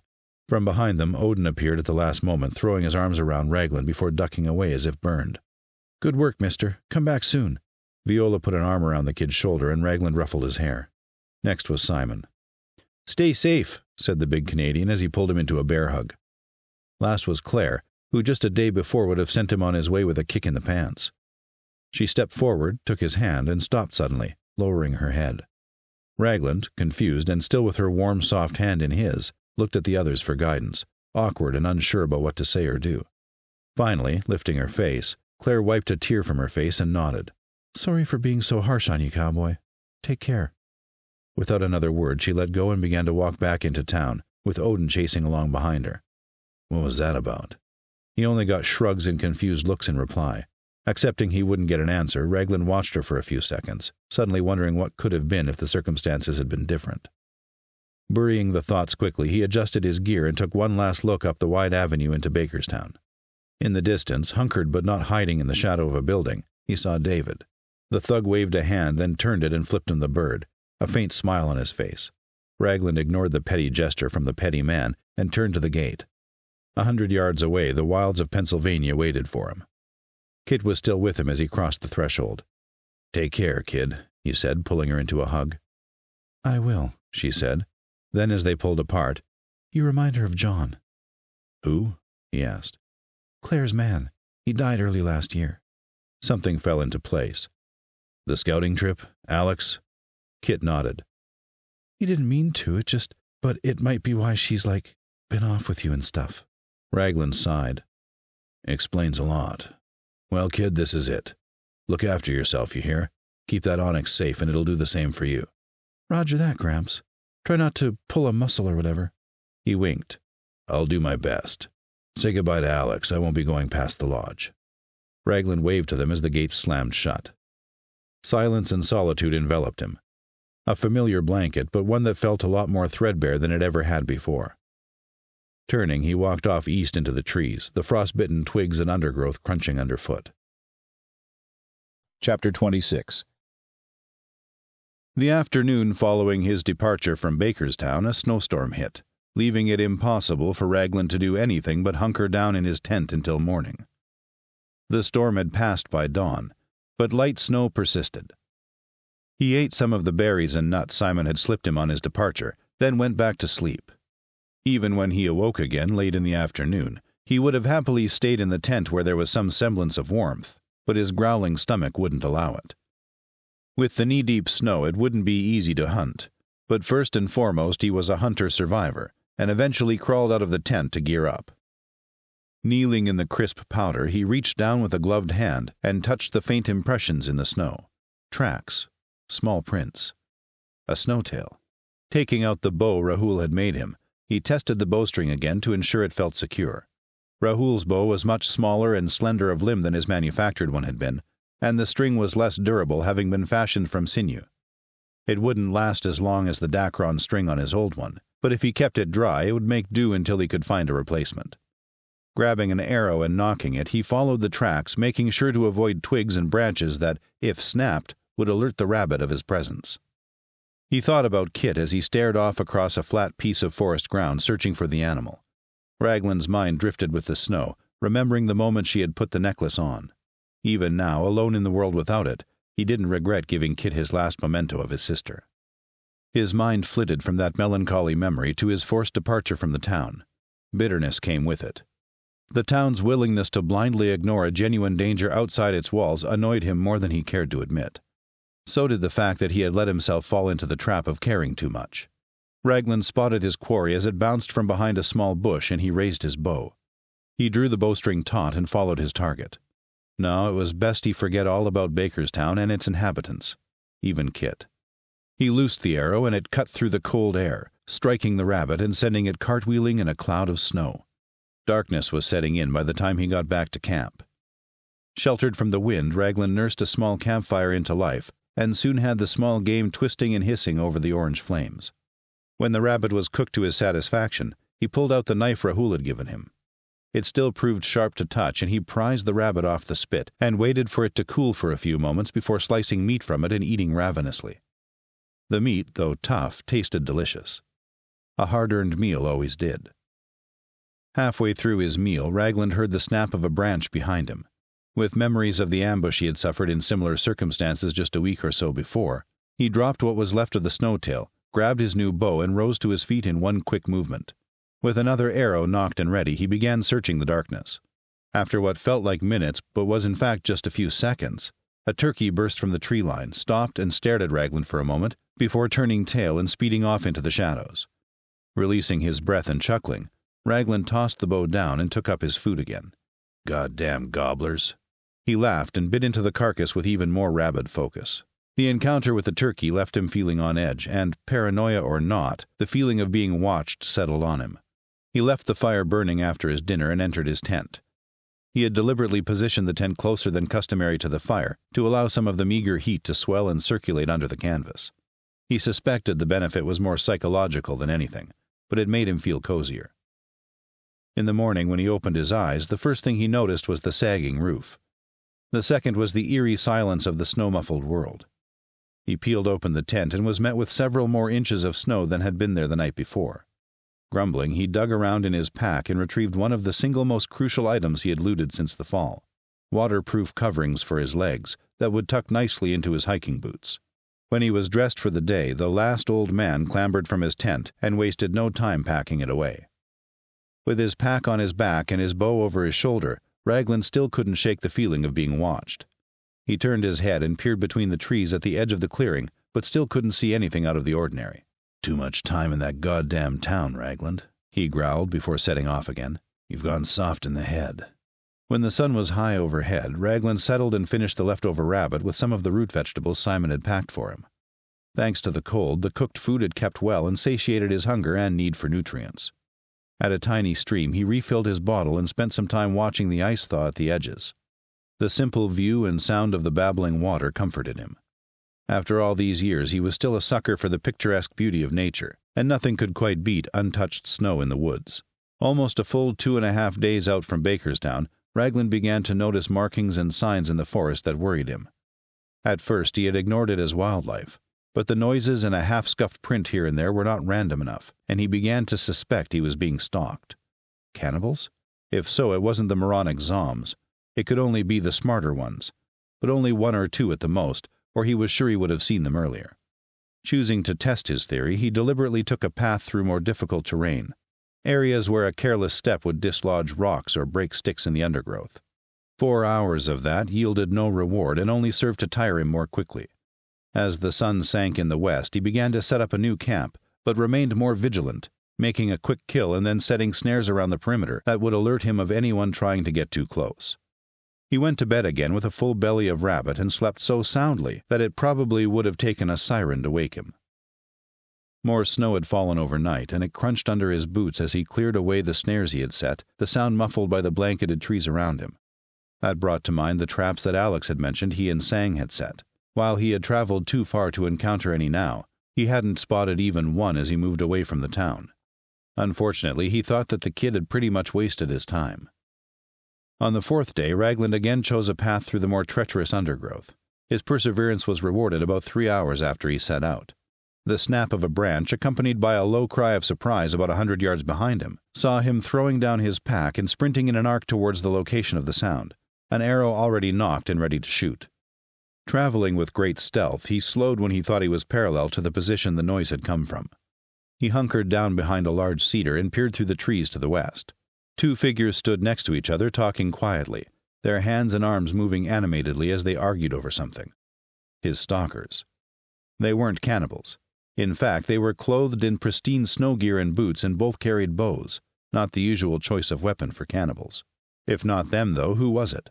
He needed a closer look. It was easy to slip from behind the cedar and get to a large boulder another twenty feet closer.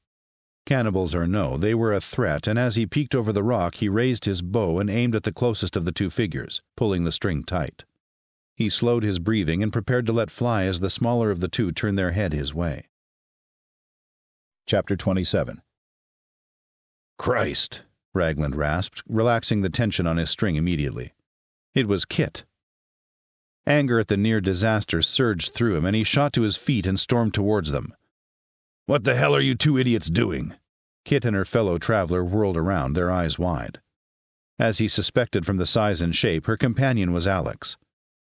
Both shrunk away from his ire as he closed the gap, their mouths opening and closing like fish, pulled from water.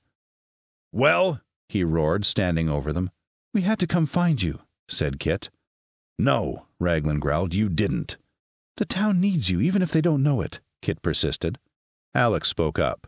Kit and I figured you'd be looking for them, hunting them. Well, you're wrong. I'm just picking up my travels where I left off, and I'll avoid the cannibals if I can. You and your town should do the same. You wanted us to fight them before. You can't give up on us, Gramps. Not yet. Seething with anger at how irresponsible they'd been to trek alone without enough people to put up a fight if they did come across trouble, he could barely speak. He stormed past them, fists clenched. Once he had put a few dozen yards between them, he turned and pointed back the way they'd come. I didn't give up on the town, it gave up on me. Now go home, follow your tracks. Keep the fires low, and maybe you get back in one goddamn piece. Raglan shook his head, attempting to keep his composure. Kit, after everything? Are you trying to throw your life away? Hey, man, that's not fair, Alex said, stepping forward. This was a joint decision. Ah, Raglan laughed, throwing up a hand. Joint stupidity it is, of course. Kit looked hurt, but if it meant she'd turn back with no argument, then he'd say whatever he needed to say. Alex wasn't finished. I figured someone like you would understand. Understand what? That we risk our lives for people we care about, said Kit, stepping in. I guess we were wrong about you. Her words cut deep. Before he could reply, Kit reached inside her coat and plucked out the onyx pendant. The breath in Raglan's lungs froze. This means everything, but not if we just give up. I figured we three could find these assholes, so we know when they begin their move. We have a better chance of making the town see sense if we know when they're coming. Raglan couldn't take his eyes off the black stone. The muffled silence around them seemed to cut off the rest of the world. A single snowflake drifting onto his nose stirred Raglan from his reverie. I still think this is reckless, he croaked. You two aren't built for the wild like I am. Kit tucked the stone back inside her coat and smiled. Lucky we're together then, right, Gramps? Sensing the tension had dissipated, Alex looked around, searching the trees. Hey, where's your gear? he asked. Back there, Raglan said and pointed a thumb over his shoulder. I left it by some rocks. Heard you coming from a mile away. Not surprised. The terrain nearly broke my ankle.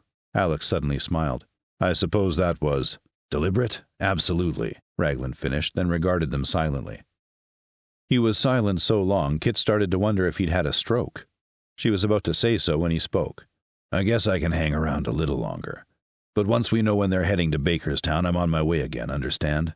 They both nodded, Kit doing her best to suppress a smile. He lowered his brow. Kit, you know better than anyone how quickly things can go south. You both do exactly what I tell you when I tell you, got it? Got it, they both replied in unison. Raglan paused again, hands on hips, and looking at the snow on his feet, wondering if he was doing the right thing. Misgivings aside, he felt like he had unfinished business with the town and the people in it. So for now, yes, it was the right thing. So, Kit prompted, adjusting her backpack, a hopeful glint in her eyes. What's the plan? My gear. Raglan turned and walked back towards where he dropped his pack. The two followed him.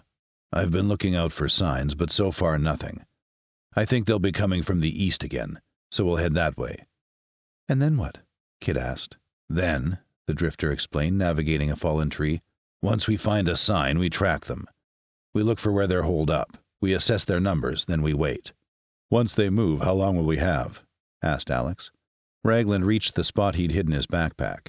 He bent down, strapped it tight over his back, and readjusted the bow on his shoulder. You found them two days out, right? If they haven't moved yet, we can maybe thank the snow for that. We'll be three on foot against at least two hundred of them. I know you estimated four to five hundred, but I don't think they'll all be fighting.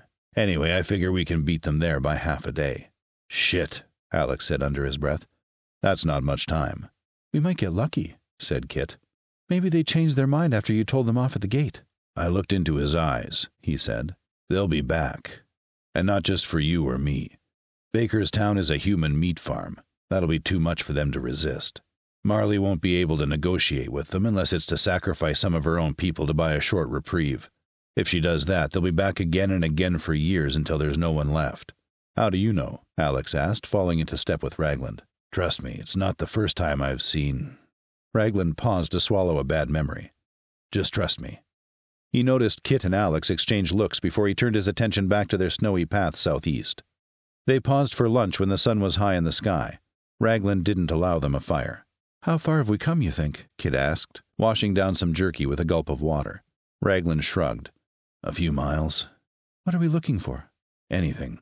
Remains of a campfire, blood, bones. Come on, let's get moving. I want to make camp at sundown.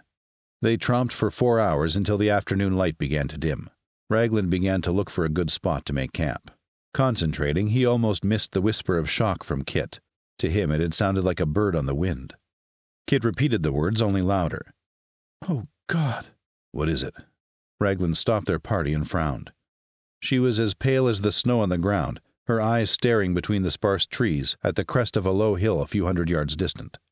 Raglan's blood chilled, and he was thankful when Alex grabbed Kit and pulled her close to him, hiding her face from the horror. Stay here, whispered the old man, dropping his backpack and unslinging his bow. He indicated they should hunker down behind a fallen tree. Don't make any noise. Cautiously, Raglan climbed the small incline using the trees as cover. As he approached the top, he kept his eyes averted from the horror that awaited, and instead surveyed the area for signs of company. The snow was pristine, there were no prints or other signs of recent activity. Satisfied they were alone, he stood up to full height and climbed the rest of the way, finally giving his full attention to the unfortunate soul he found there. The body was that of a young man, nailed through the wrists to a rough pole that had been staked into the ground. He had been flayed and gutted, strips of muscle cut from the legs and arms. There was nothing clean or symbolic about the scene, it was just a brutal butchering. Both the nose and ears had been removed, no doubt as mementos. It was also a warning, intentional or not, that they were not the only ones hunting. Cannibals, he murmured when he got back to Kit and Alex. We need to move. Figured, said Alex. Does that mean their camp is near? I don't think so, Raglan replied. I didn't see any signs that there had been more than a handful. Maybe it was just a hunting party. Kit pulled away from Alex's chest, a hand to her mouth. Holy shit, she said. What the fuck? Raglan couldn't agree more with the sentiment. You're not going to like a theory I have, the old man grumbled, hands on his hips like Marley as his eyes scanned the woods. Kit looked at Alex, who looked at Raglan. Just tell us. Fine, Raglan said. I think it's possible they anticipated something like our mission and that they are out hunting. What? Kit gasped. No, that's not possible, right? We'd have seen or heard them. Maybe not. After all, they probably don't know who they are hunting for, just that someone is looking for them. We can't underestimate them, and we have to assume that they'll find our tracks, in which case they will be hunting us. So what are you saying? Kit said. That these cannibals are sophisticated? Raglan nodded. You saw the man at the gate, and Alex also spied on them at camp. They're not all brain surgeons, but they are being led by the norms. Cannibals, but cannibals who are intelligent and calculating. Then why have we only just learned about it? God damn, man, this doesn't feel right. Raglan shrugged. Well, no offense, but your town is pretty sheltered and seem to have their worldview shaped by a handful of people who have never been outside the gate. There's more of the Zom, so naturally, if your people did encounter them, they probably never saw the hierarchy up close. Right. Kit shuffled from Alex's arms and straightened her backpack. So, she said, what signs did you find? Were they here recently? Could we track them? The reply caught him off guard. Kit surprised him more and more. Bakerstown was lucky to have her. Then he smiled. The body is well and truly cold. I think it's been at least 24 hours. That means they could still be close, so we have to be on high alert. Kit shuddered at the thought. I did find one print in the dirt under a pine. It was headed north. North it is, then, I guess, Alex said, putting his arm around Kit's shoulders again. Raglan nodded. North. Chapter 28 Raglan felt the possibility of being hunted was in some twisted way a little poetic. He'd spent so long in the New World being a hunter that he'd almost forgotten what it had been like to be prey, but it had happened before. Having seen out the period after the infection until the Chinese army was driven back across the Appalachians by the retrovirus, the young survivors alone and hungry, without any form of government or authority, had scattered or banded together. Some of those groups were savage, killing at will over food or territory. For a time, Raglan thought that was how it would be forever, but then during his travels he heard of a stronghold in Albany, New York, where rumor had it the son of the last president ruled. Doubting the veracity of the rumor, but tired of being on edge and avoiding the gangs of marauding teenagers, Raglan decided some order was what he needed and set out for Albany. He didn't know what he'd find, but there was nothing else for him. He traveled as inconspicuously as possible, mostly at night and on back roads, but avoiding people altogether was impossible. Because he was alone, he was often assessed by opportunity seekers to be an easy target. Sometimes he could avoid conflict, but sometimes it was inevitable. One such incident had taken place three miles from the border of New York, when three straggly teenagers armed with blades and axes had confronted him. I killed all three of them, Raglan said as he stoked their campfire on the third night. The first time I took a human life, and I had to take three. I never arrived in Albany. I decided after that incident that it was best to avoid people altogether, and that's when I began wandering.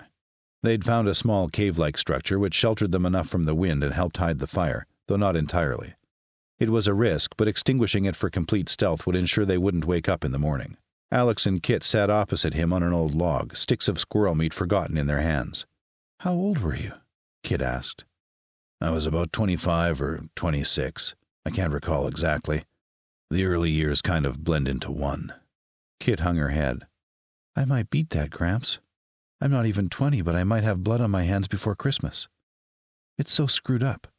It is, Raglan nodded. There's no good age when it comes to killing. But if you're doing it for the right reason, and only when you need to, then it's righteous, I guess. Do you think I'll be able to go through with it when the time comes? she asked. He paused a minute and pondered the question while he chewed squirrel meat. You have it in you. Most do. It's just a matter of time and circumstance. Alex raised his eyebrows. Man, that's a bit dark. Raglan shrugged. Maybe, but it's true. Maybe if things hadn't turned out like they did with you getting on the radar, it might have been different. A gloomy mood fell over the camp for the rest of the night. Once they had eaten and set traps, Raglan put out the fire and they took to their tents and slept. Raglan dreamt he was wandering through Bakerstown. The streets were filled with corpses that he couldn't avoid stepping on. Every now and then in the mess he would see a familiar face Simon, Marley, Jack the Butcher, Erica. He had a sinking feeling in the pit of his stomach. Where was Kit? Finally, he saw the school in the distance and knew this was where he would find her. His foot squelched on something, and when he looked down, he saw Claire's face under the sole of his boot. In horror, he lurched away towards the school, only to find there was a tree in front where none had been before. It was a tall cedar, and pinned to it with arrows was Kit. She was facing him, her mouth open in a silent scream, her eyes bloody sockets. Raglan sat bolt upright. Panting heavily, he scrambled out of his tent on hands and knees and took in gulps of fresh, cold air. You okay? Raglan brushed his long hair away from his eyes and saw Alex already awake, checking on his backpack. Ashamed to be caught in such a vulnerable state, he climbed to his feet. Fine, he growled. Alex nodded with a doubtful look on his face and went back to packing. The nightmare set the tone for Raglan's day, and, in a foul mood, he tore his tent down a little impatiently and stuffed it into his pack. He was ready to move when Kit surfaced. About time, he barked. Jesus, she yawned and rubbed her eyes before moving out of the way as Alex wordlessly began to pull down their own tent. Relax, Gramps, I'm up, aren't I? Barely. Get your shit packed and let's go. Raglan turned his back, not wanting to see Kit and Alex exchange looks or whisper their opinions. Instead, he took a short northward walk away from the camp and waited. After just five minutes, the pair appeared on either side of him. Kit's eyes softened when she saw Raglan's face. He looked older this morning, the faint lines on his face a little more noticeable, his eyes haunted. Sorry about before, she said, even though she'd done nothing. I had a nightmare. It was pretty frickin' bad. Raglan's eyes widened, but he had no intention of mentioning his own bad dream. Forget it. We're all tired and cold. Let's just keep going. We can't be far now. The land they walked became an incline, easy at first, but then steeper until it led up a hill to a sharp crest. The branches thinned and the ground started to level out near the summit, and they slowed to catch their breath before eventually reaching it. Wow, Raglan said. Beautiful. Yeah, Kit replied. Seriously awesome. From the crest, the land sloped down into a small valley. It was steeper than the other side and treeless, but not impassable. From their vantage, they overlooked snow covered treetops for as far as the eye could see. Alex was silent, but when Raglan checked on him, he saw the kid was appreciating the vista as much as he and Kit. Only, he wasn't really a kid. Neither was Kit. Not kids like they would have been before the fall. Still, he couldn't think of them any other way, and because of that, he felt a responsibility to keep them safe. The nightmare was probably a manifestation of the weight of that responsibility, but its effects had faded as their hike progressed. Now a sense of empathy washed over him like a gust of warm air. It served to focus him on the task at hand. They started down the hill and were still 200 feet from entering the trees when Alex stopped and pointed into the distance. Look there. Is that smoke? Raglan squinted and could make out a thin white plume masked by the glare of a low sun on the horizon. It was hard to see, but Alex had caught it. Good spotting, Raglan said and thumped him on the shoulder. Very good eyes. Alex beamed and Kit stood on tiptoes and kissed him on the cheek. Nice work, babe. The adoration on her face struck Raglan, and he knew it wasn't just puppy love, but a real thing the two shared. Kids like these would be the future, and he felt more than ever that he had to keep them alive. Right, Raglan said. This is where we need to be extra careful. This is a recon only, no engagement, no heroic shit, got it? The pair nodded. Good. So, like, what are we going to do for evidence then? Get close, sketch a picture, and show the town we were right? Kit offered. Alex chuckled, and Raglan allowed himself the ghost of a grin at her humor. If only that would work. Sure do miss my old smartphone. Alex and Kit looked blankly at him. Forget it. We're going to get something they can't ignore a count of their numbers, maybe evidence of their ferocity. A hostage, right? said Alex. No, Raglan said. Too dangerous. We're going to get ourselves a trophy. A trophy? What, like we cut off one of their heads and take it back? Kit asked. No, Jesus, kid. If you people had tech, I'd say you were watching too much TV. No, not a head. We're going for one of their necklaces. Kit looked confused and touched her pendant. Oh, Alex said.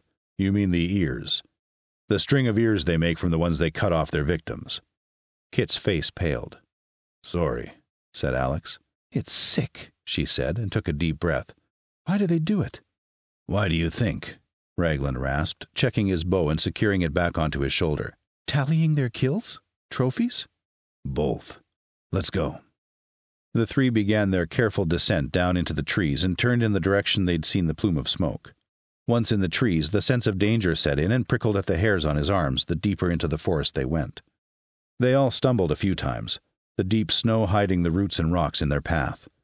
After an hour, they came to a freshly trodden path. The snow and mud had been trampled by many feet and swung in a slightly northwesterly direction. Kit shot Raglan a look of trepidation. The cannibals were moving in the direction of Bakerstown. There must be hundreds of them, Alex said, kneeling down to inspect the footprints. Yes, said Raglan. I'd say it's the bulk of the group you saw on your scouting mission, but not all of them. Is there still time? said Kit in a strident voice. To get ahead and raise the alarm? I don't know, Raglan said, but three of us can move quicker than hundreds. He unslung his bow and broke into a light jog. Come on. Chapter 29 by nightfall, Raglan, Kit, and Alex had caught up with the cannibals, who had set up camp. They were now near the northern boundary of the former national forest they'd been walking through, and the problem soon would be the open land beyond. Ten years had not been long enough for the forest to claim back the former farmland and roads it gave way to. Once out of the forest, they would be more exposed to the weather and at risk of being spotted by the cannibals they followed. When they had the location of the camp, they moved a mile away and set up their own camp in a dry creek bed sheltered by a steep bank. Clustered tightly around a small fire, Raglan passed around morsels of the small rabbit he'd shot an hour before they stumbled upon the cannibal camp. They made short work of the meat. Do either of you know these parts? Both shook their heads. Not really. Kit shivered as she bunched up close to Alex. I haven't been this way before, he said but I suspect it will be bloody cold as we'll be a bit more exposed. It will. I'd hoped to be much further south by now if things had, he glanced at Kit, been different. But winter this year has surprised. He reached over for another stick to throw on the fire and grimaced, holding his lower back for a minute. You okay? Alex asked. Yeah, he said, thankful that the glow of the fire hid his red face. I know I might be old to you, but I'm still in my prime. I'm just exhausted. We all are. You grab some shut eye, I'll take first watch. Raglan shook his head, earning him frowns from the other two. Not me, kids. I've got to get us that necklace. Kit sat up straight. Like hell you are, Gramps. Are you frigging insane? You think you're just going to waltz on in, all howdy and stuff, and just grab a spare necklace of ears? Raglan couldn't help but smile. She was a little more cantankerous than his sister had been, but not by too much. The reminder cheered him up. No, They'll be settling down for the night, but there'll be some out and about foraging or scouting. I plan to find one of those and take them quietly. I'm coming with you. No, Alex, you're not. But. No, he barked as he reached for his pack. You stay here and keep Kit safe. The girl bristled and he quickly corrected. Keep each other safe. Make sure to keep the fire as low as you can. Before I go, though, I need something to pep me up. Kit was scowling as he pulled a tiny pouch and what looked like a small steel pot from his backpack. While they watched, he poured the contents of the pouch into the pot and topped it with water. While he couldn't make out what the dark powdery substance was by the low light, Alex smelled it immediately. You have coffee? Raglan nodded. Simon had a small supply left in his pantry and gifted me some. He must like you, Kit said softly, her scowl somewhat softened. Coffee's mad rare. We only get some of it because of the long trade journey Marley sends south every spring. Not surprised, Raglan replied as he held the pot over the flames. Without a percolator or filter, he'd been told to boil it and filter through a small mesh paper Simon had given him. He poured the coffee through the filter into his tin cup, and did so for Kit and Alex, too. Then he raised his steaming cup to theirs. Here's to, he started. Coffee, Kit finished for him, and taking a big gulp. She grimaced in pain as the hot liquid burnt her mouth, but managed not to spit any out before it was down. Damn, that was hot, she said through watering eyes, and then she blew furiously, trying to cool it quicker. Alex laughed and shook his head.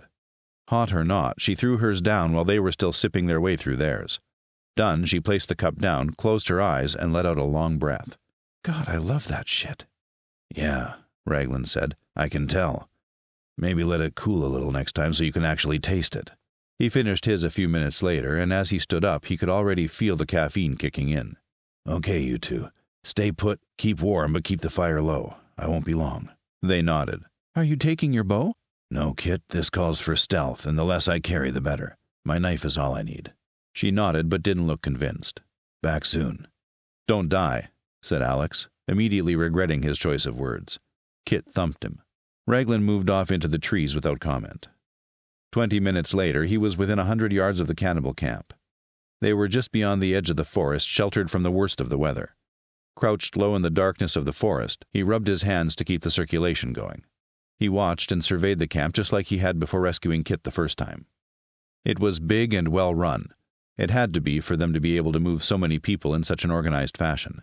Thankfully, it didn't look to be the full population Alex and his spies had found. This group looked to be about 150, but from what he could see, they were armed to the teeth.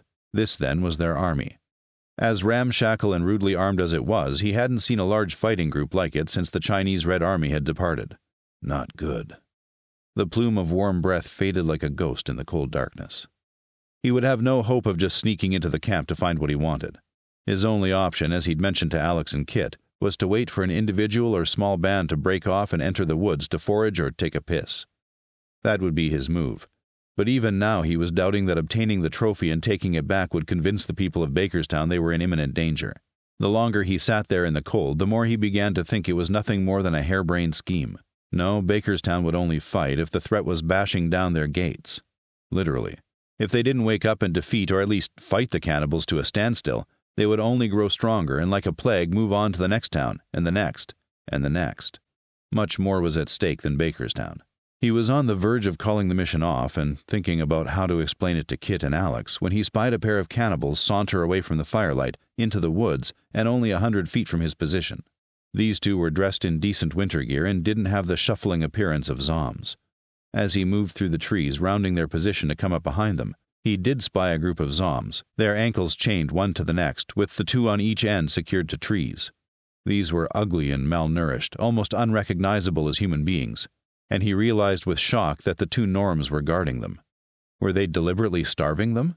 The inhumanity of it hit him hard, but it was when he deduced why that he felt sick to the stomach. Shock troops. They would unleash this group first, and crazed with hunger and whatever treatment they'd endured their whole lives, they would rampage through the streets of Bakerstown like a mobile meat grinder. With a fresh resolve, Raglan found the two men laughing and swearing as they emptied their bladders side by side. He lunged at the one on the right, burying the knife into the back of his neck and severing his spinal cord, ripping it out as he grabbed the second in a headlock and clamped a hand over his mouth. The cannibal struggled and thrashed around as he tried to escape Raglan's grip. He couldn't, and inevitably the drifter's blade opened the exposed skin of his throat, unleashing a gout of crimson. Raglan held him until it was over, then let the body crumple next to his pissing buddy. Taking a quick breather, he rolled them both over and cursed. Neither wore a string of ears. It was a good time to turn around and head back to the others, but something about what he'd seen stung him deeper than he could explain. And now, cocky from the easy kill and just for the bloody hell of it, he wanted to get one up on the bastards by sneaking into their camp and stealing something from right under their nose. He looked down at the bodies and a grim smile slowly dawned on his face. Five minutes later, with bloody stripes painted on each of his cheeks and wearing the white coat he'd stripped from cannibal number one, he sheathed his knife and walked confidently toward the camp, holding the small axe his victim had been carrying loosely in one hand. Chapter 30 Raglan cast furtive glances as he went, but no one seemed to have noticed him yet. A razor sharp focus, courtesy of the adrenaline coursing through his system, had kicked in. He would find a necklace, put it around his neck, and then get the hell out of Dodge. He was heading into a quieter part of the camp when a heavy hand fell on his shoulder. What's that trinket you gone found yourself there, brother? Raglan was silent for a moment, searching his brain for a response that wouldn't get him killed. Hey, fuckhead, I just asked you a question. The hand was joined by another, and Raglan found himself spun around and looking up into the face of a gigantic bald man. Recognition washed over Raglan. He knew this gigantic savage from somewhere. The giant's eyes narrowed. Found it out in the woods, Raglan said, holding up the axe. Oh, yeah? Whose blood is that? Raglan shrugged. Don't know, but it sure tastes sweet, he said, raising the axe blade and licking some of the cannibal blood from the edge. The big cannibal stared at him a little longer before cracking a laugh. Other cannibals stepped forward, curious about the conversation. Raglan, nauseous at the coppery taste in his mouth, wished he was back up behind the hill with Kit and Alex. You must be hungry to be licking cold blood off a blade. The cannibal slapped him on the shoulder and moved off. Don't worry, you'll get your fill of meat when we take that town. Raglan watched him go as the feral cannibals chained up to the trees heard meat and began to shriek the word over and over. He barely noticed because it had dawned on him where he knew the face from. This man was the living, breathing image of the gigantic Zom he had killed the first time he left Bakerstown. Gigantic twins. One a mindless freak, then this specimen who was even more terrifying because of his ability to think and speak. Raglan focused on controlling his breathing as the others around him dispersed or followed the giant. Subdued by this interaction, he went back to scouting the camp when he noticed ahead another face he knew. The man he had turned away from the gate of Bakerstown a few days before. The leader. He was laughing and drinking with more Norms, including females, and greeted the giant loudly when he entered the firelight. Moose, where have you been? Taking a dump, boss. This was greeted with howls of laughter. Raglan tarried just a second too long, and the eyes of the leader fell on him before moving back to his circle of buddies. Cursing quietly, the drifter pulled down his hood and ducked into the shadow of a tree, waiting for a shout of alarm. He counted to ten, and none came. When he felt safe, he slipped out of sight down a path between two lines of tents. He came to another open area, this one not as boisterous or populated as the last, and began weaving through sleeping bodies. Spooked by the too close encounters, he was about to call time on this particular mission and begin to make his way out of camp when he spied, draped over a stick wedged into the frozen ground, a necklace of ears. A lot of them. He paused and listened, then glanced left and right before reaching up and taking the trinket. The ears, mostly shrunken and darkened with age, were frozen solid, like rocks to touch. At one end were two fresher additions, blood still congealed at the edges where they'd been severed from their owner's head. The tops of the ears had been pierced and a thin wire threaded through them before being joined in a tight knot. It was one of the more gruesome things he had ever seen. Now that he had it, he was unwilling to put it over his head, and instead shoved it inside of his coat. He looked up and for the first time noticed that he was being watched. It was a girl of about seven sitting by a small fire. Her dark eyes were fixed on him. That awful, empty gaze spooked him more than the necklace of dead flesh, but he maintained his composure. Just getting it for him, he bluffed. She didn't say a word, just kept on staring at him, eyes unblinking. A Zom. Too simple in the head to even understand he was talking to her. Raglan licked his lip and looked past her. Just one fire ahead, and beyond its glow, he could see the long stretch of trees that would lead him back to his companions. Raglan took a deep breath and started walking. He'd barely taken ten paces when a figure stepped from the shadows and blocked his path. Hello, brother. It was the leader. He wore a winter jacket, jeans, and boots. Raglan thought that if it wasn't for the carving in his forehead, the cannibal could have easily blended in with the Bakerstown folk. As Raglan tried to find a way out of the situation he found himself in, he spotted movement in the shadows on both sides. Guards, who no doubt would block his escape. There's nothing you can say that will help you, friend. I never forget a face, the leader said as he crossed his arms behind his back. What brings you to our camp? Raglan didn't speak. Instead, he turned and lunged for freedom, only to come crashing into the chest of Moose, no, you don't, little lamb, the giant cannibal said, grasping his upper arm and holding him in front of the leader. A cold deeper than the winter's night chilled Raglan. This was it.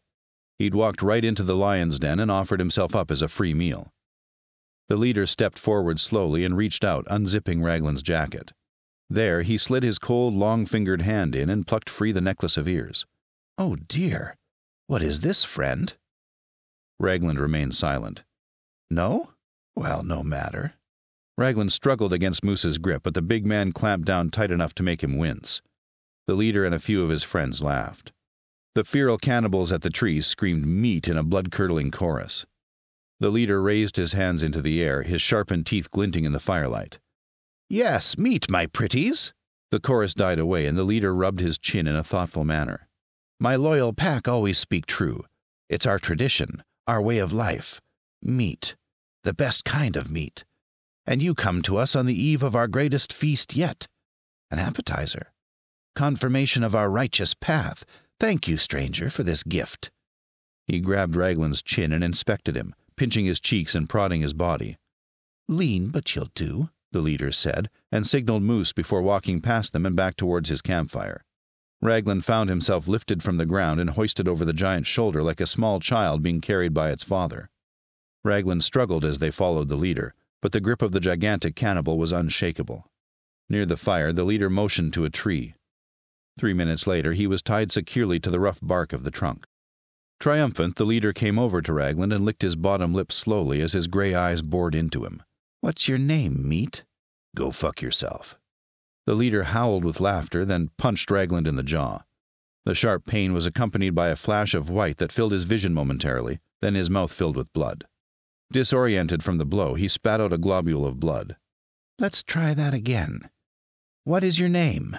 Feeling as if it was already over, Raglan didn't see what he had to lose, so he smiled through the blood.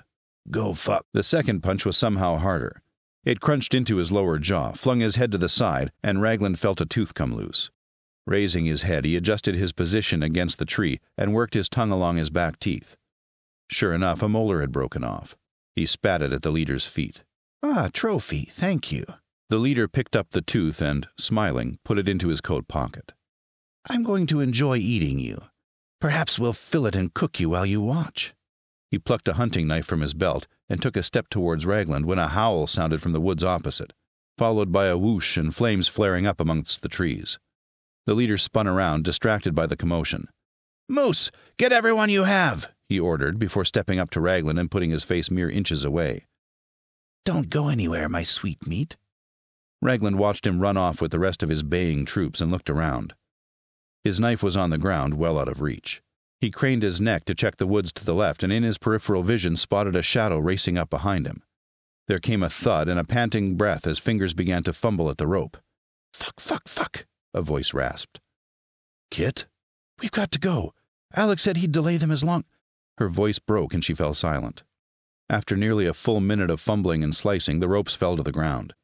Raglan bent over and grabbed his knife before joining Kit behind the tree. She stood up, her eyes wide with fear, and handed him his backpack. He took it and slung it over his shoulders before taking the bow. Where's Alex? Kit shook her head. He didn't give me a choice. He gripped her by the shoulders. Where? Tears rolled down her face as she pushed him off, her eyes glowing in the orange firelight. He's. he's. A shout interrupted them, and Raglan spun around to see two cannibals speeding towards them. Taking out his knife, he told Kit to run. I'll be right behind you. Throwing the knife from his right hand into his left, he ducked under the punch of the first cannibal and sliced him across the stomach. Raglan met the second cannibal head on, knocking his knife wielding hand away and sticking his own blade deep into the cannibal's eye socket. His shriek of agony pierced the night. Cries erupted, the leader's louder than the rest. Back to the fire! Our meat is escaping! The blood curdling chorus of the Zom cannibals screaming for meat again rose up, drowning out everything else. The cannibal with the open belly had turned, unaware that his guts were spilling onto the snow, and came at him again. Raglan sliced his throat this time and was gone before the body hit the frozen earth. Chapter 31 Raglan and Kit dashed into the woods, their pace as hard and as fast as they could, the bloodthirsty horde behind them proving plenty of incentive. Raglan deliberately had them running deeper into the forest, but after ten minutes they arced towards the north. Miraculously, the screams and yells behind them fell off and continued west, the cannibals clearly not skilled at tracking. I think we lost them, said Kit, panting hard at the exertion. We keep going, said Raglan. Once we're out of the forest, we'll reevaluate. Twenty minutes later, they emerged into a field where hard gusts of wind cut through their clothes like they were nothing. Keep going, Raglan roared over the noise of the storm. His hand pointed toward a row of abandoned houses. Their feet sunk into the fresh snow as deep as their knees in some places. Behind them, the glow of fire reflected across the field. Raglan glanced over his shoulder and cursed. Not as poor at tracking as he thought, although it was only a small group. There were shouts when they were spotted, and he saw two split off and head back the way they had come. They would summon the rest. Lungs on fire, Raglan helped Kit up over a fence and kicked in the back door of a house. Inside, out of the wind, Raglan ran through the kitchen to the living room. He tore a length of curtain off, wrapped it around his hand, and punched the big plate glass window. Immediately, great flurries of snow filled the room. Raglan took the glass pieces and rushed to the back door and started to wedge them upright between the floorboards. What are you doing? Kit shivered, the strength and energy gone from her voice. Leaving Alex to the cannibals and the seeming inevitability of their own capture and death was too much for the young girl to handle. Buying time. It'll slow some of them down. We need every edge we can get. Come on, let's go. The two were through the front door less than three minutes after they entered and back out onto the street, fighting against the wind. They turned into another yard, this one in the row of houses opposite. Raglan vaulted a set of broken steps up to a long porch. Once at the top, he drew back his foot and kicked through the big double front doors of the two story home and ran inside. Kit was right behind him, her pants hard and sharp. We. we can't keep running. We've got to stop this storm. Raglan shook his head, his eyes searching for something to use. Nothing became apparent. No, he said, and darted into the back room and toward a glass sliding door that led to the back garden. We have to move. But the storm! What about Alex? Raglan turned and grabbed Kit and stared deep into her eyes. Alex is gone. If we stay or linger, we die too. Our only shot is to keep going all the way back to Bakerstown. But, Kit choked, trying to hold back tears. The exhaustion aided in keeping them back. That's a day's hike. I know, he said, and let go of her, and looked through the doors toward the woods that backed onto the fenced garden. But it's the only choice we have right now. Are you ready? We'll make for the trees there and jog up to the next hill. Kit tucked some loose hair back into her beanie and secured her coat. Ready. In just half an hour, Raglan guessed they'd covered two miles. It wasn't record breaking, but in the conditions it was great progress. For now, they hadn't stumbled and his knees were still in good working order. As the incline eased and swept over toward the top of the valley, they crested and dipped down towards the other side out of sight, then swung hard northwest.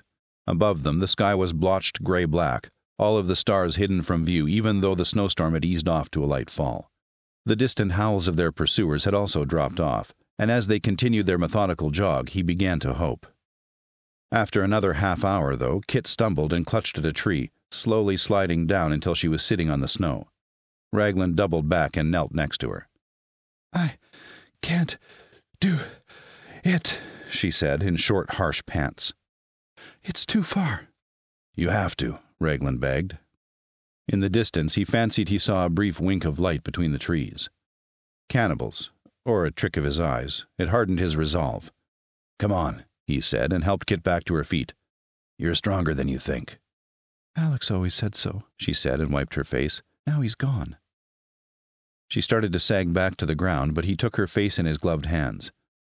Do it for Alex, Kit. Make his sacrifice worth something.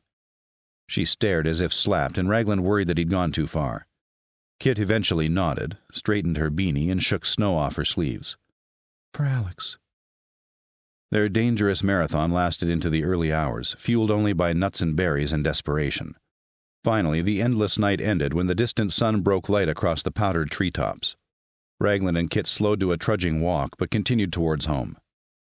When they passed a large fallen cedar on an established path, Kit told him they were a half day away, a reward for their grueling run through the night. They stopped an hour after sunup and ate the last of the rabbit from two nights before, washing it down with a few handfuls of snow. Raglan's bones ached and the tip of his nose was numb. He knew without the warm blood pumping through their system from the exertion of the flight, they'd both be sporting a bad case of frostbite, or worse. He stood up again, and Kit groaned. Can we rest for just a bit longer? Kit said, eyes barely open. Raglan turned back and peered into the distance behind them. He spotted a plume of smoke at least three miles behind them. We'll rest for five more minutes. I think they are doing the same. It'll give us a chance to put more miles between us and them. She nodded without opening her eyes. He felt more for her then than at any time since he'd met her. She'd just lost her partner, and to compound the agony of the raw grief, she was on the point of exhaustion. He sat close and let her rest her head on his shoulders as they shared their warmth. He didn't even realize he'd fallen asleep until he was startled awake by a gunshot in the distance. He clambered to his feet and helped Kit up, newly energized. Sorry, I fell asleep, Kit said. Don't be. Me too. Let's move.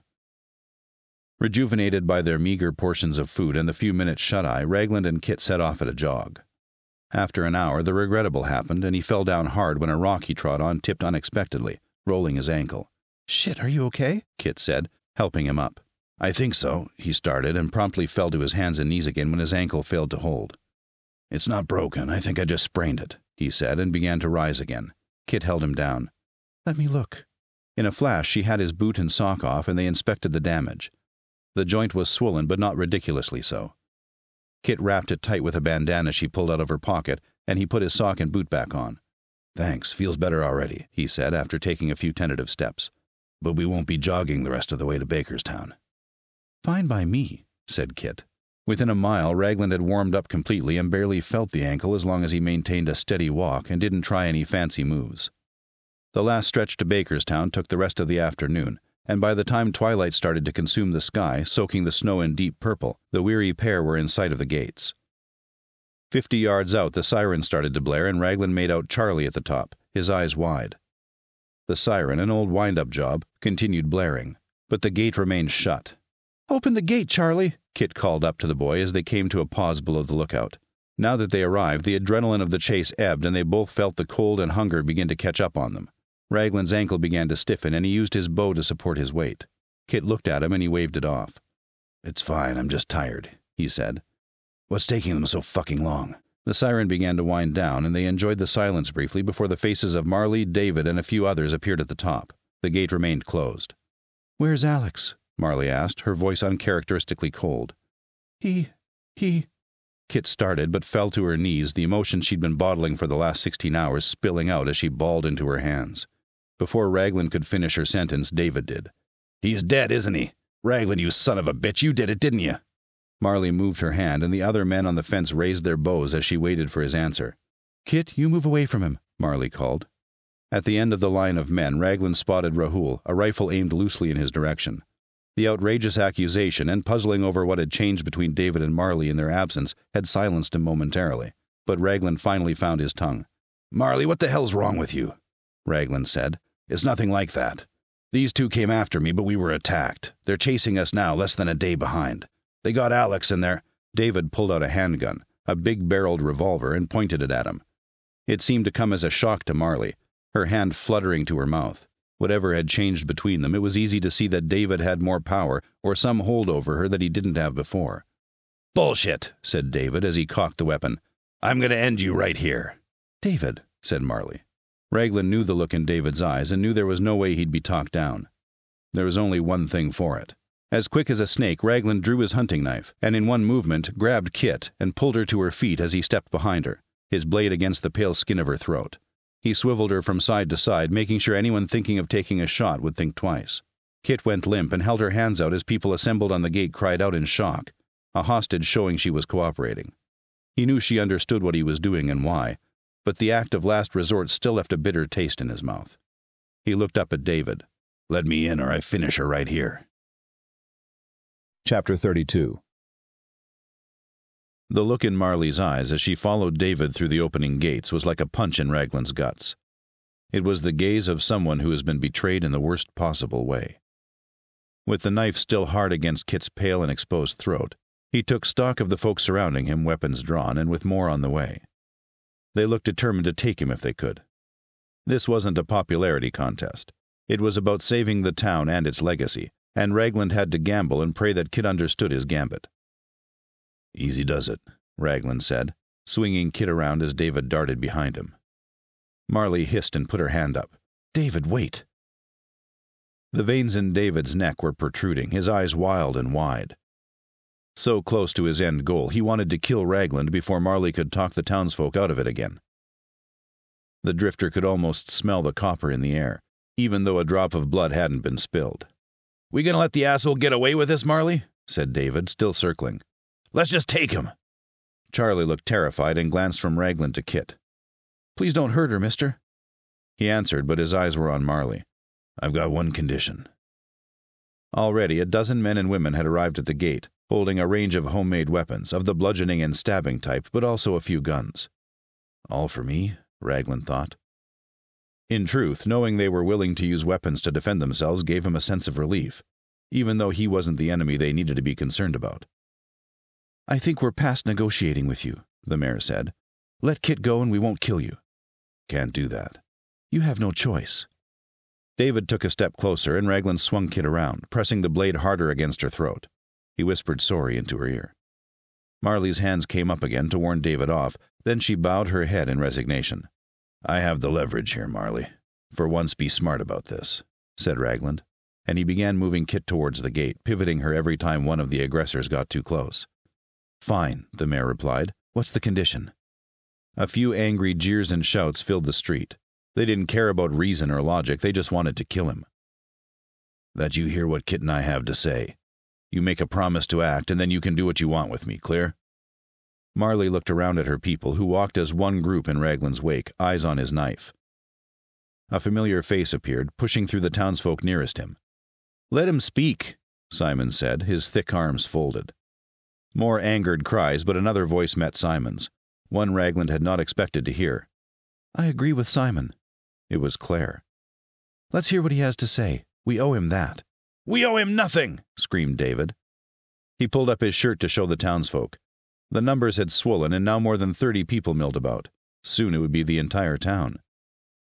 Look what he did, and now look at him, a knife to Kit's throat. He didn't save shit. She was just an opportunity for him, a means to a goddamn end. Ain't that right, Raglan? Voices of agreement were in the vast majority. The thick tension filled the air. Raglan felt it. His mouth was dry, and the rapid thuds of his heart pounded in his ears. Things were getting ugly very quickly. Why are you doing this, Raglan? Marley asked, her voice hopeless. Would you have let me in if I'd not grabbed Kit? Raglan asked. She didn't answer immediately. Would you? No, she said. We wouldn't have. So it had to be done. Did it? Raglan cleared his throat. The threat is real. It's out there. We all saw it. Kit saw it. Alex saw it. They're coming and they'll be here by tomorrow. Where's Alex? Someone in the crowd yelled. Kit squirmed in Raglan's grasp. He knew she wanted to speak, so he loosened his grip enough. David moved his feet apart as if ready to pounce. They killed him, Kit croaked. Raglan's telling the truth. There are at least two hundred of them. Alex, he. he. saved us. We got away. If it wasn't for him, we'd both be dead. Raglan clenched his jaw. It was a lie. Alex had sacrificed himself to save Raglan alone. But Kit was smart enough to know this fact would possibly tip them over the edge into violence. He's making you say this, Kit, David interrupted. We'll get you away from him. Just tell us. Raglan killed him, didn't he? No, it was the cannibals. He caused a distraction and.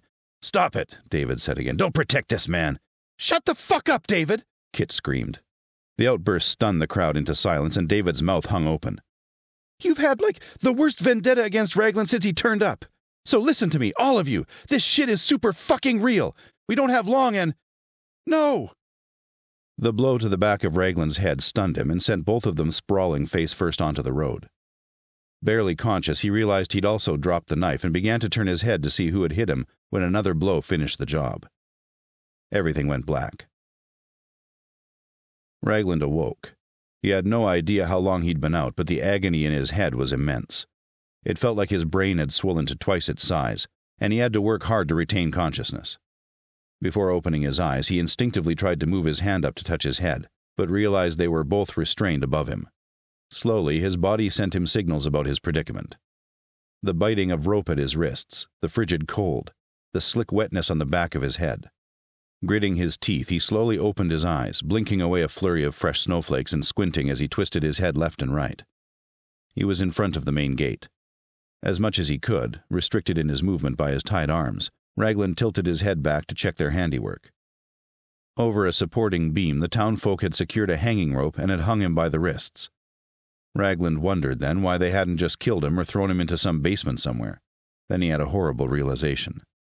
They were going to use him as bait or a warning. If he was telling a lie, he would continue to hang and die within a day from exposure. If he was telling the truth, he would be the first to be killed. He wriggled and decided to try and turn himself. His feet were also tied at the ankles, but he found that if he extended them as far as possible, the toe of his boots just found purchase on the ground. As luck would have it, he had full mobility to spin, but was simply met by the wooden surface of the gate inches from his face. He turned back again and noticed a figure a short distance away, hands in their pockets, watching him. It was David. Well done, Raglan said. You've just killed your town. Does your dick feel big yet? The forced chuckle introduced him to new agony as sharp pain lanced his ribs. He groaned loudly, twisting in his bonds. This drew a laugh from David. The folk did a real number on you, Gramps. Deserved more, but Marley said we'd made our point. Raglan believed him. Now more awake, his body felt beat to hell. Look, David, I don't give a shit if you hate me, but just arm your people and get them ready. These cannibals aren't going to come knocking politely. Shh. David walked up to Raglan and pulled down on his legs.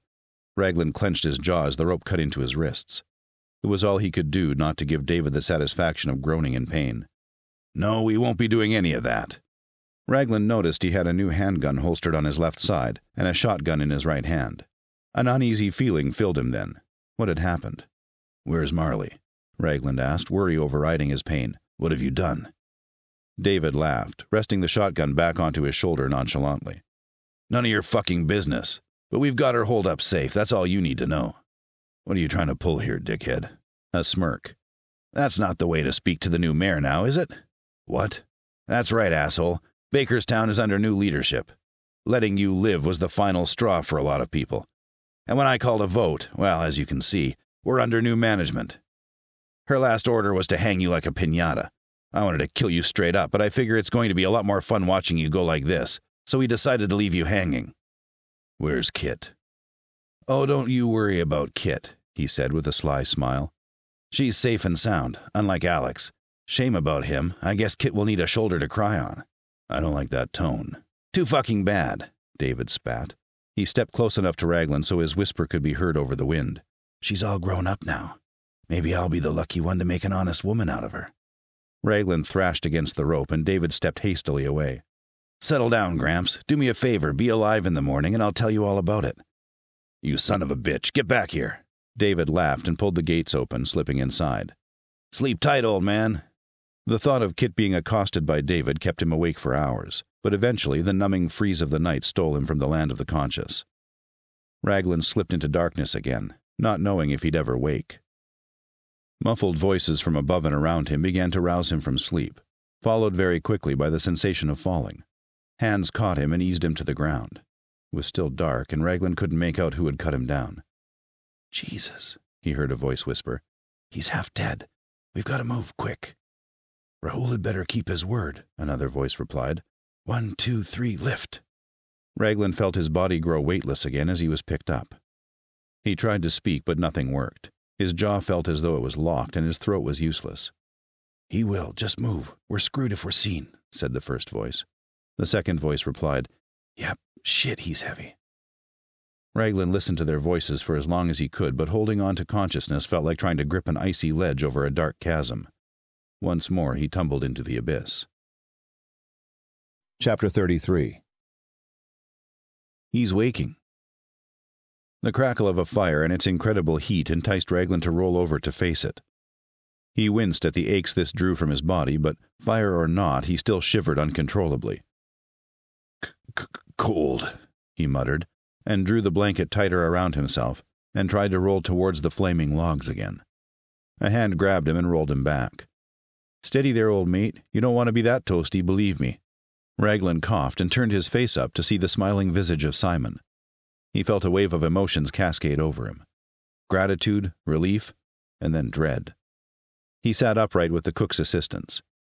His head throbbed and his body was crying for rest, but rest would have to wait. Lamplight and the roaring fire illuminated a few dozen faces. Townsfolk, crammed into what looked like a small living room, were resting on sofa arms, the edges of tables, and even on the floor. All eyes were fixed on him. What's going on? Raglan asked. He shifted in an attempt to get to his numb feet, but gave up quickly. How long had he been hanging in the cold? Raglan checked the windows and noticed a thick layer of snow along the windowsills. They had almost certainly saved his life. He was sure he wouldn't have survived another hour. A rebellion. It was Kit's voice. He looked around and she knelt by his side, putting a warm hand on his shoulder. David's gone too far. He forced a vote, but his goons had already threatened a lot of the people who would have voted for Marley. We're not backing a bully, and with your help, we'll focus on the cannibals, then deal with him. It wasn't the content of what she said that struck Raglan deeply, but the mature tone of it.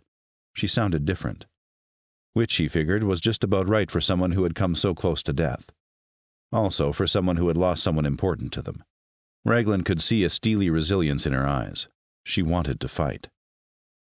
He cast his gaze around the room and recognized many of their faces. Simon was next to him, sitting on the floor. Elsewhere, he spotted Rahul, Viola, the couple from the florist shop, and a fair few more he'd worked with on the farm. Sang was there, too, and that was a big deal considering he was a part of David's group. He nodded to them. Thank you for saving me. How much time has passed since I was. Simon gripped his shoulder. Just a few hours. Any longer, and you'd have been. dead. The response came from Rahul, the stern looking blacksmith of the town who had been tough to align with. He trusted few, and Raglan recalled he'd failed to gain that before leaving. A stoic figure, Raglan gritted his teeth and rose to his feet. Reaching out to the equally tall man, he shook Rahul's hand. Last time I saw you, you were pointing a rifle at me. Thanks for not shooting. I'm guessing this is your place? Rahul didn't take his eyes off Raglan. His thick brows cast a deep shadow over his brown eyes. He nodded. Sorry about that. It was a mad rush to the gate when you and Kit showed up. Not much time for thinking, or I'm guessing Marley would have played it differently. Yeah, it's my place. Serves our purposes right now, I figure. So where's Marley? David has her under house arrest, Kit replied.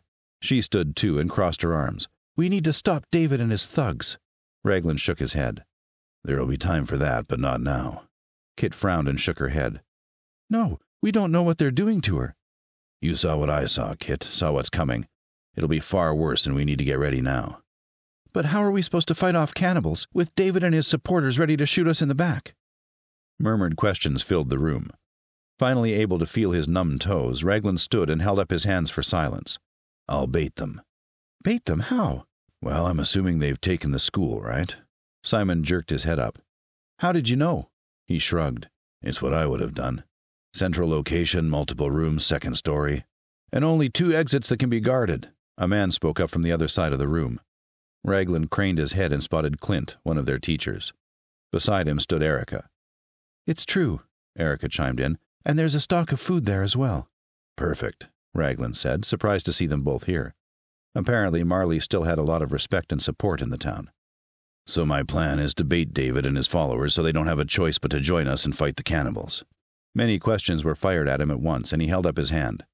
I'll show you. He turned to the fire, grabbed a few small ornaments from the mantelpiece, and began setting them on the floorboards. School, gate, stores. Everyone crowded in and stared down at his crude representation of Bakerstown.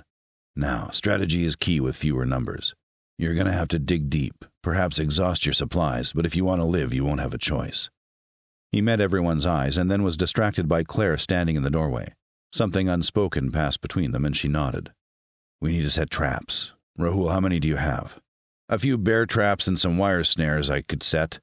With more time, I could have done pit traps too, but the ground is too hard anyway. Raglan nodded. Get everything you have. Set them in the grass in areas running along the main road from the gate. Once they breach the gate, we go medieval on their asses and pour fuel, kerosene, oil, basically anything flammable over them and light it up. In their panic to avoid the fire, they'll branch out to the flanks, which is where the traps will come into play. Nods of approval met his plan, but Rahul held up a finger. We still don't have nearly enough for the numbers you spoke of. Not for 200. Sorry, old man. Raglan smiled. We won't need 200, but everything that can thin their numbers and make life uncomfortable for them is valuable. Now we need archers and shooters on the roofs on either side of the avenue. Start firing as soon as they are past the fire. Between the fire, the traps, and the shooters, we should have them reeling. To top it off, we need people inside the buildings that line the street with any weapons they can get their hands on to clean up stragglers looking to flank hard on either side. Our objective here is to bottleneck and hopefully do enough damage to turn them on their heels. I need one person stationed about half a mile down the road. If I've judged it right, that army will be knocking on the gates within two hours. And we need a signal to know when they're close. Sang, can you do that? Sure, what signal? Raglan pondered this for a moment. A gunshot? No, said Rahul. I have an old flare gun that'll do the job. Really? Okay, even better. What about you? Simon inquired. I'll be here, Raglan said, and pointed at a space between an upturned cup representing the school and the line of items representing the buildings on Main Avenue. I will set myself across the way from the school, and when we see the signal, I'll bait David and the others across into Main Avenue, and lead them towards the gate. If we time it right, they'll have no option but to join our fight. I'm coming with you, said Kit. No, it's too dangerous. Exactly. If you bait them, what exactly is going to stop David or one of his goons from just shooting you? I'll be able to outrun a bullet? Put up a hand and stop it? She crossed her arms. No, I'm coming with you, and I'll be sticking real close. He's mean and dumb, but even David's not stupid enough to risk shooting me. He saw there was no arguing with her, and the idea actually made sense. Fine, but you'll do everything I tell you when I tell you. Sure thing, Gramps, Kit said with a mischievous smile. People whispered amongst themselves. Fingers pointed at the representation of Bakerstown. Raglan's eyes met with a few who looked vaguely confident, but most of them were just plain terrified. The heat of the fire at his back had done wonders to thaw out his joints. He rubbed his hands together. We have to get moving now. Simon, get the fuel and set up the trap and the gate. Rahul, get the traps placed. Viola? You called, dearest? Raglan smirked. Sure did. If anyone can rally people together for their positions on either side of the avenue, it'll be you. If you think he can be trusted, you should warn your brother Travis and tell him to watch for the flare. Only if you think he can be trusted not to spill his guts to David, though. She nodded gravely. All right, come on, everyone, let's get to it. Come on. Rahul's small house filled with the scutter of feet as people dispersed, readying themselves for what Raglan felt would be a bloody battle. Most of them didn't know it yet, but they were about to face the biggest test of their lives. He looked back down at the representation of the town, checking to see if he had missed anything, when Rahul handed him a 12 gauge shotgun that looked like it was fresh out of the box, along with a box of shells. Here, he said. I've been saving it for a rainy day. He paused. Or snowy. Kit sidled up to them and admired it. Wow, Rahul, this is like the prettiest thing I've seen. Did you give it a name? No. Raglan pumped it just to ensure the chamber remained empty. He trusted Rahul, but he'd promised himself a long time ago to be almost religious with his gun etiquette. Very nice. Hope you don't need it, but when you're done, I'd like her back. I'm attached to the old girl.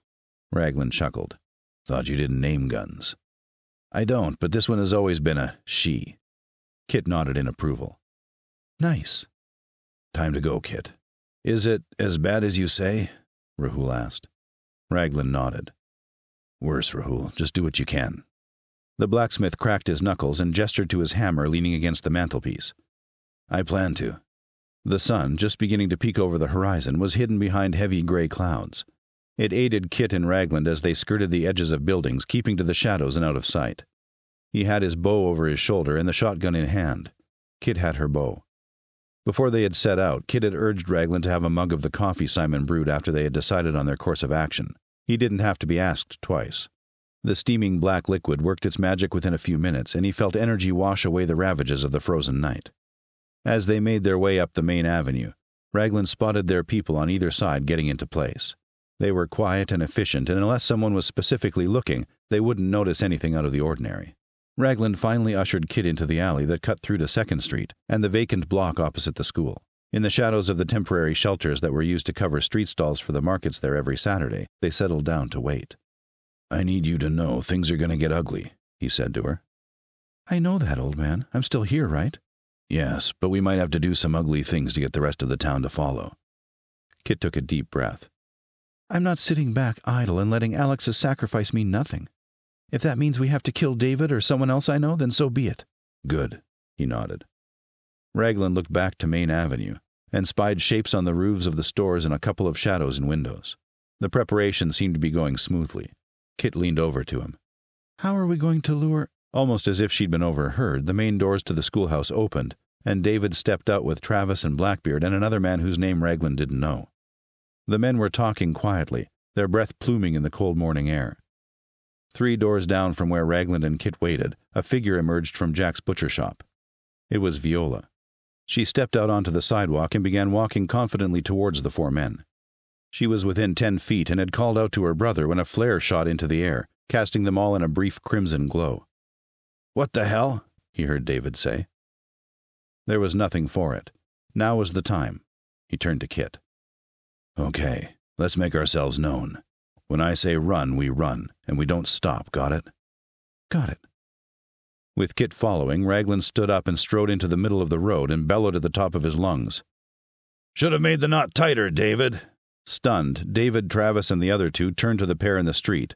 Then David began fumbling for his pistol. Raglan raised his shotgun and Kit her bow, an arrow nocked in at the ready. The school door opened, and more of the townsfolk spilled out, all holding weapons and curious about the commotion.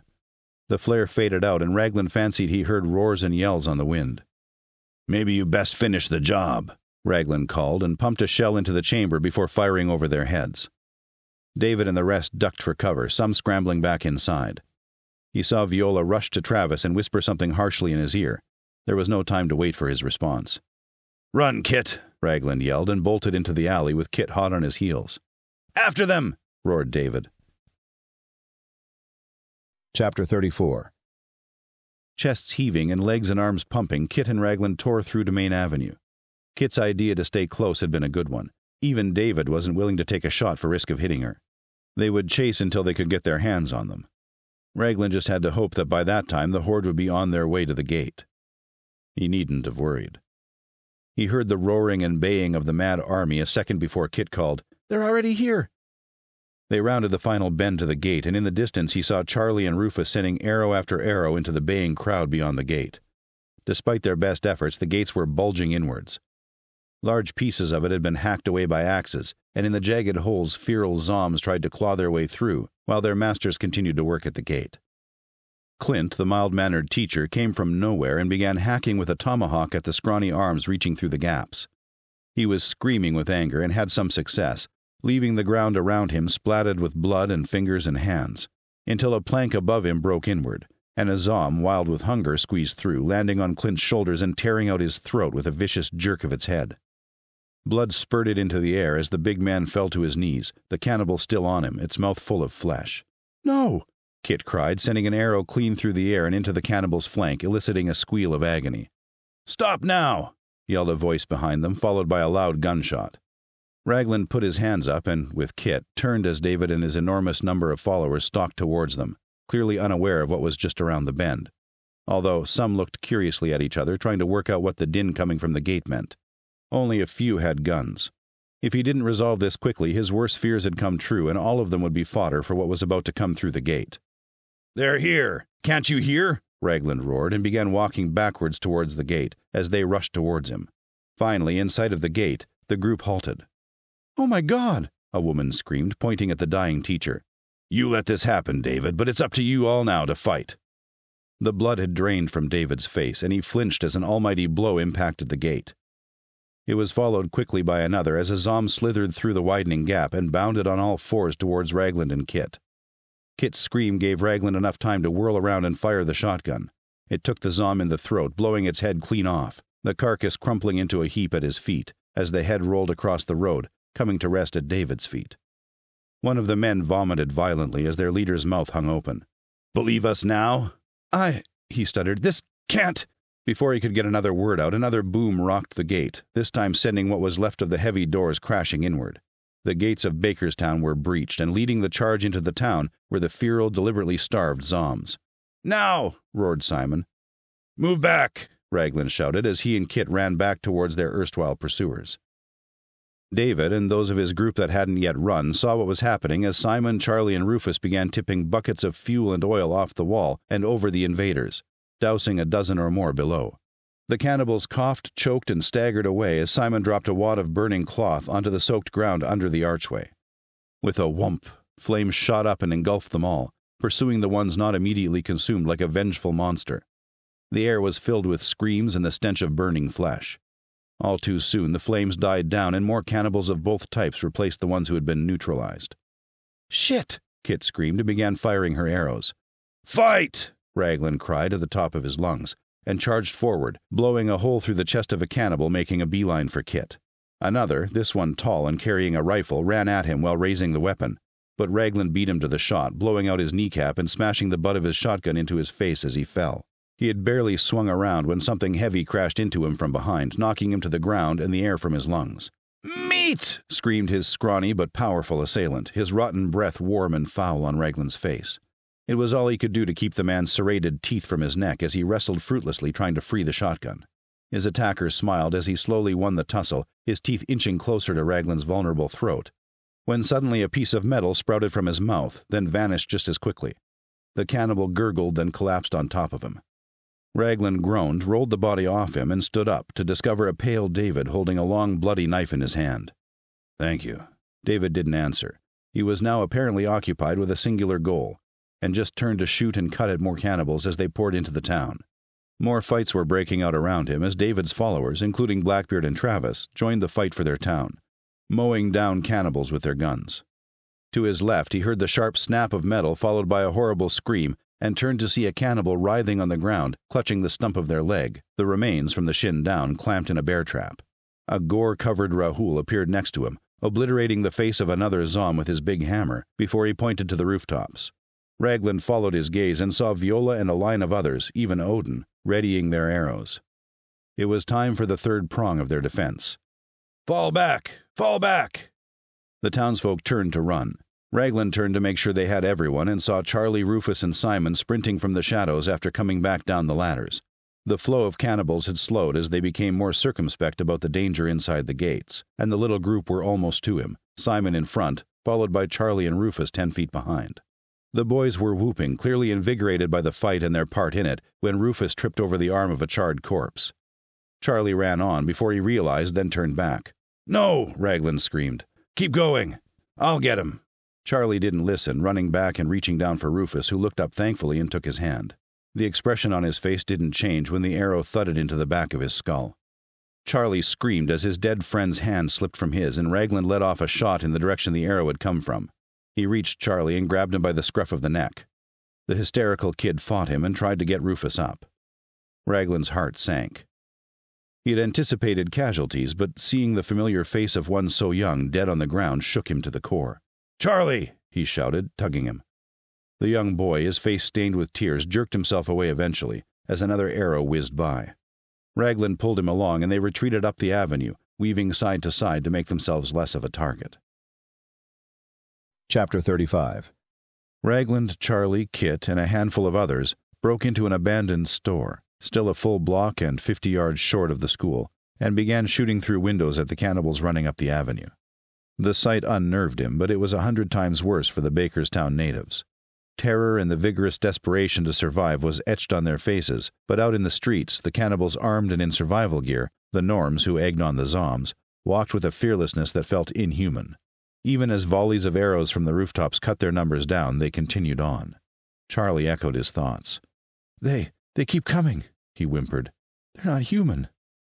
They are, Raglan replied as he blew away a Zom who strayed too near to the building. And they die like humans. There was a scream from a building opposite as a group of Norms kicked down the door. Kit took one with an arrow between the shoulder blades, but the other three entered and more screams ensued. A body crashed to the road and lay still on the sidewalk like a rag doll, its head at an unnatural angle. It was Jenny, the archivist. There were cries of horror from the people around him. Raglan turned to Kit, who was ghostly pale, her eyes furtive and wild. The death of Jenny inspired fierce gunfire from the other locals on the rooftops and a handful still on the street, including David and Rahul. The blacksmith swung his hammer like a demon, caving in the heads of any dumb or careless enough to come within range. Momentarily, the enemy was pushed back. We have to get to the school. Are you all ready? Most of them nodded. Then let's go. Keep low, follow me. At the back of the store, he knocked open the door, and the small band fled down the back alleyway to a vacant lot that was now used as a marketplace each Saturday. They sheltered under the rickety canvas covered stalls while Raglan surveyed their next move. A lone Zom cannibal appeared ahead, and Raglan dropped it with an arrow into the eye. No more appeared. Go! Raglan led the way, plucking the arrow from the corpse as he went and nocking it again as they emerged on Second Street.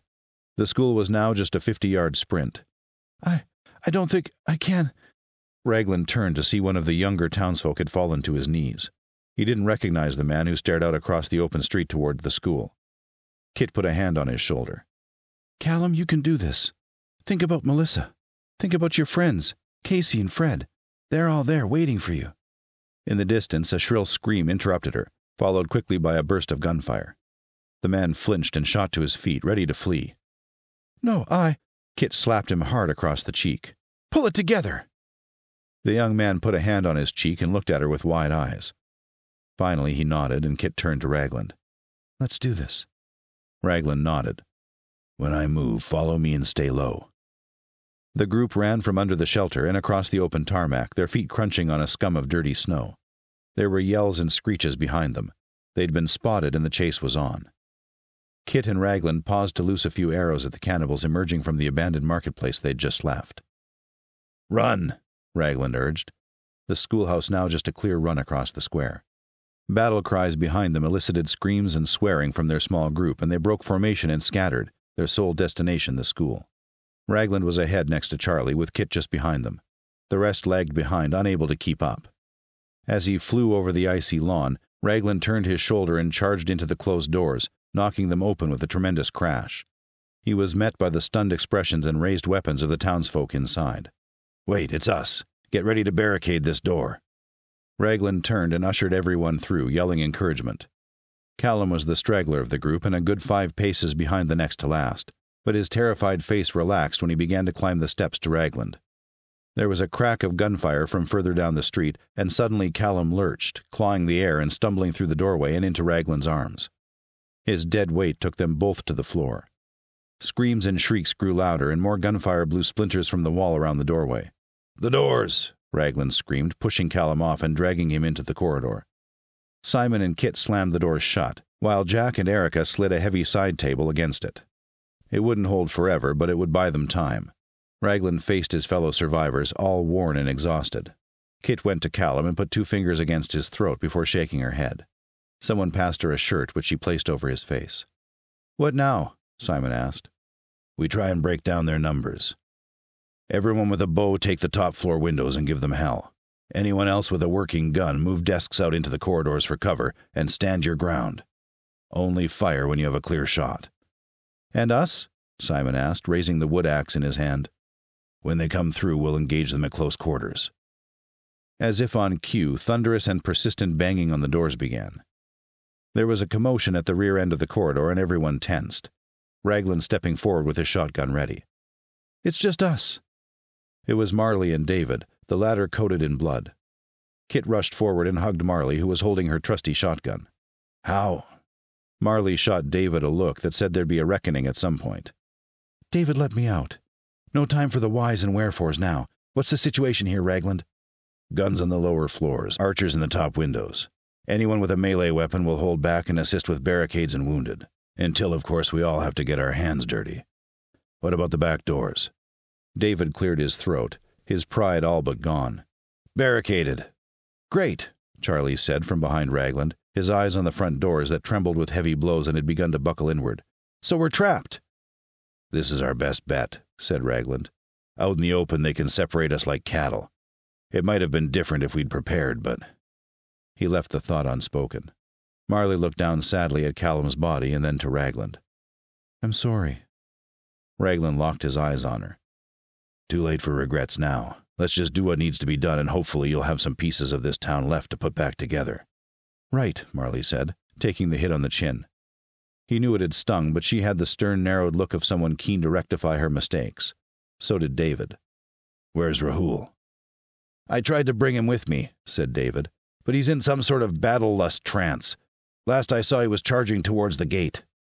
Behind them, there was a loud crack, and the doors pushed inwards a little.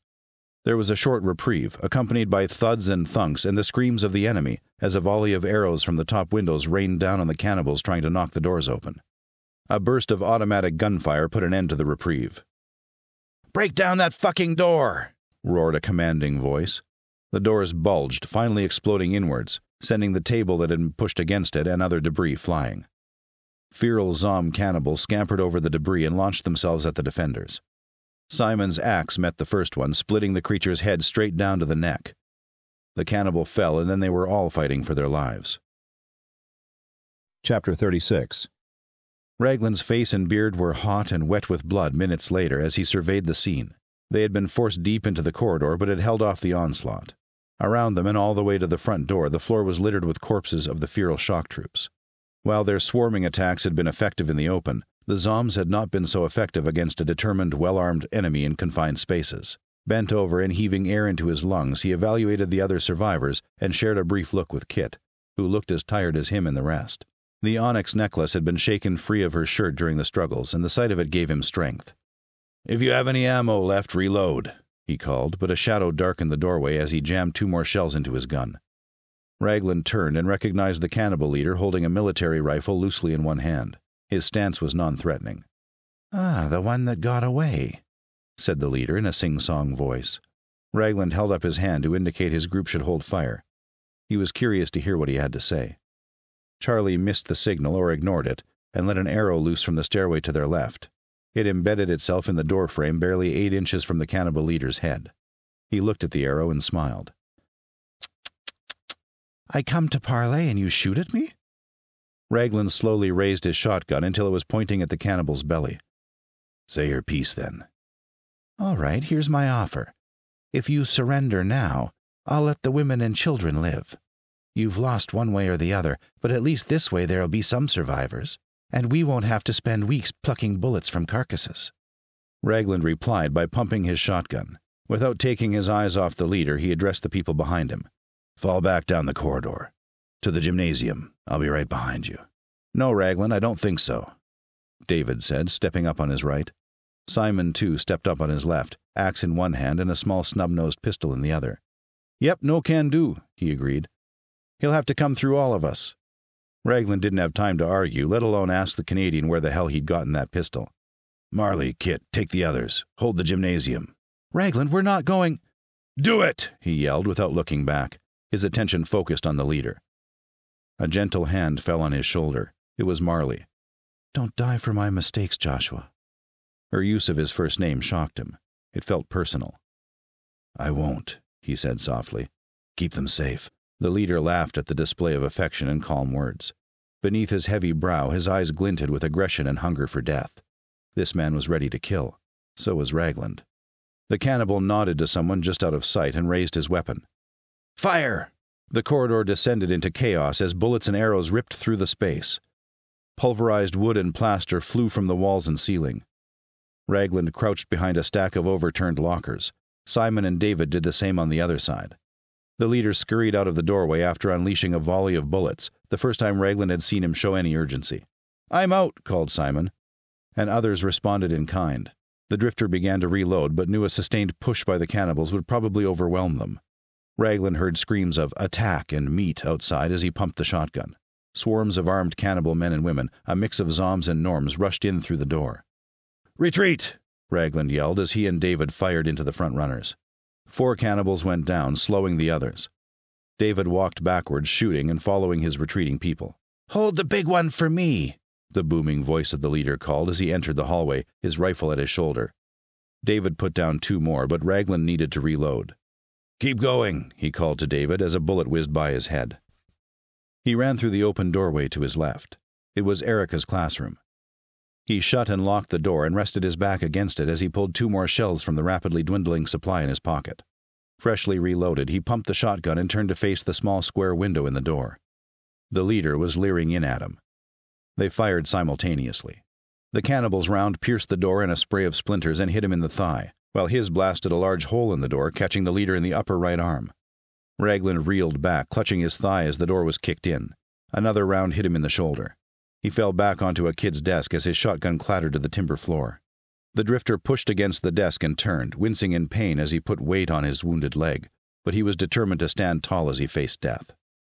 The pentagram carved into the leader's forehead stood out starkly against his pale, pained face. His right arm was a bloody mess, but he had switched the rifle to his left and held it one handed, finger on the trigger. Raglan stared defiantly at the cannibal, who forced a smile as he aimed the barrel of the weapon at his face. The dry click of the empty magazine saw the smile fade as quickly as it had appeared, and with the reprieve, Raglan lunged at him. The cannibal leader could do little to avoid Raglan, but managed to raise his knee and bury it into his side, knocking the wind out of him. They fell to the floor, with the leader managing to roll on top of Raglan, bringing his rifle around and jamming the still warm barrel against his throat, pressing it down with his good hand and the elbow of his mangled arm. Blood splattered Raglan as he attempted to push the weapon off his throat with his good arm. It was no use. The cannibal had the ascendancy, and his two wounds meant Raglan didn't have the strength to fight him off. Black motes began to swim in his vision as his eyeballs bulged. The gunmetal slowly crushed his larynx. The leader's eyes glared at him, ravenous and determined, his blood-stained, sharpened teeth bared by his rictus sneer. Oh, yes, said the cannibal as he saw the light in his victim's eyes begin to fade. I'm going to enjoy eating your girl. The one you care for. So young, so lean. She'll be a meal to savor. Rage ignited in Raglan's fading consciousness. With a supreme effort, he rolled his hips, slightly unbalancing the cannibal, and smashed his knee up between his legs. The leader screamed, and the pressure on his throat eased. Seizing the moment, Raglan reached up, put a big hand over the back of the cannibal's head, and pulled it down as he propelled his own head upward, his forehead savagely meeting it. The cannibal's nose shattered with a loud crunch, and he fell off Raglan, clutching his face, blood pouring through his fingers. The drifter clambered to his feet, his head reeling, and took a moment to steady himself.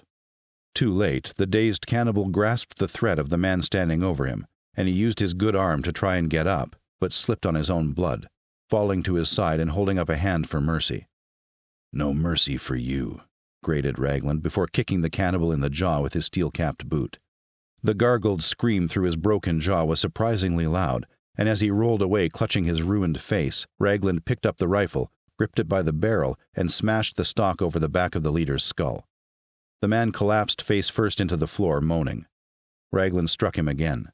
The moaning stopped, then again and again and again, until the man's head was an unrecognizable pulpy mess. Raglan stopped finally, then leaned on the bloody rifle, heaving deep breaths, wiping sweat and blood from his eyes. Distant screams and a gunshot sent a shot of adrenaline through him. Kit. Unarmed except for his knife, drained of energy and wounded, Raglan staggered down the blood soaked corridor to the rear of the school and the gymnasium. Bodies and parts were strewn everywhere. Most of the dead were cannibals, but a well of sadness opened when he saw the butcher, Jack, dead with a meat cleaver embedded in his chest. Next to him lay a girl he didn't recognize, missing an arm. Bastards. The heavy double doors to the gymnasium were closed, and a skinny cannibal, naked from the waist up with a badly broken leg, was struggling to push them open. Raglan stepped up to him, put the knife against the back of his neck, and slid it between the wretch's C3 and C4 vertebrae. He fell to the floor without so much as a sigh, and the drifter put his good shoulder against the doors and pushed, struggling to move the dead weight behind it. He fell through the opening onto the dead bodies of the fallen cannibals and locals, then struggled to his feet as he took in the scene before him. Up in the bleachers, he saw Viola, her face drained and holding her bloody side. Next to her, David aimed at the small crowd on the floor of the gym, trying to get a clear shot. Raglan followed his gaze and saw a stunning sight.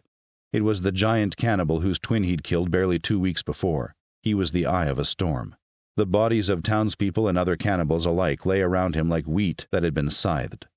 In one hand, he wielded a baseball bat wrapped tightly in barbed wire, in the other, an axe.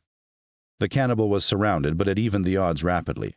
Near the basketball hoop, Raglan spied Kit, who, like David, was trying to get a shot with what looked to be her last arrow. Closer in was Marley, who swung an inadequate broomstick bravely but ineffectually.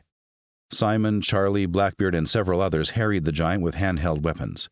Give me a shot! Kit yelled. But the remaining defenders darting this way and that to stay out of his long reach meant it was all but impossible. Simon, to the giant's left, ducked beneath a swinging blow of his axe and lunged, burying his own small axe into the giant's left arm. The cannibal howled and swung the bat at the already retreating cook, striking him hard in the chest and sending him soaring and crashing into the front row seats. No! Raglan cried. Everyone froze and looked over at him as his wounded leg gave way. The cannibal shot him a shark's grin. Ah, it's you again. Fight gone out of you, eh? I will enjoy this. The words weren't quite out of his mouth when Blackbeard, taking advantage of the distraction, darted in, slashing his knife at the cannibal's lower back. The cannibal dodged it and turned, and with a downward swing of his axe cleaved David's lieutenant's head open to the bridge of his nose. The big Bakerstown local collapsed to the floor, his dead weight pulling the axe handle from the giant's grip. Blackbeard's gruesome sacrifice gave Kit the opening she needed, and she released her arrow. It whistled through the air and struck the cannibal just below his left shoulder blade. He shrieked and spun around, pawing at the arrow as he looked for his tormentor. He saw Kit and forgot about the arrow. You, he growled. I'll eat you alive. Kit let her bow fall from her shoulder and pulled a knife from her boot as he charged. Marley tried to block him, but he palmed her away, sending her hard onto her back and skidding over the polished floorboards, now slick with blood. Kit! Raglan gasped, watching on helplessly. The giant swung the deadly bat in a big overhanded arc but the nimble girl evaded it, stepping lightly to the side. The giant swung again and she ducked away, the base of the bat missing her face by a mere inch. David attempted another shot from the bleachers but missed, and the giant swung again and again, becoming frustrated at the elusive girl. Clearly tiring with the effort, Raglan saw blood dripping from his mouth and knew the arrow deep in his back had almost certainly pierced a lung. Then, with a final lunge, Kit ducked under another wild swing of the bat, and with a move Raglan had shown her, stepped in close to his unprotected flank and buried her knife to the hilt just under the giant's ribcage. Like quickfire, she pulled it free and danced away, slicing his thigh as she went. David, Marley, Raglan, and the rest watched in awe as the gigantic cannibal fell to one knee, clutching the open wound in his belly. He lifted the bat one more time and swung weakly at his tiny tormentor. He missed, and as he tried to catch his balance, Kit darted in and with a wicked full armed swing sliced the man's throat open. Kit rolled away from him as he dropped the bat and clutched at the mortal wound, the blood pouring from the wide gash and already pooling in a red lake beneath him. Five seconds later, like a felled oak, he crashed face first onto the floor and didn't move again. Kit stood panting, her hands shaking as the adrenaline began to wear off, and looked over to the drifter where he lay prone on the bodies of the dead. Raglan! she cried, and ran towards him. She was only three feet away when a hand surfaced from the pile of bodies and grabbed her ankle. Her mouth was a perfect O of surprise as she fell, and the concealed cannibal lunged and grabbed her hair, ripping her head back to expose her throat. Raglan saw the glint of a blade in its hand. Kit flinched, but suddenly the cannibal squawked briefly and fell onto her, his eyes lifeless. There was an arrow embedded in the back of his skull. Confused, she turned to the doors, as did the quickly fading Raglan and the rest of the survivors. Alex, one side of his scalp and face coated in blood, but looking as alive as she could ever remember, lowered his bow and looked around, slowly taking in the carnage. Alex! Kit screamed as she clambered out from under the cannibal and rushed over to him, nearly knocking him off his feet. Did I miss much? He said, smiling and rubbing her back. A whole lot, she said, pulling away and looking into his face. But I can't fault your timing. Raglan grinned through the pain, as far as surprised went, it didn't get much better than Alex appearing alive and well in time to save his love. He began to climb to his feet again when a wave of nausea knocked him back on his haunches. Shit, Raglan! Kit, with Alex trailing her, rushed over to him. She knelt at Raglan's side, quickly inspecting his wounds. We need to find Claire, she cried. He's been shot. I saw her down the street. She and a few others are helping the wounded. The cannibals? Raglan gasped. Dead or fleeing. The fight went out of them when one came out screaming about the leader being dead. Raglan nodded. I'll get Claire, he said, and gently squeezed Raglan's shoulder. It's good to see you again, old man. His mouth opened to speak, but instead his eyeballs rolled up in his head. He's passed out, hurry, said Kit. Raglan drifted out of unconsciousness once. The world was swaying gently, and Claire's beautiful face hovered above his. Well done, cowboy. We've got you now, she said with a smile before everything faded to black again. Chapter 37 Raglan sat on the wooden porch outside Marley's house, soaking in the afternoon sun. It was a clear day, but the faint smell of smoke tickled his nostrils. He ached all over, and the bandages over and around his wounds pinched. Both hands were wrapped tight around a mug of coffee, and he sipped the scalding black liquid gingerly. Footsteps creaked behind him. Morning, sunshine. Touch and go yesterday. How are you feeling now? Marley sat down beside Raglan on the bench and took a sip of her own coffee. You reckon this is the last of Simon's batch? Raglan asked, deflecting. Probably, she said. Shame. How is he? Bruised and punctured. Two broken ribs, according to Claire. And he needed some stitches where the barbed wire tore his skin. Raglan shook his head. Must be a tough bastard. That would have killed a lesser man. What about you? That was quite the hit you took. Marley lifted a thigh and patted her rump. Lucky I have plenty of padding. Just a bump on my head. This drew a chuckle from Raglan, and he realized it was the first time he'd laughed in at least a week. The two settled into an easy silence. After a few minutes, Marley put a hand on his leg. I owe you, we owe you a debt, Raglan, and an apology. You were right all along, and I was stupid to think we could negotiate our way out of a fight. We'll never be able to repay you. He shook his head. No need. I mean it. I want to repay you. He sighed and looked down into the black liquid as he swirled it gently. Just rebuild. Live like you have been, but be ready. We don't live in an ideal world anymore, no matter how much time goes by and makes you think it's okay. There's death around every corner. You need to lead your people through it and not bury your head in the sand. Well, the thing is, she said, I don't see the town accepting me as leader again. They followed me all these years, put their lives in my hands, but my failure to see the danger of the cannibals and letting David pull the wool over my eyes means I lost their faith. David agreed to step down so there can be another proper vote in a month. But how can I rebuild that trust before then? One day at a time. He took a deeper swig of his coffee, turned, and was shocked to see tears falling down the mayor's face. I was so desperate to believe the world outside didn't exist any more. Then I came knocking to remind you, Raglan replied grimly. Don't blame yourself for wishing the world a better place. What's done is done. I suppose. They won't forgive quickly, nor will they forget, but if you're patient and follow your common sense, you will win them back.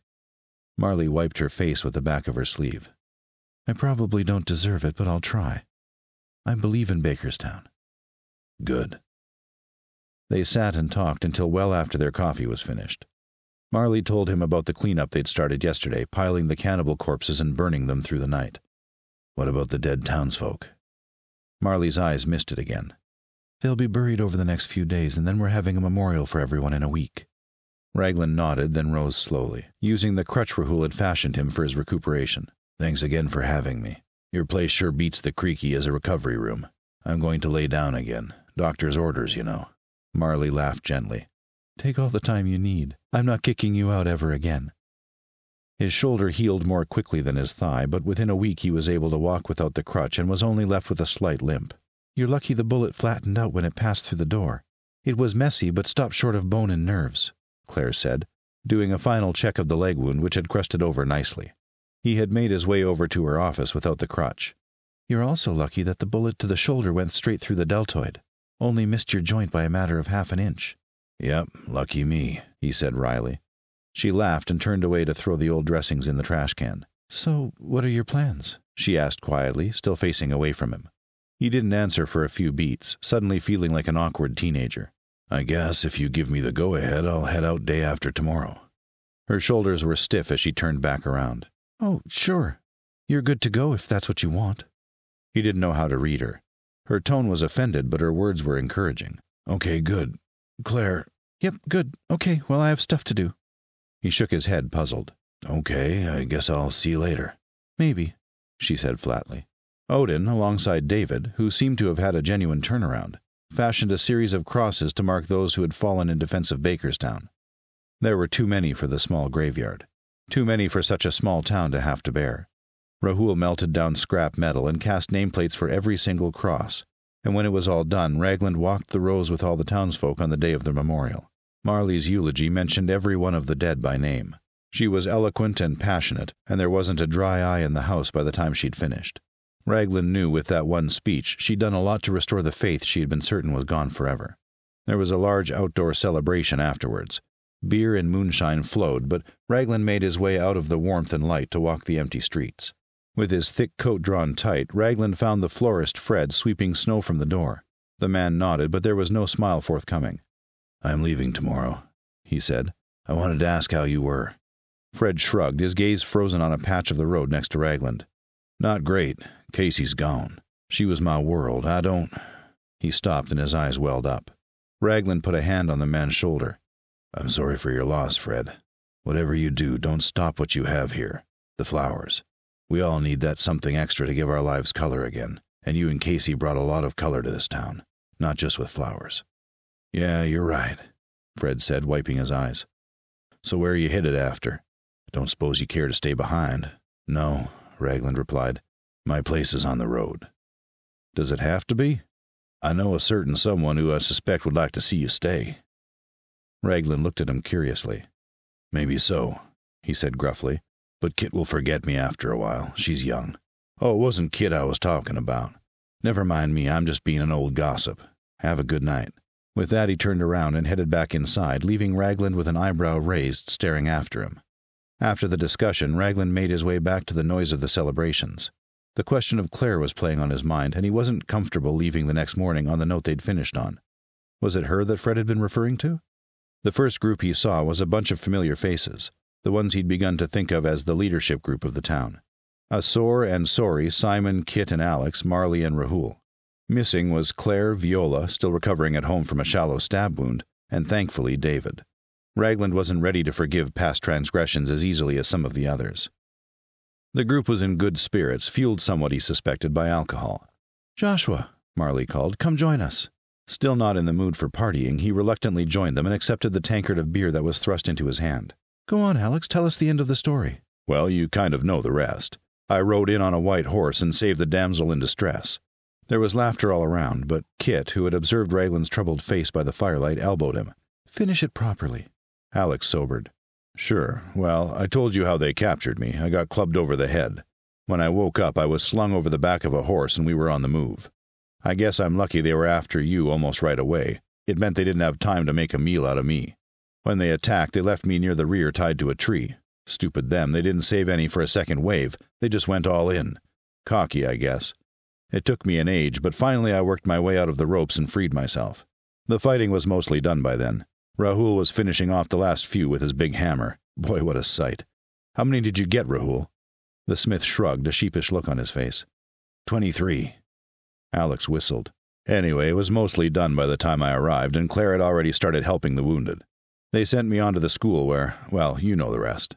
They fell into easy chat after that, the swapping of war stories essential to processing the trauma they'd all suffered. So, said Marley finally, it's late and I think it's time we wrap this up. Joshua, are you sure you won't stay? He stared into the fire for nearly a full minute as their eyes fell on him. You aren't stroking out on me, are you, Gramps? asked Kit. He smiled. No, thanks for the offer, but I'll be moving on tomorrow, and this time it'll be for good. There was movement beyond the circle of the fire, and Raglan looked up in time to see Claire walking away. Excuse me, he mumbled, and shot up from the log, heading after her. Claire, wait, please, he called, running to catch up to her. She stopped, but didn't turn around until he put a hand on her upper arm. So even after all this, you're still going? she asked. He nodded, then did something that shocked him as much as it did her. He pulled her into an embrace and kissed her. Even more surprising, she kissed him back. Long absent feelings rose inside him as they kissed, and when they finally parted, both panting for breath, he leaned his forehead against hers. Come with me. She pushed him gently away so she could look into his eyes. You know I can't. Why? I'm the town medic, the only one qualified. You stay. I can't. I'm a rambling man, Claire. I need to keep moving, but I want you by my side. In a stalemate, they stared at each other before Claire finally spoke. Tell you what. You go and ramble around the countryside. But I want you to come back in a year. In the meantime, I'll train someone up. Kit has expressed an interest, so maybe her. That'll give us both a year to think about what we want. If you are tired of your wandering and still want me, you stay.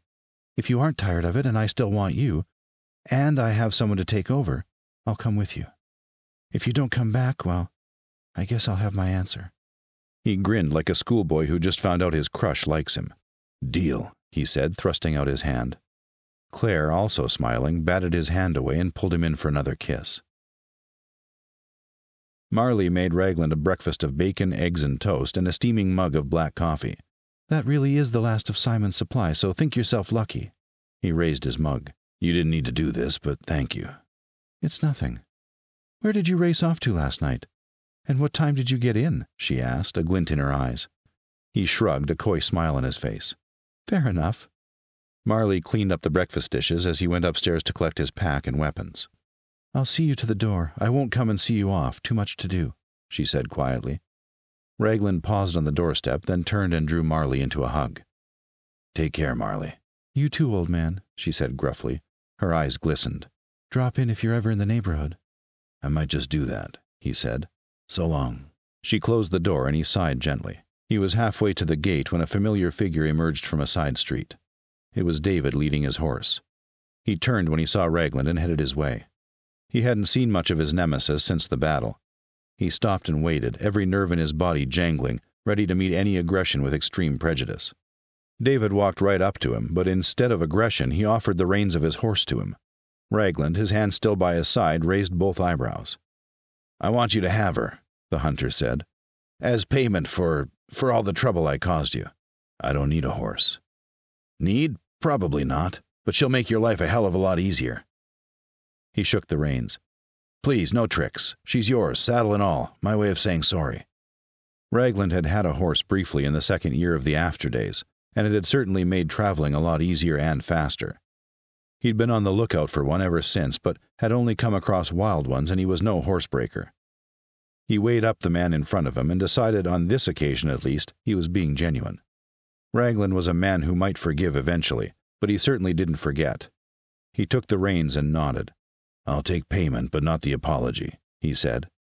Some things can't be made right with a sorry. He began to lead the horse away, calling over his shoulder as he went. What's her name? Reliable. Well, David, Reliable and I'll be back in a year. In the meantime, make things right with Marley. I don't want to have to kill you. He waited for a smart ass reply from David that didn't come. The Bakerstown local just stared after him, his face devoid of expression. At the gate, Raglan was provided with one last surprise. Nearly the whole town was congregated and clapping as he led Reliable down the last stretch of avenue to the gates that had been freshly repaired by Rahul Charlie and a few other willing hands. Raglan shook his head, blushing at the fuss, but waved anyway. At the gate, he paused in front of the core group minus Marley and Claire, but this time including Viola. There were more heartfelt goodbyes and hugs, Raglan wincing at a few misplaced claps on his still smarting shoulder. Thanks again, Viola, he said when he reached her. How are you feeling? Oh, I'm fine, she said, waving the question away and hugging him tightly. I'll miss you in the fields, old timer. You have a job any time you want to come back, you hear? He chuckled. I'll keep it in mind. Odin ducked out from behind her and grabbed Raglan's hand before he could move on. Odin, I wondered where you were, he said, returning the vigorous handshake. You look after Viola, okay? I will, Mr. Raglan. Alex and Kit were the last in the line, and he hugged Alex before reaching out to hug Kit. Not yet, Gramps, she said, pointing a thumb over her shoulder. I have a going away gift that I want to give you in private. She avoided his gaze and headed towards the gate without looking back to make sure he was following. He shrugged and gave the crowd one more wave, his eyes seeking out the one person who had said their goodbye the night before. He found Claire well back and standing apart from the crowd, with her arms folded. With a knowing smile, he gave a wave. She returned it with one of her own, and then turned and began walking back up the avenue. Raglan gave one more wave to the rest and began leading Reliable after Kit. Safe travels, Joshua Raglan, boomed Simon as he went through the gate. I'm going to walk you to the lodge, said Kit when he caught up to her. You don't have to. I want to. Okay, that would be nice, kid. There were no words between them the whole way, the kind of easy silence that only friends could share without feeling awkward, and certainly different to how it had been when they first met. Finally, the old road leveled out into a sweeping curve revealing the hunter's lodge. It looked like an old Christmas card, with snow packed on the cabin roof and smoke spiraling from the chimney. Kit led the way over the bridge and stopped on the other side, turning and waiting as Raglan and Reliable made their way across. Kit approached Raglan, her eyes set and purposeful as he pulled the horse to a halt. Open your hand. Raglan did as she asked and held out his right hand, palm up. Kit pulled something from her pocket and dropped it into his hand. It was the onyx necklace. He opened his mouth to protest, but she held up her hand. I don't need this any more, she said. It's done its job, but it's yours, and you'll need its protection now. Raglan stared down at the necklace, then back to Kit. She stood on tiptoes and kissed him on the cheek. When you look at it, it shouldn't remind you of loss. It should remind you of life, and that there's more to this than just surviving. He nodded, not trusting himself to speak as his eyes welled up. Kit smiled, wiping a tear away. This cold stings the eyes, huh? He laughed and pulled her into a bear hug. Stay safe, kid. I'll be seeing you. Raglan put his foot in the stirrup and heaved himself onto the saddle. You better, she called, as he shook the reins and began trotting away on his new steed. He looked over his shoulder with a grin. Count on it. Epilogue On a clear, sunny day six weeks later, Raglan halted Reliable beneath a peeling and weathered road sign. Welcome to New Hampshire. Live free or die. While he knew the motto of the Granite State predated the fall by many years, it was certainly prophetic. He didn't linger long. He wanted to find a suitable campsite and hunt while there was still light. Two hours and nine miles later, he was spit roasting a chicken of all things. He hadn't had chicken in what seemed like a hundred years, and the aroma of the cooking meat and skin made his mouth water. He'd set his camp 400 yards off the highway in a shallow glade and hadn't even bothered with his tent. Late in the afternoon, the day had turned overcast and the clouds bottled in the unseasonable warmth but didn't threaten rain. A light blanket would do for the night. He'd finished the chicken and buried what was left when he heard a sound on the wind. It was faint, but it sounded like a woman's laugh. It was as brief as it was unexpected, and Raglan cocked his head, trying to work out if he'd heard it or imagined it. A minute later, he was about to dismiss it as his imagination when he heard another sound, what could only be conversation. He quickly stamped out his fire and picked up his bow, darting into the trees and heading towards the highway he'd traveled that day. He didn't want trouble, but it always paid to know who one might be sharing the road with. He drew closer to the roadway and settled low in the shadows of the trees to observe. From the even tone of the quiet conversation, it appeared they hadn't spotted the smoke of his fire. Still, his heartbeat was fast as he waited for the group to appear. They did after another minute. It was a group of seven two men, three women, and two children, a boy and a girl. One of the men was wheeling a barrow, its inflated tires silent on the cracked tarmac. What a strange group to see traveling at night, Raglan thought to himself, but no threat. The thought had barely manifested when he felt a cold edge of steel pressed hard against his throat. I'm not going to hurt you, dude, said a low voice behind him, but I need you to put your hands behind your head nice and slow and interlace your fingers. Got it? Angry at the ease with which he'd been snuck up on, Raglan swallowed. There was no way out. Yet. Got it, he rasped before doing as he'd been ordered. Good. Now stand up slowly. Raglan obeyed, and when he was on his feet, his assailant pressed something hard into his back, then took the blade away. That's a 44 Magnum right over your spine. I won't use it unless you make me, understood? Raglan nodded. The man whistled loudly, and the conversation of the group stopped as they came to a halt and looked around expectantly. Okay, we're walking out onto the road, nice and easy the man said, and gave him a gentle shove between the shoulders. The eyes of the group fell on Raglan as he emerged with his captor. In their faces he saw only fear and mistrust, no aggression. That was a positive. Ten feet from the group, his captor clamped something hard over his shoulder, bringing him to a stop. Are you armed? Just my bow and a knife in my boot. Good. Slip the bow off and let it fall to the ground, the unseen man said, plucking the three arrows in his quiver free. This guy is careful. Raglan thought grudgingly, dropping his hand briefly to let the bow fall. Okay, with your left hand, pull out the knife holding the end of the handle with the tips of your finger and thumb, nice and slow, and drop it too. Raglan bent over and pulled out the knife handmade by Rahul many months before. When he was done, he put his hands back on his head. The muzzle against his back was removed, but the object on his shoulder was pressed down firmly as a big hand made quick work of patting him down. Suddenly, the pressure on his shoulder disappeared, and he heard the man step away. Okay, you can put your hands down now, but don't try anything. Raglan slowly lowered his hands as the man stepped around and came into view. His captor was an impressive sight, at least two inches taller than Raglan. He was big and lanky without being skinny. He had red hair and a darker beard. Over his shoulder, the drifter could see the well worn handle of an axe, and against his chest, in slits through a leather strap over his other shoulder, were three throwing knives. Moonlight glinted off the steel of the hook where the man's left hand should have been. You're an old one, the big man said, his eyes widening. What's your name? Raglan locked eyes with him. What's it matter? His stare was met evenly. I'm just being polite. That's why I didn't ask your age. The answer drew a grunt of real amusement from Raglan. Fair enough. My name's Joshua Raglan. Okay, Joshua Raglan. My name's Luke Merritt. Pleased to meet you. You've been listening to The Drifter Book 10 of the America Falls series, written by Scott Medbury and narrated by Mike Manz. If you're enjoying Scott's audiobook content, please like and subscribe. It's the best way to help out the channel.